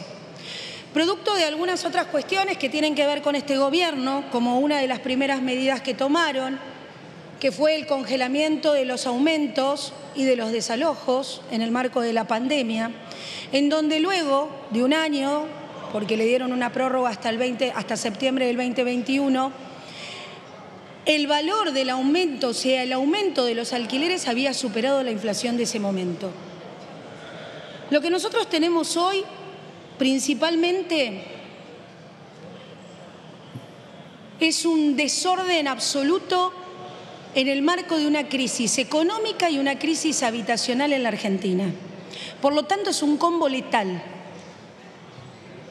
Y no hay modelo más significativo de la pobreza que no saber dónde caerte muerto. Porque es eso lo que pasa cuando alguien no tiene dónde vivir. Esa es la sensación. Y la verdad, esta es la tercera vez que intervengo en este recinto para hablar del tema. Y es muy difícil, algo que, por lo menos para quienes alquilamos, es muy sencillo de comprender. Cuando no hay oferta, aumenta el precio y genera una crisis sobre la demanda. En la ciudad de Buenos Aires hay 452 viviendas para alquilar y la demanda supera el millón. Y es parte de nuestra responsabilidad, también de este gobierno, que tomó una posición esquizofrénica desde la pandemia, en donde el ministro candidato se la pasó diciendo que derogaba la ley, que suspendía la ley, que derogaba la ley, que suspendía la ley.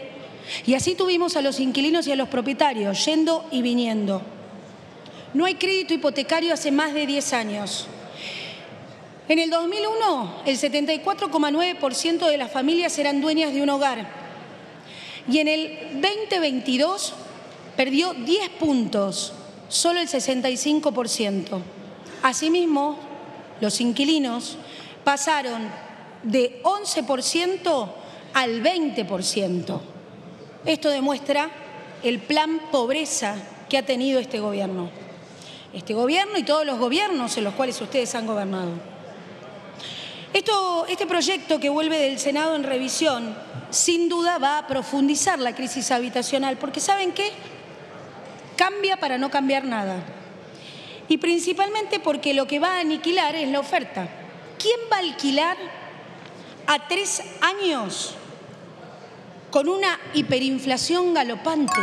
Hoy tenemos 1.500 pesos el dólar. Explíquenme cómo van a hacer para poder sostener la oferta de alquileres, ¿quién va a querer ponerlo a tres años cuando no sabe si mañana nos va a estallar el país en la cara o le va a estallar a ustedes? También alquilar la demanda, porque hemos perdido la capacidad de pago, porque esta inflación afecta principalmente el salario de todos los que necesitan alquilar. Esta hiperinflación que estamos atravesando es contraproducente y por eso necesitamos sacar el corset que le hemos puesto con más restricciones a partir de esta ley y sin duda el Senado, sin comprender cómo funciona el mercado de alquileres, y no voy a volver a repetir que es un mercado cuentapropista, que acá no hay grandes inversores, que no hay gente que se hace millonaria y que lo que necesita principalmente es de una manera solidaria poner su propiedad y generar un alquiler en términos de un contrato privado para resolver algo que el Estado ausente no resuelve. Su tiempo, diputada. Dos opciones, aprobar o rechazar. Nosotros vamos a insistir con nuestra media sanción y así rechazar el proyecto en revisión.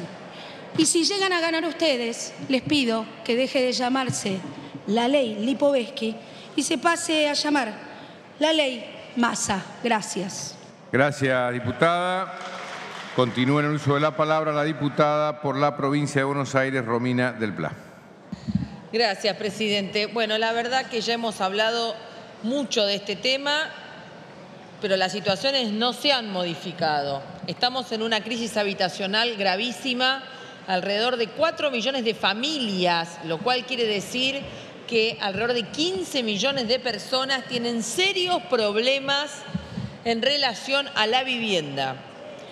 Y esto no se va a resolver ni con esta votación, ni con el dictamen de mayoría, ni con el de minoría, ni con lo que se votó la sesión anterior, porque la solución requiere medidas integrales. Integrales quiere decir una política seria de construcción de viviendas, de loteos, de generar un banco de tierras para generar subdivisiones, loteos con servicios para las familias que quieran y puedan construir su vivienda. Pero también hace falta la construcción de viviendas para que se pueda acceder con cuotas que se puedan pagar con los salarios que se cobran. O sea, deben ser cuotas baratas porque los salarios que se cobran en este marco de devaluación y de inflación, donde los salarios van por detrás de esas subas y por lo tanto cada vez pierden más poder adquisitivo y más gente está en la pobreza, tienen que ser cuotas baratas. Si no se da eso, la construcción de nuevas viviendas, el loteo de nuevas tierras, lamentablemente, se haga lo que se haga con los alquileres, vamos a tener siempre un cuello de botella cada vez mayor. Por eso, en ese sentido, nosotros hemos hecho todas estas críticas y todas estas salvedades y en la sesión anterior, aún con todas estas críticas, habíamos acompañado el dictamen de lo que en ese momento era la mayoría, entendiendo que defendía dos criterios básicos, que eran una mínima protección, los tres años de alquiler y la actualización anual. Luego de todo lo que ha ocurrido, y vamos a recordar también que en esa sesión hubo 13 diputados ausentes del oficialismo que permitió que Juntos por el Cambio se alzara con su dictamen, ahora otra vez vamos a votar este dictamen, esta media sanción con las modificaciones que vienen del Senado, sabiendo que está lejos de ser una solución. Simplemente la vamos a acompañar porque si no, el problema es que efectivamente se van a ratificar esas modificaciones que son aún más negativas porque dejan a los inquilinos completamente a merced, no de los propietarios, sino de los lobbies inmobiliarios, que sí concentran una cantidad importante de propiedades y que son los que determinan que sí se pone en el mercado, que no se pone en el mercado, porque aquel que vive complementando sus ingresos con una o dos propiedades que tiene en alquiler, ese no tiene el margen para no poner su vivienda en alquiler. Ese pequeño propietario lo coloca en alquiler. Nosotros insistimos en nuestro proyecto que tiene que haber un impuesto a la vivienda ociosa también, para empujar a que se coloquen las viviendas. Y por supuesto consideramos que hay que regular fuertemente el alquiler temporario como se está haciendo en todas las ciudades importantes del mundo. Nada que inventar. Y en ese sentido, nos parece que si no hay una política integral donde también se defienda y se proteja a las familias que han resuelto el tema ante la falta de una política estatal, eh, recuperando tierras y no desalojándolas, no va a haber una solución. Así que con todas estas críticas, y a pesar de que incluso este este proyecto con la media sanción es un retroceso en relación a lo anterior porque plantea la actualización cada seis meses. Aún así lo vamos a acompañar con todas estas reservas sabiendo que si no lo que puede ganar es todavía peor. Así que siempre saliendo a organizarnos y a pelear por una verdadera solución al tema de la crisis habitacional que va a merecer cambiar de raíz la política en relación a la vivienda, a la tierra y a cómo se debe planificar para garantizarle a la población el derecho que es tener dónde vivir. Muchas gracias. Gracias, diputada. Continúa el uso de la palabra el diputado por la Ciudad de Buenos Aires, Itaí Hackman. Gracias, presidente. Bueno, yo iba a empezar diciendo que por suerte estábamos discutiendo dos opciones de reforma de la ley, no la derogación, pero como se volvió a mencionar, quisiera empezar diciendo, porque efectivamente eh, acá lo que hubo es una campaña fuerte para instalar que la existencia, ya no solamente de esta ley en particular que hoy estamos modificando, la existencia de una ley de alquileres era la causa de todos los problemas y de la crisis en el mercado inmobiliario de alquiler que vivíamos en Argentina. Hoy justo estuve leyendo un artículo, un trabajo de investigación muy bueno de la Fundación Ever, se llama Políticas de Ingreso y Regulación del Mercado Inmobiliario, un análisis comparado, que compara la situación de Argentina, Alemania, Uruguay, España, Francia y Brasil. ¿En qué países existe ley de alquileres? En todos, obviamente. ¿En qué países existen regulaciones específicas de zonas de alquiler? En España y en Francia. ¿En qué países existen disposiciones especiales para grandes propietarios o propietarios concentrados? En España. ¿En qué países existen regulaciones sobre el precio de inicio de los contratos de alquiler? Eh, en Alemania y en España y en Francia. ¿En qué países eh, eh, existen mecanismos de indexación de los contratos? En todos menos en Brasil. ¿En qué países existen políticas de subsidio apoyo económico para el alquiler? En Alemania, en Uruguay, en España y en Francia. ¿En qué países existen regulaciones sobre la vivienda ociosa o vacía?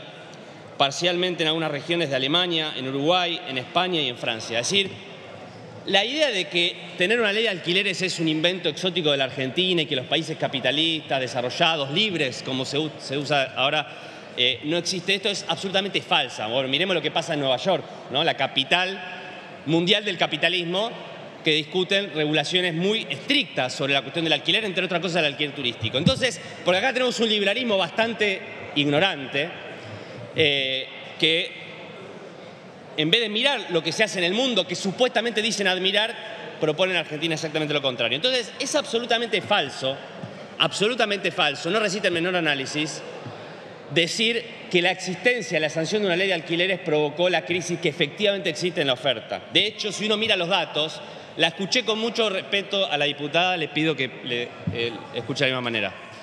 Eh, diputada, por favor. Continúo.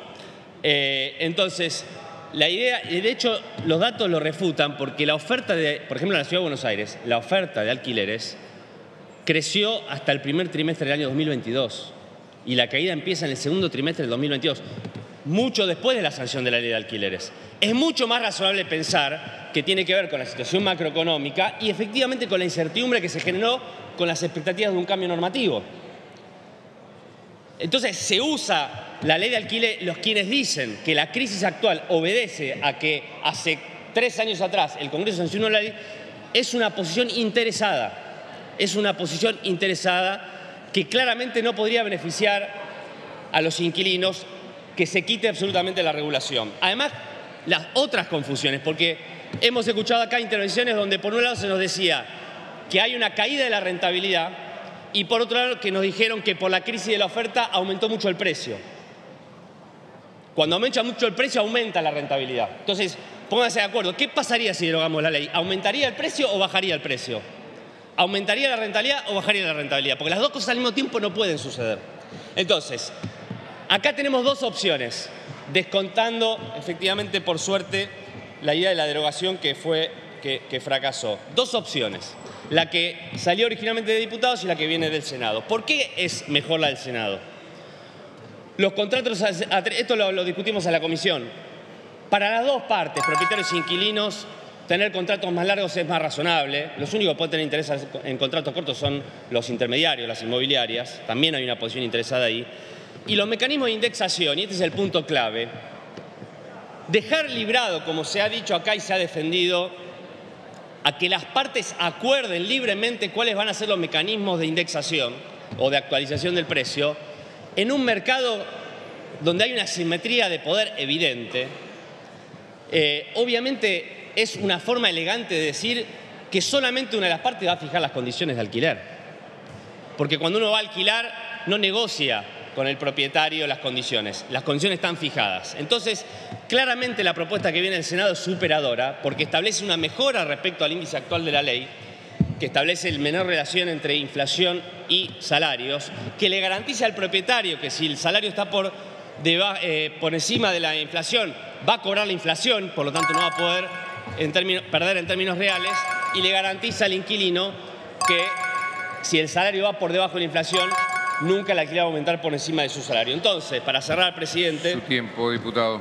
Lo que tenemos que hacer, justamente, no dejar desprotegidos a los inquilinos, no llevar al mercado inmobiliario a que sea la ley de la selva, la ley del más fuerte, la de los leones, sino que justamente generar los mecanismos para, protegiendo a la parte más débil, corregir esa simetría y generando regulaciones. Lo mejor que le la mejor solución que le podemos dar hoy a la situación de la crisis de alquileres es darle reglas claras que generen equilibrio justamente entre las dos partes y eso nos obliga a, sobre todas las cosas, proteger a la parte más débil de la relación que son los inquilinos. Los otros problemas se van a resolver en la medida que resolvamos otros problemas de la economía y no le pidamos a la ley de alquileres que nos resuelva problemas que son de la macroeconomía y que no vamos a resolver ni con la ley anterior ni con esta. Gracias, presidente. Gracias, diputado. Continúa en el uso de la palabra el diputado por la provincia de San Luis, Alejandro Cacaz. Gracias, presidente. Es interesante escuchar al diputado Hackman porque de alguna manera creo expresa con, con, fundamentos la visión económica que el kirchnerismo tiene y ahora en particular sobre este tema, la ley de alquileres. Ahora, lo que yo le informaría al diputado primero es que la inflación en Alemania es del 0,3% mensual y acumulada en todo el 2023 del 4,1%. Es una situación enteramente distinta a la de Argentina que hace muy difícil comparar la regulación de uno y otro país. Yo coincido con él, de hecho, en lo que marca del efecto que produce la incertidumbre económica. es que, claro, en un país que tiene estabilidad y que no tiene inflación, no habría absolutamente ningún problema en tener contratos de tres años o incluso más largos.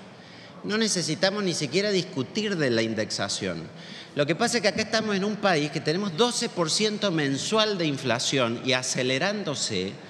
Y entonces cuando uno fija por tres años un contrato y no puede actualizar el precio dentro de un año, esa incertidumbre claramente respaldada por la ley de alquileres hace que los propietarios retiren las propiedades de la oferta de alquiler, las vendan las propiedades, las pasen al alquiler temporario, hagan los alquileres sin contrato o traten de forzar a los locatarios a hacer actualizaciones más frecuentes. Entonces, esa es la situación de Argentina sobre la que regulamos, una situación de profunda incertidumbre macroeconómica.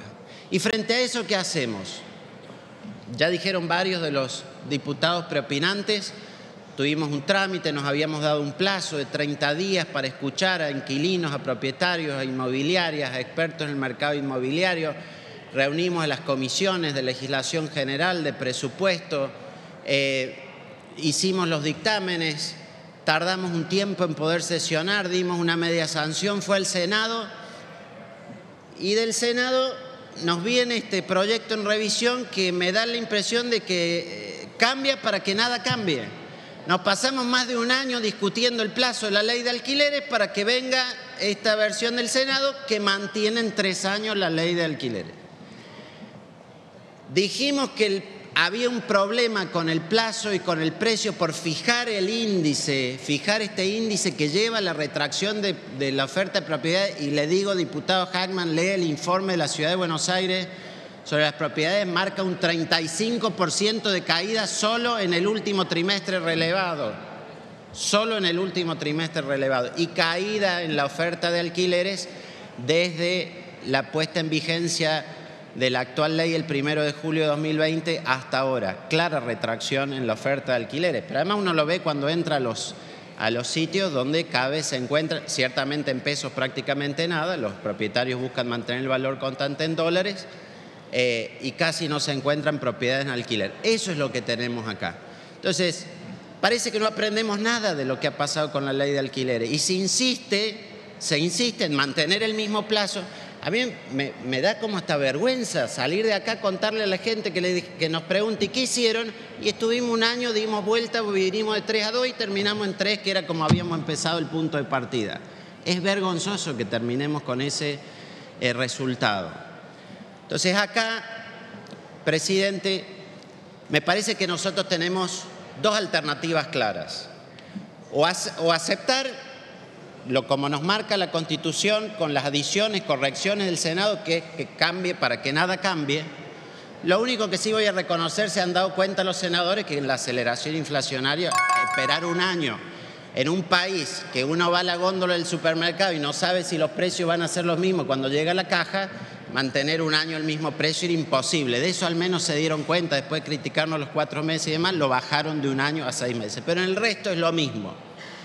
Ahora, esa es una opción, aceptar las adiciones o correcciones, o la otra es insistir en la redacción originaria, que busca adaptarse a esta realidad de incertidumbre macroeconómica de la Argentina y dice, frente a tanta incertidumbre que no se sabe lo que va a pasar mañana con el dólar, con los precios, lo que va a pasar en diciembre, reduzcamos el plazo, demos posibilidad de ajustar con mayor frecuencia, no intervengamos sobre el precio con el índice. Y esa es toda la opción que hay, es una opción binaria, entre aceptar o insistir.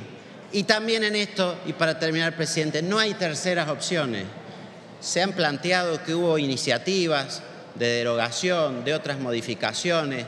Hoy no hay otras alternativas, hoy son estas. E inclusive votar por ninguno de los, de los dictámenes en tratamiento es votar a favor de la permanencia de la ley de alquileres. Y no puede ser después del fracaso que esta ley ha tenido el resultado de esta sesión que siga todo como está. Gracias, presidente. Gracias, diputado Cacase. Continúa en el uso de la palabra el diputado por la provincia de San Juan, José Luis Gioja, sin antes agradecerle al diputado Nicolás del Caño por insertar su participación. Diputado, muchas gracias. Muchas gracias. No le metemos presión, diputado Gioja. Tiene usted la palabra, diputado Gioja. Bueno, presidente, muchas gracias. Le prometo que voy a hablar tres minutos, no cinco, para no perder tiempo. No vamos a repetir las cosas que acá se han, se han dicho, presidente, pero indudablemente que no se pueden tergiversar las cosas, porque este, este tema con una ley, el tema alquiler, el tema vivienda, con una ley no se arregla. No vamos a arreglar el tema de alquileres con esta ley. Pero está claro que alguien, y ese tiene que ser el Estado solidario que tiene que estar presente para regular, tiene que estar al medio cuando discute uno grandote, forzudo, bien grande con uno chiquitito, que sabe que va a perder en la pelea. Porque esto es lo que pasa cuando uno va a alquilar. Va y se somete a lo que el propietario le dice. Entonces tenemos que tener las cosas bien claras para que no le hagan daño al más chiquito y podamos defender a ese más chiquito que es mayoritario. No sé, más de 10 millones, 15 millones de personas, se ha dicho acá, y es así. Es la mayoría y tenemos que trabajar para ello. Mire, en el, en el tema alquiler hay tres o cuatro cosas que son centrales. La quieren a todas. Primero, el tiempo era en serio, dos años salió de acá, el Senado puso tres. Está, es redundar decir por qué tres y no dos, porque es alquiler para familia. Y la familia tiene chicos, y los chicos van a la escuela, y llegan los dos años, no le quieren alquilar más porque tiene chicos precisamente, y tiene que cambiarse de barrio. ¿Cómo hace con la escuela? Estoy hablando a lo mejor cosas que ya se saben, pero pasa. El otro tema es el coeficiente para actualizar. ¿Cómo no vamos a tener un coeficiente claro para que el propietario no haga lo que quiera e indexe? Porque no se puede indexar por ley, pero aquí hay como un permiso para indexar. ¿Cómo no vamos a fijar un coeficiente para que se, se actualice el precio por ahí? Y no es un año, creo que alguien dijo que es una vez al año. No, el Senado dejó dos veces al año y no tres, como es lo que salió de acá para el Senado. Con lo cual, creo, presidente, que lo que el Senado ha hecho es hacer justicia y lo que el Senado ha hecho es aplicar la Constitución Nacional que en su artículo 75, inciso 19, dice que es tarea de este Congreso, debe tener, lo voy a leer textualmente, ingrediente eh, esencial del Congreso. Artículo 75, inciso 19. Dice que eh, promover lo conducente al desarrollo humano y al progreso económico con justicia social. Aunque a algunos no les guste la justicia social, esto está en la Constitución Nacional que tenemos que respetar siempre. Nada más, presidente. Muchas gracias, diputado Gioja. Continúa en el uso de la palabra la diputada por la provincia de Santa Fe, Germana Figueroa Casas. Gracias, señor presidente. Eh, no voy a ir a, hablar, porque ya se ha hablado a lo largo de las ventajas o no de, una u otra de las opciones, pero sí quería mencionar, se mencionó muy por encima, que hay una diferencia en los incentivos tributarios. Eh, en la mm, versión que, que envía el Senado, son parecidos, pero hay dos diferencias que creo que es importante marcar.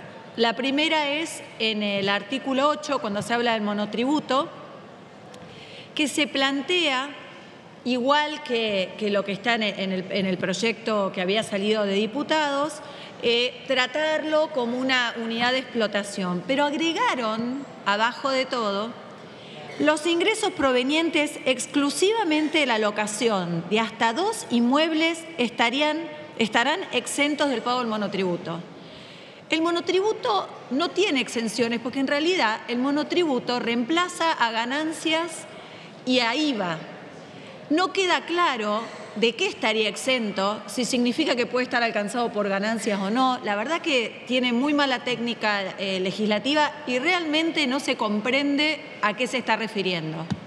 También habla de dos inmuebles sin eh, aclarar si se refiere a casa habitación o no, no lo dice, y tampoco pone ninguna restricción de valor del inmueble. En bienes personales sí había una limitación que tenía que ver con el mismo tope que tienen eh, las viviendas, eh, las, propias, digamos, para casa-habitación. Esto no lo tiene, o sea que un inmueble que se alquile por muchísimo dinero estaría fuera del monotributo según esto. Tampoco dice si los ingresos provenientes de ese alquiler se van a sumar o no para salirse del monotributo. Realmente creo que ese párrafo solo va a agregar a la confusión general. No creo que con una reglamentación se pueda aclarar porque tiene que ver con exenciones, o sea que tiene que ser por ley. Creo que pronto vamos a tener que estar hablando sobre esto para poder encontrar una solución porque creo que no va a funcionar ni servir para el objetivo que supongo que era estimular a que haya más viviendas dedicadas a casa habitación. No es lo que se está logrando con esto. Y luego se agregó en el artículo 11, se modifica la ley eh, de impuesto a las ganancias, se agrega un inciso K, que también, eh, la verdad que con bastante eh, mala técnica legislativa, pero un poquito más claro que el otro, plantea que el 10% del monto total anual de alquileres de inmuebles destinado a casa habitación va a poder deducirse, está en el artículo donde están las deducciones generales que se pueden tomar. Una lástima que no hayan visto que en el inciso H estaba la posibilidad de deducir el 40% de los alquileres de casa habitación, haber hecho alguna, alguna relación entre ambos. No, lo único que se puso es podrán hacer uso de esta deducción adicionalmente con otras que existan. También omite saber que hay deducciones, eh, la, alocación de inmuebles pertenece a la primera categoría de ganancias, hay unos artículos específicamente dedicados a las deducciones de esta categoría, tampoco lo tiene en cuenta, agrega esto suelto como para decir pongo algo más y ya está. Lo único que va a generar, como les digo, es confusiones, no está claro y no ayuda a que podamos simplificar, aunque sea un poquito, la maraña de impuestos que hay en nuestro país. Muchas gracias. Gracias, diputada Figueroa Casas. Quedan solamente dos oradores, así que les pido a los diputados que se aproximen a sus bancas. Continúa en el uso de la palabra el diputado por la provincia de Buenos Aires, Hugo Yasky. Gracias, presidente. En, en la Argentina, en la Argentina real, no en esa que a veces surge de los, de los relatos de algunos diputados y diputadas que piensan que las leyes del mercado funcionan de tal forma que todo lo resuelven. En la Argentina real, en este momento, hay decenas de miles de ciudadanos durmiendo en la calle, familias enteras en la ciudad de Buenos Aires. Hay 35% de los inquilinos que se aloja no en viviendas, no en departamentos, que alquila piezas. Hay el 40% de los hogares que tiene que pedir préstamo para poder pagar los alquileres. Y hay una relación entre el inquilino y el que alquila o la inmobiliaria que es absolutamente asimétrica. Pretender que se pueda resolver una fórmula con la palabra pudiendo, pudiendo las partes, Pudiendo está preso en este país. Para el que va a alquilar no existe pudiendo. Y todos lo sabemos. Todo el que tenga a alguien conocido que tuvo que ir a alquilar con los pesitos justos, haciendo un sacrificio, tuvo que aceptar la imposición de la dupla que constituye el mobiliario y el que alquila. De cada 10 casos, 9 son así y todos lo sabemos. Y si no te gusta, seguí de largo y seguí buscando, que es lo que hoy pasa. Por eso creo que lo que el Senado produjo modifica para bien lo que acá se aprobó. Primero, porque establece un plazo absolutamente razonable, dos años. Perdón, tres en lugar de los dos años que aprobamos acá absolutamente razonable por lo que decía el diputado Gioja, absolutamente razonable porque cuando pedimos plazos para que los empresarios tengan seguridad jurídica, para que sepan qué van a hacer en su futuro, no pensamos lo mismo para los trabajadores y las trabajadoras. Es absolutamente razonable que se actualice tomando como índice el salario absolutamente razonable. Y lo que la ley no puede resolver tiene que ver con lo que se dijo acá, el problema de una economía que tiene en este momento un proceso de inflación incentivado por grupos que quieren llevar a la Argentina a una hecatombe económica e incentivado por un candidato a presidente que con sus dichos lo que hace es arrimarle todavía más fuego a la nafta. Entonces, creo que lo que se está planteando es justo proteger al más desprotegido en la relación, darle a los ciudadanos y ciudadanas de la Argentina la posibilidad de encontrar un alquiler que mínimamente pueda estar al alcance de sus manos. Y luego, es verdad, hay una cantidad de temas que tenemos que tomar del ejemplo que daba el compañero Hackman. Empezar a legislar sobre el tema de los alquileres temporarios, que hoy constituyen un verdadero problema en la Argentina y en el mundo, porque está achicando la posibilidad de que la gente acceda al alquiler para vivienda.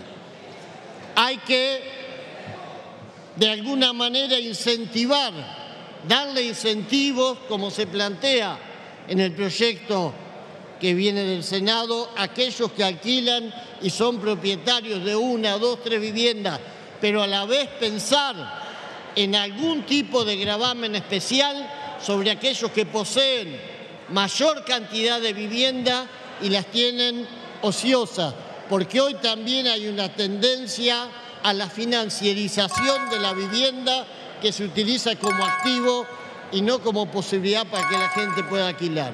Gracias. Gracias, diputado Yasky. Tiene la palabra y con esta oradora cerramos la lista de oradores. La diputada por la Ciudad de Buenos Aires, Paula Perac. Gracias, presidente.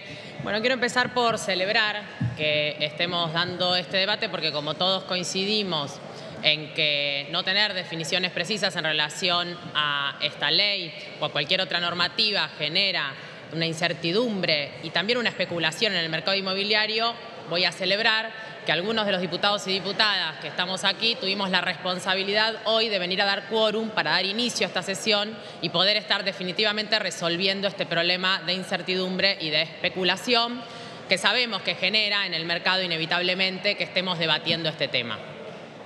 Después, a pesar de haberlo debatido mucho, hay por lo menos tres falacias algunas ya fueron mencionadas, voy a agregar algunas cositas en relación a cada una de estas que se han instalado y creo que es importante utilizar este ámbito institucional y de la democracia para poder desmentirlas. La primera es la que mencionaba el diputado Itaí, eh, que plantea que el mercado de alquileres funcionaba bien y que esta ley lo rompió.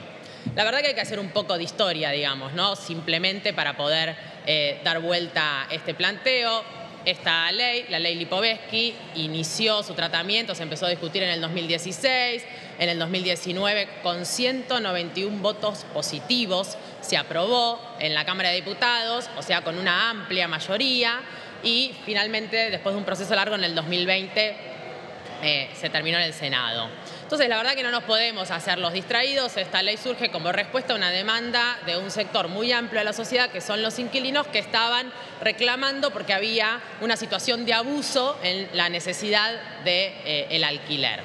También es falso que el problema del mercado de alquileres está vinculado con que haya algún tipo de regulación. ¿no? En este momento, también lo decía el diputado Itaí, en el que a algunos se les ocurre decir que el mercado resuelve todo, que también es un versito bastante viejo. La verdad que esto no es verdad, porque antes de la ley del 2020 también existía una regulación en relación a este tema. ¿no? El Código Civil y Comercial de la Nación, que ya resolvía o ya planteaba un montón de regulaciones. Por ejemplo, un plazo al contrato de alquiler de dos años.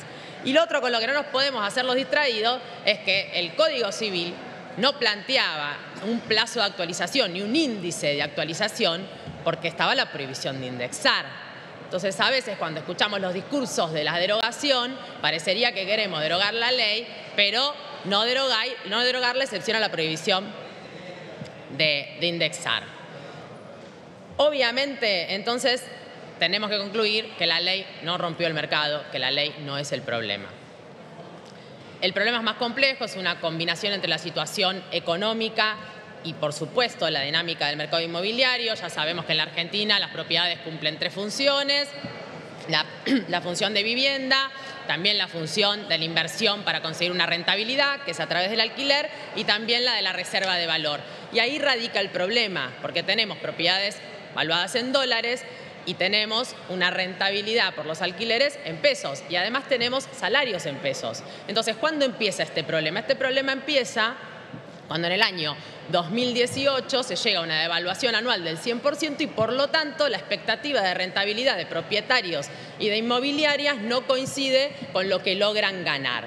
Y esto lo digo yo acá, pero lo dice además, por ejemplo, no sé si todos conocen, reporte inmobiliario, que no es un pasquín kirchnerista, ¿sí? y que dice en el 2021, a pesar de mejorar, el alquiler rinde la mitad que en 2017. La renta anual promedio en la Ciudad de Buenos Aires para un departamento usado alcanzó el 2,7. Para recuperar la rentabilidad del 2017, los valores de venta deberían reducirse a la mitad o los alquileres aumentar el doble. Entonces, ¿qué quiere decir esto? 9 de junio del 21. Esto lo que quiere decir es que la ley no rompió nada, porque acá estaba sancionada la ley y luego de esa caída en el 2018 de la rentabilidad se empezaba a recuperar, se empezaba a recuperar, lo dice reporte inmobiliario. Entonces ahí lo que hay, lo que hubo fue un aumento desmedido y un abuso sobre las condiciones que se le imponían a los inquilinos en función de recuperar esa renta que lo dicen ellos mismos, ¿no? Lo dice el sector inmobiliario. Esos abusos generaron la organización del sector de los inquilinos y la necesidad entonces de avanzar en la sanción de la ley. Y hay una última falacia, esta de que es un contrato libre entre iguales, entre propietarios e inquilinos. Ni es un contrato libre, porque esto se parece más a un contrato de adhesión, ni es entre dos partes, porque en el medio están las inmobiliarias que son las que muchas veces ganan y las que van a ganar o las que ganarían si se impusiera la regulación que ustedes plantean. Y por supuesto, además, que esta desigualdad es manifiesta, porque las personas que necesitan dónde vivir, además de que es un derecho constitucional, no pueden elegir no alquilar. Y en cambio los propietarios, como lo venimos viendo, pueden imponer condiciones por fuera de la ley y pueden retirar sus propiedades del mercado. Y con esto termino. Las tres falacias, la realidad que genera efectivamente la ruptura del mercado y no la ley. ¿Y qué estamos votando? Ya dijeron todo. Voy a agregar dos cosas nada más, señora presidenta.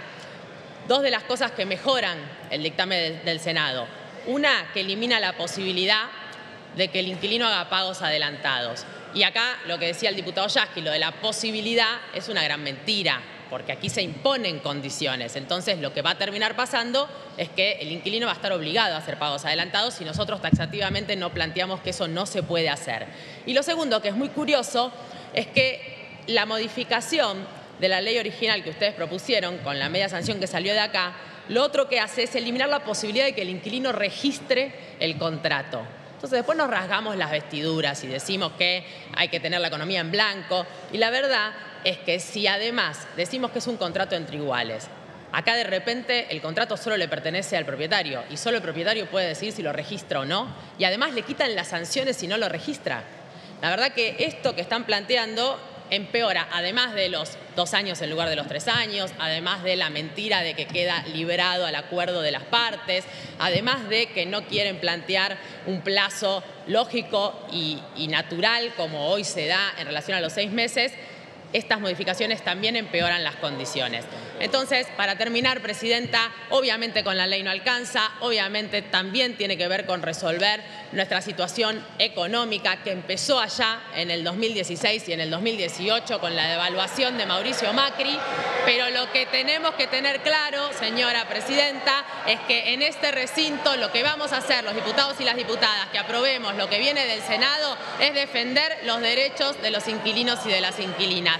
Y la verdad que podrían no gritar, estoy terminando, Presidenta, porque gritar no les da la razón y lo que sí podrían fijarse es cómo, además, en las legislaciones locales, por ejemplo en la Ciudad de Buenos Aires, que gobiernan hace 16 años, no hay una sola medida que hayan tomado para favorecer lo que ustedes dicen cuidar acá, que es a los inquilinos y las inquilinas. Muchas gracias, señora Presidenta.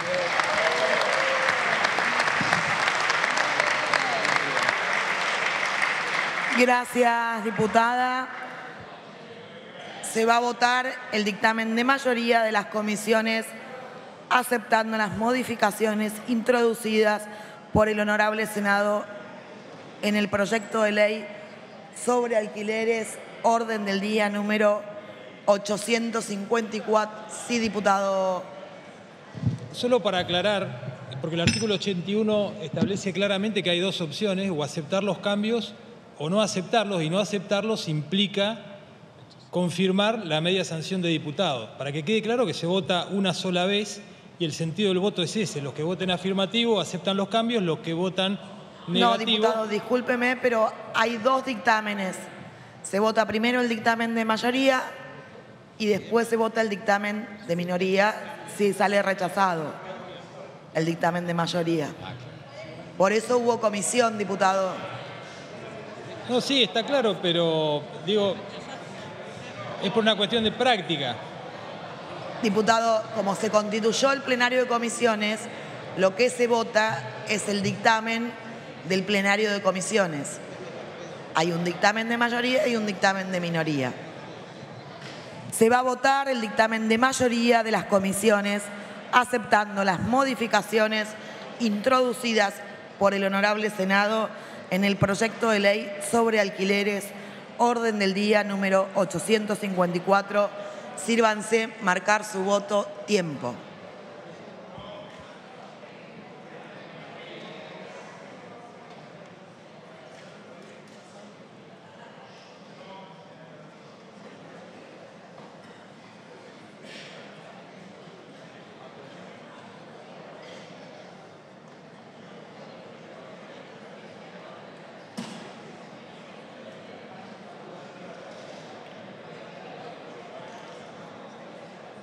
Diputado Yasky. Les pido por favor que no se paren.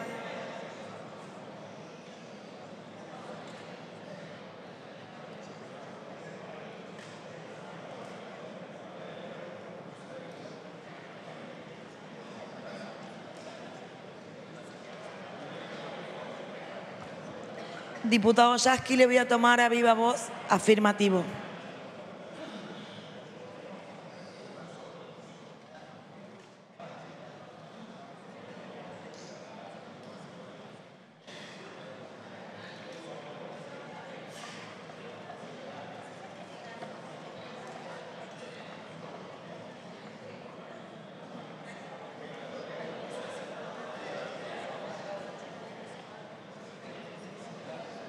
Se cierra la votación. Por secretaría se dará lectura del resultado.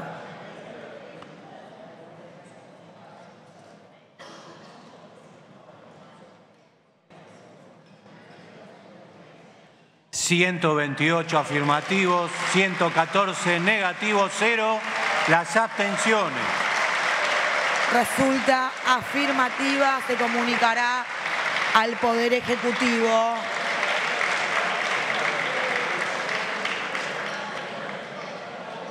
En consideración en general el dictamen de la comisión recaído en el proyecto de ley venido en revisión del Honorable Senado por el que se aprueba el Plan Nacional de Ciencia y Tecnología e Innovación 2030.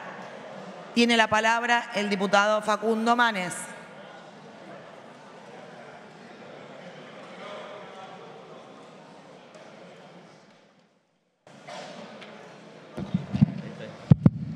Gracias, señora presidenta.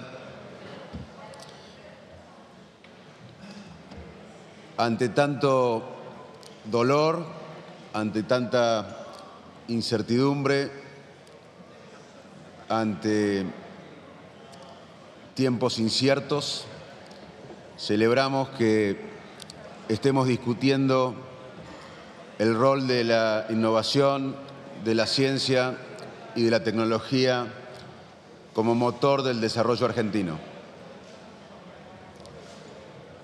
En la Argentina hace décadas que hablamos de economía. Todos los días hablamos de economía. Y de una vez por todas tenemos que entender, si no seremos más pobres, más desiguales, que la cuestión económica en el siglo XXI es la innovación, la ciencia y tecnología, es el conocimiento. Es por eso que la política científica, tecnológica y de innovación debe ser una política de Estado. La ciencia argentina no es de ningún partido político, ni de ninguna facción. Es de la sociedad argentina. Y entre todos tenemos que planificarla, ejercerla y aprovecharla. Y para eso tenemos que terminar de una vez por todas con las mezquindades de cada uno de los sectores. Porque si no, los que ganan son los que vociferan discursos premodernos o fantasiosos, como cuando dicen sin ponerse colorado que el Estado debe abandonar la investigación y el desarrollo científico para la Argentina, que se trata de un costo sin sentido. Es de ignorante. La economía global hoy se organiza en la competencia y en la innovación de las sociedades.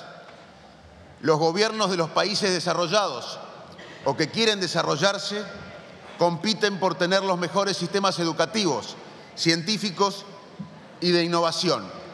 ¿Cómo vamos a renunciar a este partido? Para, para ser una nación próspera necesitamos una política científica coherente, ambiciosa, sostenida.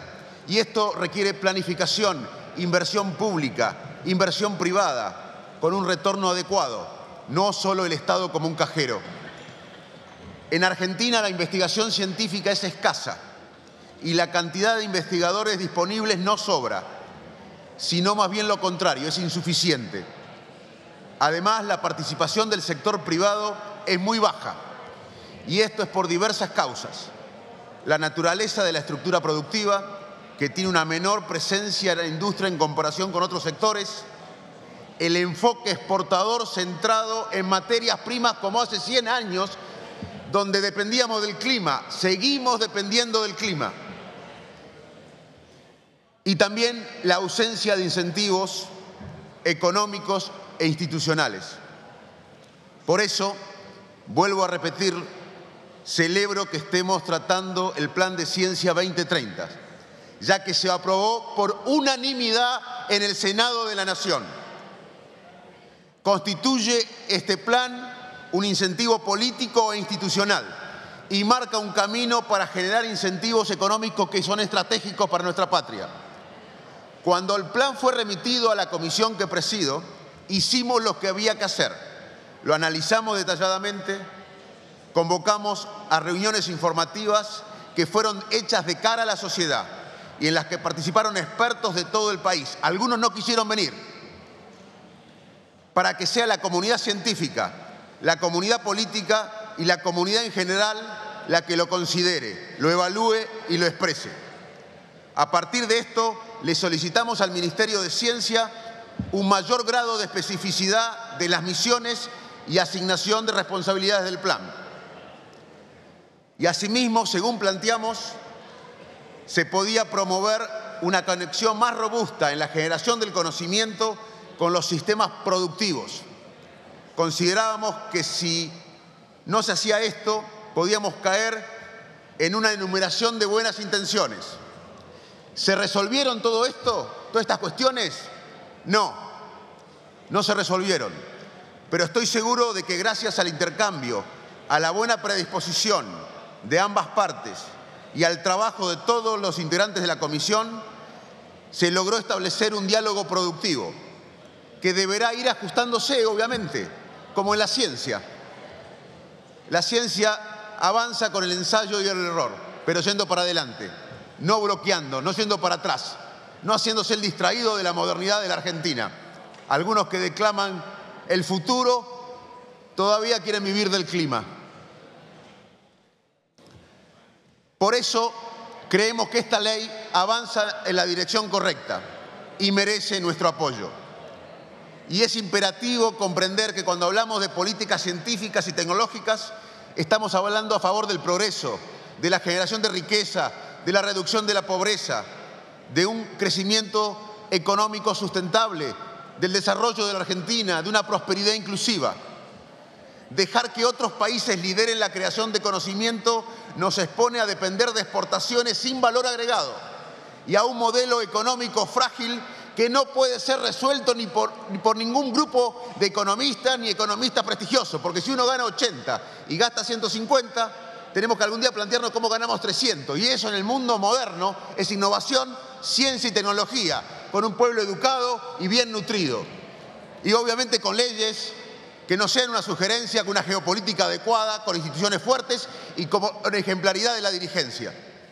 Y por supuesto que es necesario consolidar una estrategia macroeconómica integral, obviamente, para dar confianza, estabilidad, moneda, etc. Pero la estabilidad per se no lleva a ningún proceso de desarrollo inclusivo. La clave para un crecimiento económico sostenido es la generación constante de actividades de mayor valor. Y esto se logra a, través de la innovación, de la ciencia y la tecnología, que deben impregnar en todos los sectores productivos de la Argentina y también relanzar a los sectores postergados.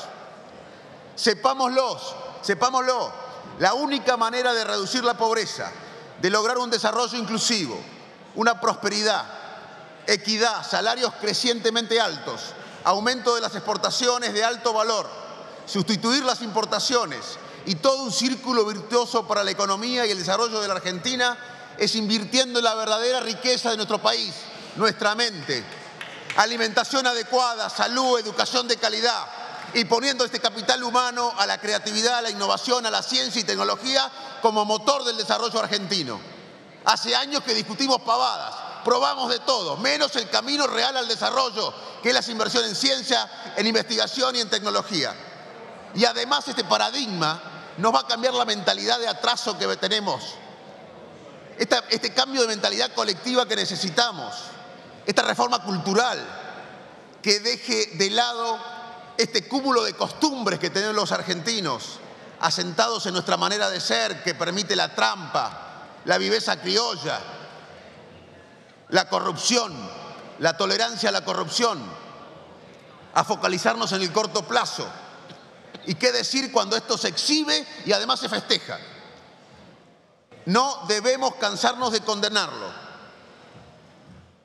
Existen áreas en nuestro país que tienen un potencial enorme de crecimiento. La energía, por ejemplo, no solo fósil, sino renovable, la digitalización, la inteligencia artificial, la ciencia de la salud, la explotación sustentable del mar, la tecnología nuclear, la industria satelital, la industria del litio y otros minerales necesarios para la transición energética que necesita el mundo. La bioeconomía, que incluye la producción alimentaria, pero también a sectores de la industria química, de materiales de energía, de salud, la economía del conocimiento que abarca el desarrollo del software, aplicaciones tecnológicas, infraestructuras digitales, robótica, nanotecnología e industria aeroespacial y nuclear. Todo esto es clave para el desarrollo. No podemos vivir 46 millones de argentinos exportando materias primas. Una apuesta mayor a la biotecnología y a la bioeconomía permitiría agregar conocimiento y valor a la producción agrícola y agroindustrial el campo es vanguardia, el campo hizo lo que queremos hacerlo en otros sectores. El campo argentino invirtió hace décadas en genética, innovación, en organización. Pero no podemos pedirle todo al campo. O en cada crisis le sacamos más al campo. Por eso es incluso interés del campo que otros sectores se desarrollen y progresen basados en la innovación y en la ciencia. Y a veces en la Argentina, cuando a alguien se le ocurre el pecado de hablar del futuro o de estos temas, y esto lo digo porque recorro el país hablando de esto hace varias décadas, antes de meterme en la política, y me metí en la política para esto, para involucrar a la ciencia, la tecnología y la educación como motor del desarrollo argentino.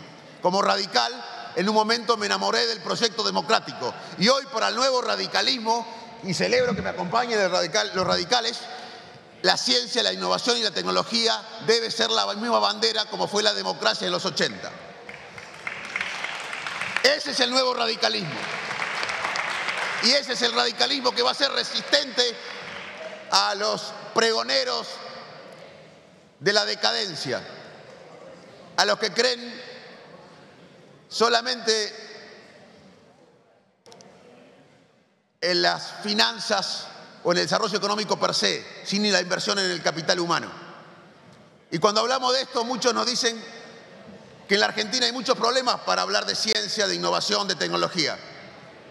Y lamento informarles a los fundamentalistas de la coyuntura que esto no es así. Y siempre repito en cada rincón de la Argentina, muchos de ustedes seguramente cuando me vieron en sus provincias me han escuchado esto. A Nerú, que fue el arquitecto de la India moderna, cuando asumió como primer ministro y empezó a invertir en educación, en ciencia y tecnología, los opositores miopes del futuro le decían, Nerú, en la India somos demasiado pobres como para invertir en educación, en ciencia y tecnología. Y Nerú respondía, justamente porque somos pobres, no podemos dejar de invertir en lo que nos va a sacar de la pobreza. Acá muchos argumentan pobreza para no invertir en la solución de la pobreza. Nuestro ritmo de avance, tecnológico, el ritmo tecnológico el ritmo de avance tecnológico de la Argentina es mucho más lento que los países en vías de desarrollo o que quieren desarrollarse. En la medicina hay un signo que se llama anosognosia, que es negar el problema. Nosotros tenemos que aceptar esto. Nuestro ritmo de avance tecnológico es mucho más lento de los países que son desarrollados o que quieren desarrollarse. Y esta brecha tecnológica en este mundo basado en el conocimiento, en una nueva revolución industrial, que no solo cambia lo que hacemos, sino que lo cambia a nosotros, porque es la fusión de lo físico, lo biológico, lo digital, esta brecha tecnológica crece cada año y es la causa más profunda de nuestro déficit permanente y de nuestra pobreza y desigualdad creciente. Si no abordamos este desafío, no habrá política distributiva que sirva Solo vamos a desperdiciar nuestro tiempo y energía y seguiremos discutiendo el subdesarrollo sustentable y administrando pobreza. No se trata de, seguir con discusiones que ya pasaron de moda, entre ser estatistas o antiestatistas, Se trata de contar con un Estado inteligente, honesto, moderno, dinámico, que invierta eficazmente y promueva a la vez inversiones privadas en alianzas con sectores productivos y establecer redes internacionales de, co de colaboración, como lo hicimos y como lo hacemos los científicos, como lo hice yo cuando volví en el 2001 a Argentina y creamos un espacio de neurociencias cognitivas cuando estaba tan desarrollada en Argentina. El mundo nos ayudó, colaboramos con el mundo, nos abrimos. La ciencia es un ejemplo de cómo puede funcionar la Argentina. Si, alguien buen, si algo es bueno, aunque lo haga nuestra competencia en la ciencia, lo tomamos. Y si algo es malo, aunque lo haga alguien de nuestro laboratorio, no lo tomamos. Trabajamos en equipo, miramos el futuro, pensamos en grande. Y eso, esa metáfora de la ciencia es útil para nuestro país. Nuestro compromiso a partir de ahora debe ser el de evaluar la ejecución del plan de ciencia y sus efectos para mejorarlo y no tener que comenzar de cero todas las veces como lamentablemente acostumbramos. Y señora presidenta, le quiero hablar ahora a todos, no como diputado nacional, le quiero hablar a todos y sobre todo a las científicas y a los científicos de todo el país como un colega y como un compatriota. Quiero decirles que nosotros, en la Unión Cívica Radical Moderna, van a encontrar a uno de ustedes que los va a acompañar, los va a empujar a que sigan investigando, que va a trabajar para facilitarles las tareas y a defenderlos cuando haga falta, para que nunca más ningún gobierno nos mande a lavar los platos. Eso es lo que quieren los nuevos modernos en la Argentina, mandarlos otra vez a los científicos a lavar los platos. Nunca más. Quiero decirles a todos los científicos y a las científicas y a los que quieren estudiar ciencia como mi hijo Pedro, de 15 años que quiere ser científico. Y él me decía hace dos años, papá, no te metas en política porque hay un ranking de las profesiones más prestigiosas y son médico y científica las más prestigiosas y la última es la política. Y mi hijo ahora piensa que su padre se metió en la última profesión de todas. Yo digo, no, porque es la profesión que permite cambiar la realidad de los argentinos cuando pensamos en grande cuando no pensamos en mezquindades personales o por una elección. Gane quien gane el 22 de octubre, si no hace esto, va a llevarnos a más pobreza, a más desigualdad, a más atraso. Y quiero también hablarles a muchos científicos que están en el exterior. Y no es fácil estar en el exterior, por más que uno gane bien, que tenga una linda casa, que tenga un trabajo, yo viví varios años afuera, en Estados Unidos, en Inglaterra, y me iba bien, trabajaba en los mejores lugares de mi especialidad, en los mejores laboratorios de mi tema, con mis ídolos. Me pagaban bien, tenía auto, casa, prestigio, porque ser médico y científico, donde trabajé yo en Estados Unidos e Inglaterra, es muy, muy prestigioso. Acá muchos colegas médicos y científicos trabajando son pobres. Sin embargo, les confieso que cada día de mi vida que estaba afuera sentía que no estaba en mi lugar, que tenía que hacer algo para pertenecer a ese lugar. Así que muchos de los científicos que están afuera desean volver, aunque les vaya bien económicamente y académicamente. Y le quiero hablar a ellos y a los chicos que quieren hacer ciencia, que apuesten a la ciencia, porque van a traer trabajo, porque van a transformar la Argentina con ideas modernas, no con fantasías, no con ilusiones, no con brujos de tribus. Van a transformar la Argentina con lo que hacen los países desarrollados o que quieren desarrollarse. Decirles también que estamos orgullosos de ustedes, científicos y científicas, los que viven acá, los que la luchan acá o los que viven afuera. Y a los que vivan afuera les decimos que vamos a crear las condiciones para que, si quieren, puedan volver. Y si no pueden o no quieren, porque se enamoraron, se casaron, tienen sus raíces en, otro lugar, que colaboren con la ciencia argentina. porque la ciencia nos permite hacer patria en cada rincón del mundo. Ese es el país que queremos, el país de ustedes, jóvenes científicos y científicas. Ese país es el nuestro. Seremos una nación de innovación y de creatividad. Y tenemos que entender que Argentina invierte muy poco en ciencia. La media de los países desarrollados es alrededor del 2% del PBI. Y ni hablar de Israel, de Corea del Sur, que invierten 4% del PBI. Y además tenemos que generar instituciones, no excepciones como hay, masivas instituciones que trasladen el conocimiento científico que se genera en valor económico. Argentina tiene salida y esta es la salida. Y para eso tenemos que tener cerebros nutridos, educados. Hoy una gran parte de los chicos no termina la secundaria y los que, muchos de los que terminan no comprenden lo que leen ni pueden hacer un cálculo matemático.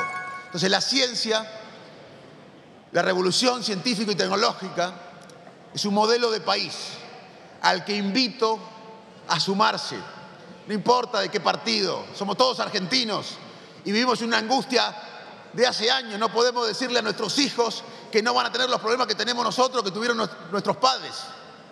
Dejémonos de pavada. Hagamos las cosas que van a cambiar nuestra patria y dejémonos de mezquindades. Votemos y apoyemos la ley de ciencia y tecnología más allá de quien la propone. Somos todos argentinos.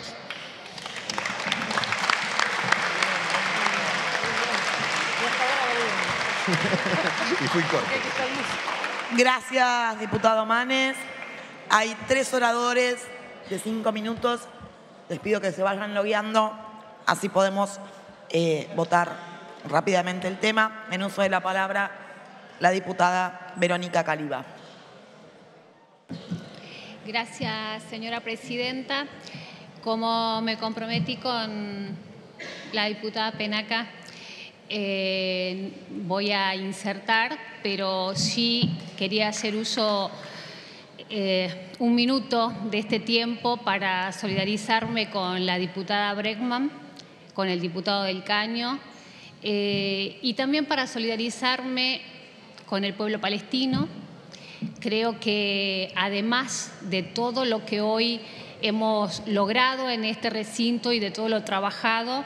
Es un momento fundamental para que este recinto eh, haga sus votos para que las resoluciones de todos los conflictos que hay en el mundo eh, sean siempre hacia la paz, porque no podemos avanzar en ninguno de estos objetivos a nivel local, regional y global si no es en un mundo eh, que no sea en paz y agradecerle el, hecho de haber podido eh, poder decir estas palabras porque realmente creo que lo que está sucediendo con la diputada Breckman es muy grave, es muy grave como lo dijo el diputado del Caño, venimos del intento de magnicidio de la vicepresidenta, en Ecuador sufrimos...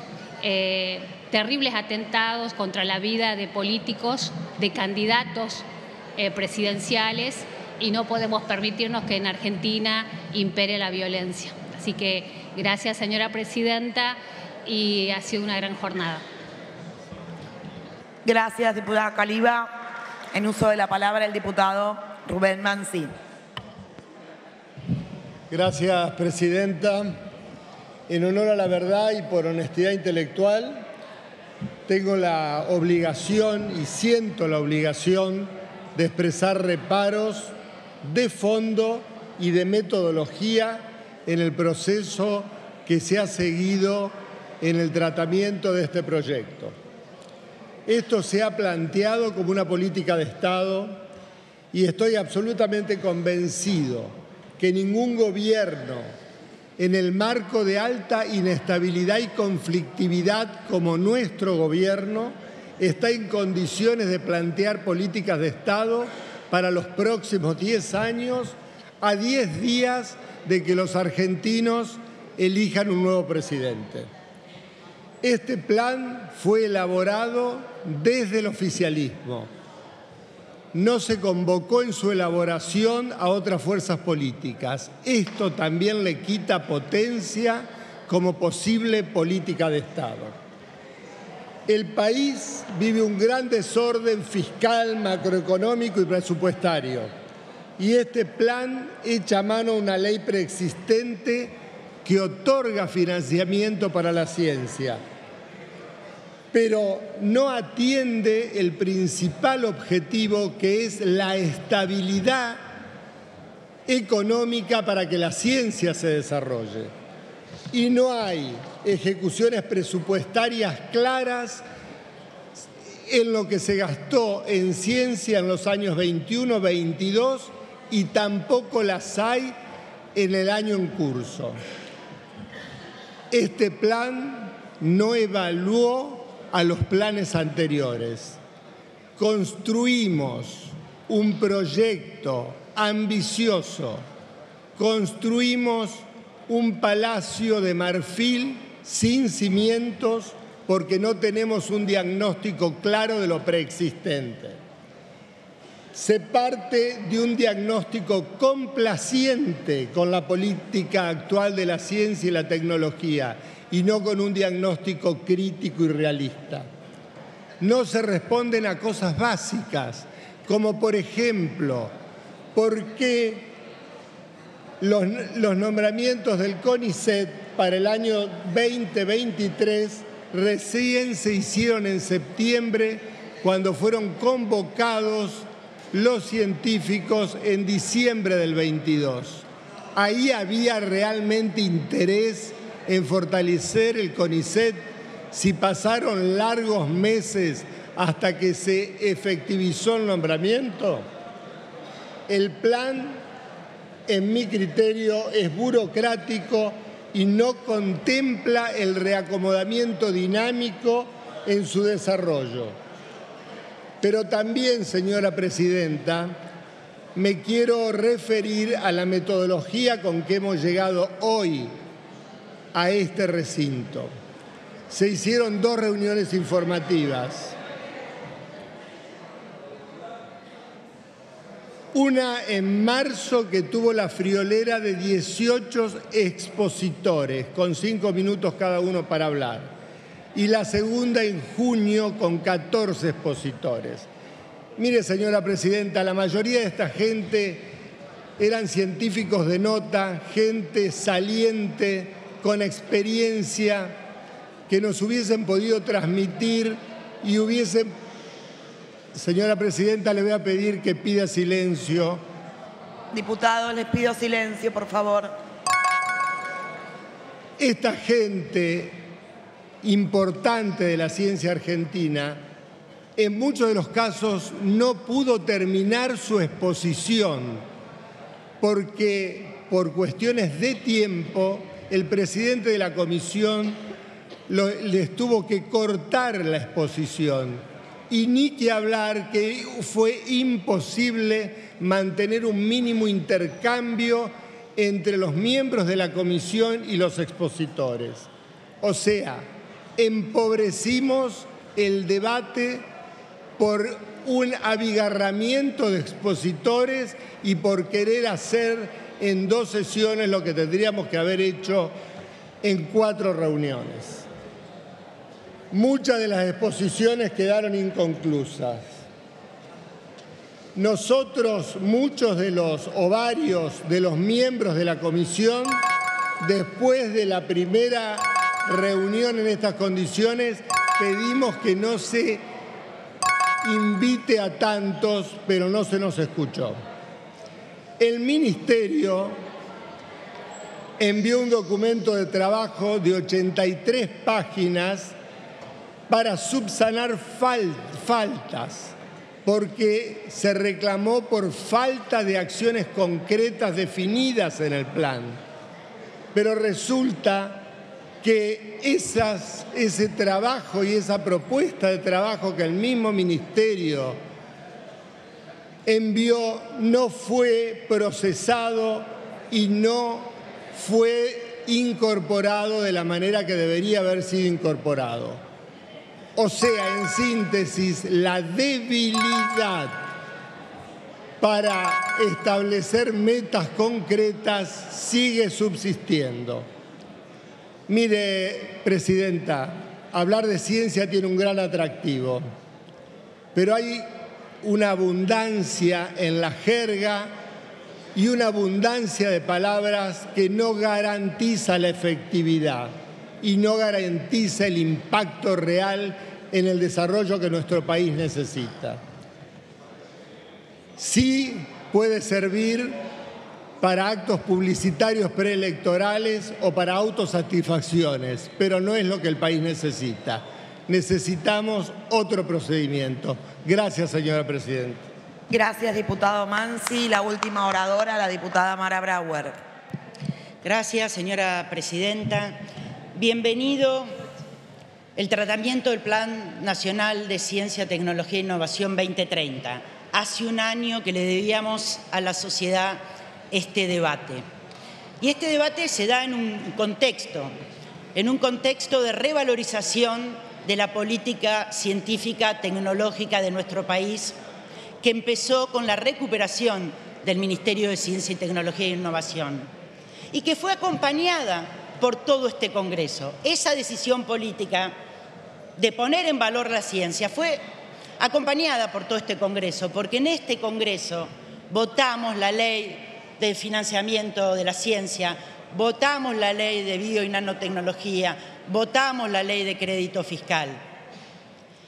Y a partir de esas leyes es que el Estado, el Ministerio de Ciencia, tuvo los recursos para desarrollar las importantes políticas científicas tecnológicas que tuvimos a lo largo de estos años.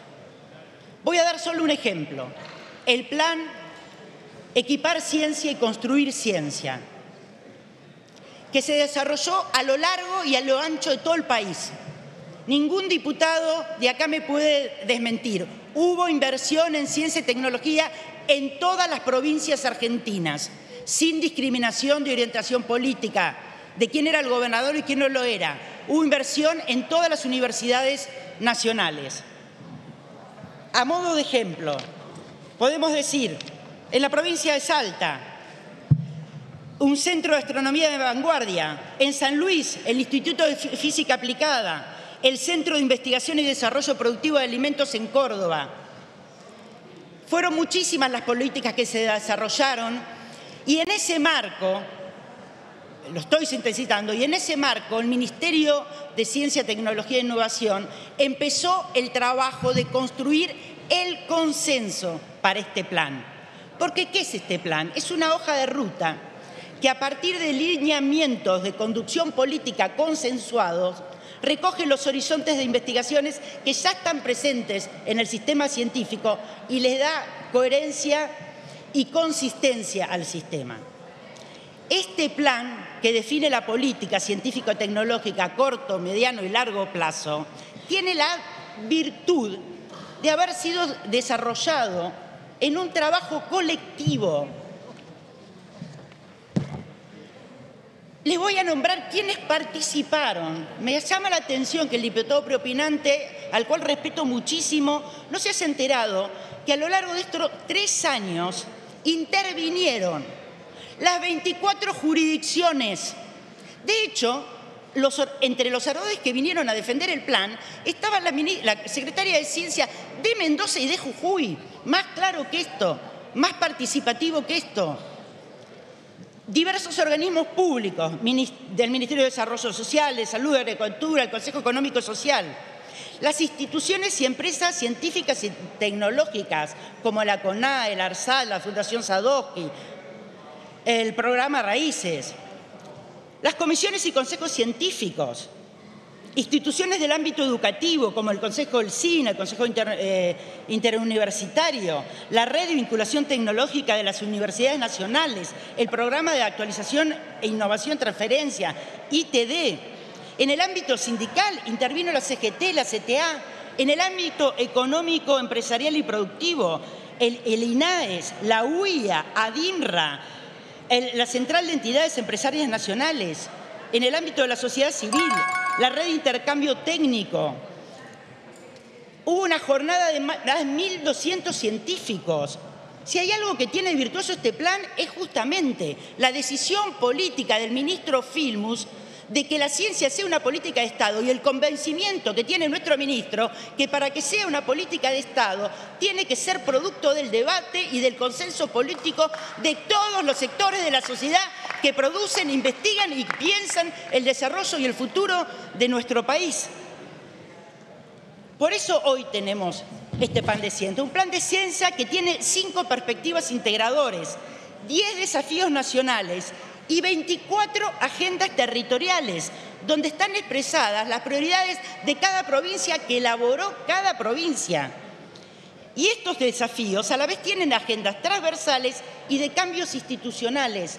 Es la primera vez en la historia que un plan de ciencia recorre el país para generar consenso y que llega al poder legislativo para que salga con el apoyo de todos los bloques políticos, porque entendemos que la ciencia necesita de la planificación, necesita del largo plazo. No hay ciencia si no hay largo plazo porque lleva años formar un científico, porque llevan años definir las metas de investigación, porque las investigaciones llevan años, lustros, décadas.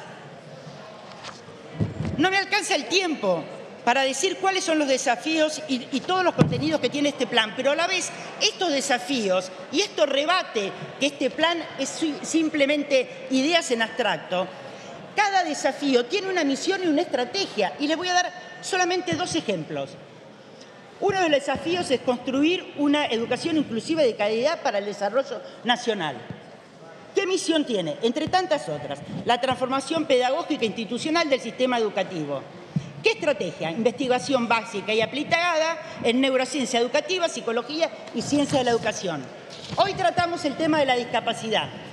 Desafío de este plan de ciencia, erradicar la pobreza y reducir la desigualdad y la vulnerabilidad socioambiental. En el tema de discapacidad, y misiones, inclusión social de las personas con discapacidad.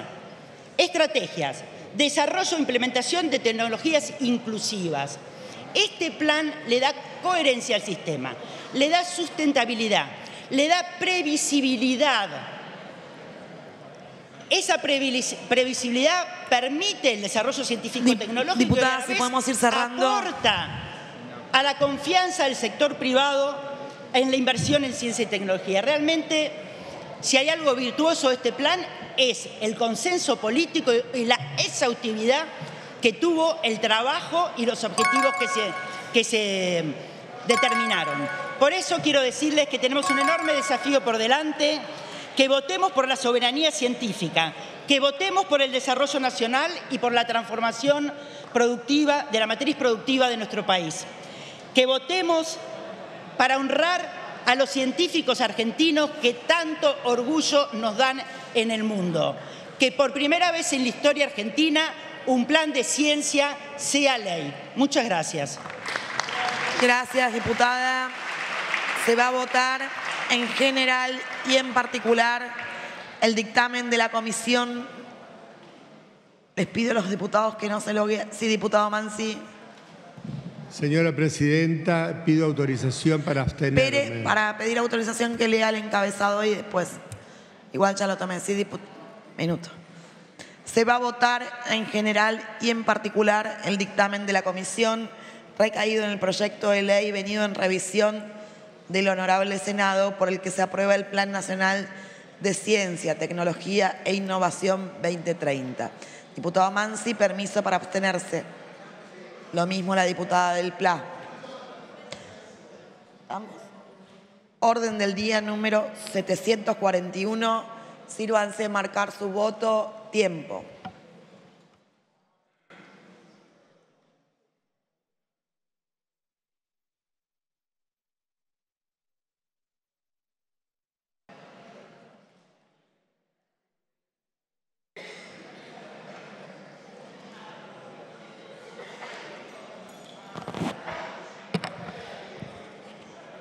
Diputado Godoy, Igón.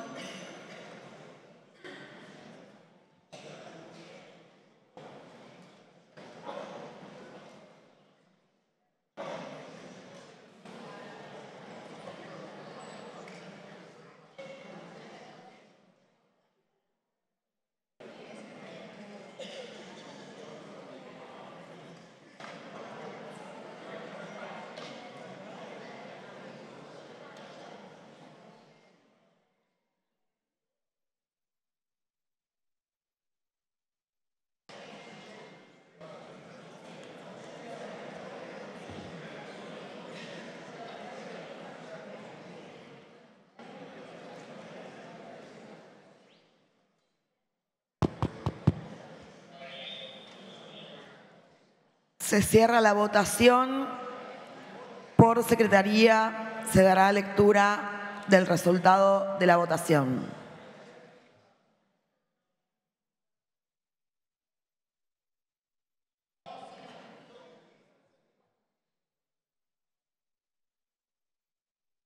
...156 afirmativos, 0 negativos, 2 las abstenciones.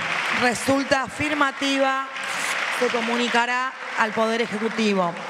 En la reunión de labor parlamentaria se acordó redactar una declaración en referencia a los hechos que anteceden, que acontecen en Israel. Se va a votar la moción de apartamiento del reglamento. Para su incorporación se requieren las tres cuartas partes de los votos que se emitan, resulta afirmativa. Se va a votar ahora el tratamiento sobre tablas. Se requieren las dos terceras partes de los votos que se emitan, resulta afirmativo. Por secretaría se dará lectura del resultado de la declaración. La Honorable Cámara de Diputados de la Nación declara su enérgica condena y repudio contra las acciones terroristas perpetradas por Hamas desde la Franja de Gaza y dentro del territorio israelí. Nuestra solidaridad incondicional con todas las víctimas y sus familiares.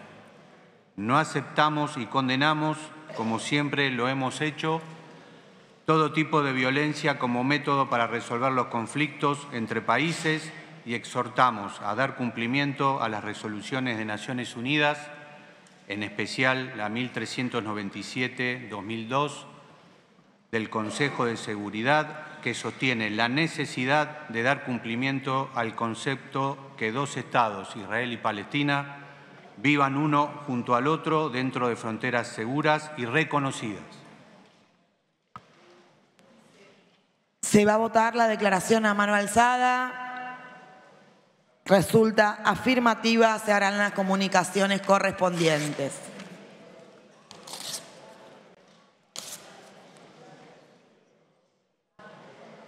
Se va a votar en general y en particular el dictamen de las comisiones recaído en el proyecto de ley venido en revisión del Honorable Senado por el que se crea el protocolo de protección y detección de abuso sexual contra niñas, niños y adolescentes en aquellos ámbitos donde se desarrollan sus actividades. Orden del día número 852. De acuerdo a lo establecido por el artículo 81 de la Constitución Nacional, deberá indicarse el resultado de la votación a fin de establecer si las adiciones o correcciones fueron realizadas por mayoría absoluta de los presentes o por las dos terceras partes de los presentes, sírvanse marcar su voto de manera nominal.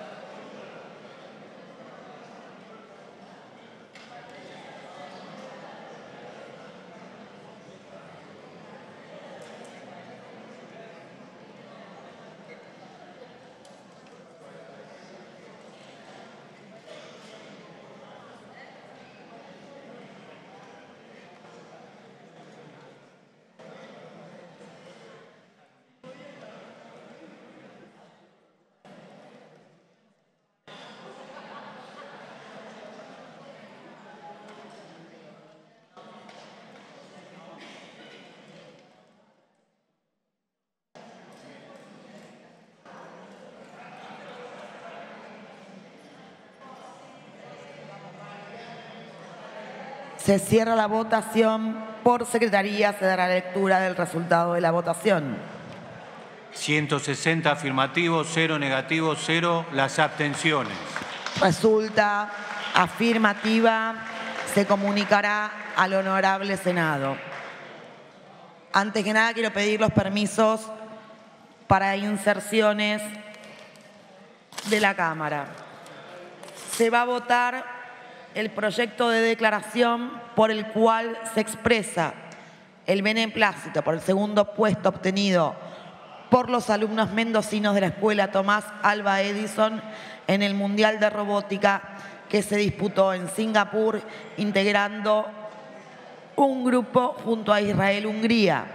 Expediente número 4186 de 2023. Sírvanse marcar su voto. Permiso para abstención el diputado Tetaz. ¿Sí? Sírvanse de marcar su voto a mano alzada. Resulta afirmativo.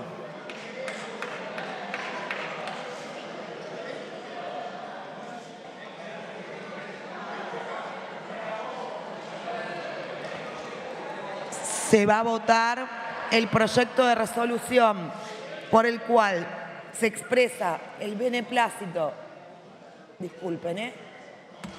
por el Nobel de la Paz 2023 otorgado al activista iraní Narges Mohammadi. Expediente 4130 de 2023. A mano alzada resulta afirmativa. Se harán las... ¿eh? permiso para presencia diputado Tetaz. Diputado Taylor, no. Resulta afirmativa, se harán las comunicaciones correspondientes.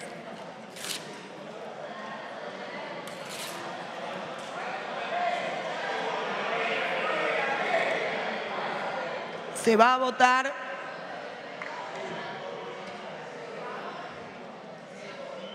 no quórum.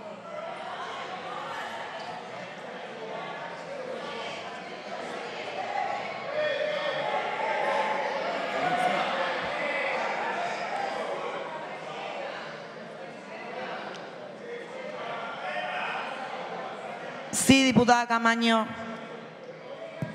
Lo que está haciendo el bloque del oficialismo, señora presidenta, es una vergüenza. Es una vergüenza porque el proyecto que vamos a tratar es un proyecto que ha sido consensuado, que ha sido profundamente tratado en la comisión, que es además un proyecto, por lo menos uno de los proyectos, que es de iniciativa y que fue el primero que presentó un proyecto con esta iniciativa del propio bloque del oficialismo. ¿Qué debemos suponer? ¿Qué intereses toca el proyecto? ¿Debemos suponer acaso que hay gente comprometida y con intereses en que el proyecto no salga? De lo que estamos hablando, señora presidenta, es de asegurarle a la población las posibilidades de tener la pesca debidamente trazada, debidamente controlada. El proyecto dice del mar al plato.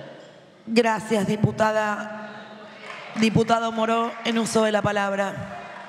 Mire, Presidenta, a ver, es probable que a nosotros, como a muchos diputados que cuando se trató del plan de ciencia del bloque de la oposición se levantaron, a punto tal de que el propio miembro informante dijo que estaba hablando para los radicales. Diputada Banfi, pida la palabra. No griten, por favor. Sin gritar. Continúe, diputado Moro. Así como muchos diputados del bloque de la oposición se levantaron en ese momento, no le adjudico ninguna intencionalidad, probablemente se sentían cansados. De este lado hoy también ocurrió lo mismo y nos dimos cuenta y nos volvimos a sentar. Lo que es inadmisible es que usted hable de intereses oscuros que pueden haber dictado nuestra conducta. Así que le pido que retire esa expresión porque no tiene nada que ver con la realidad y además forma parte de una pedagogía que siempre quiere imponernos como si fuera la maestra ciruela. Basta de, tener esos discursos.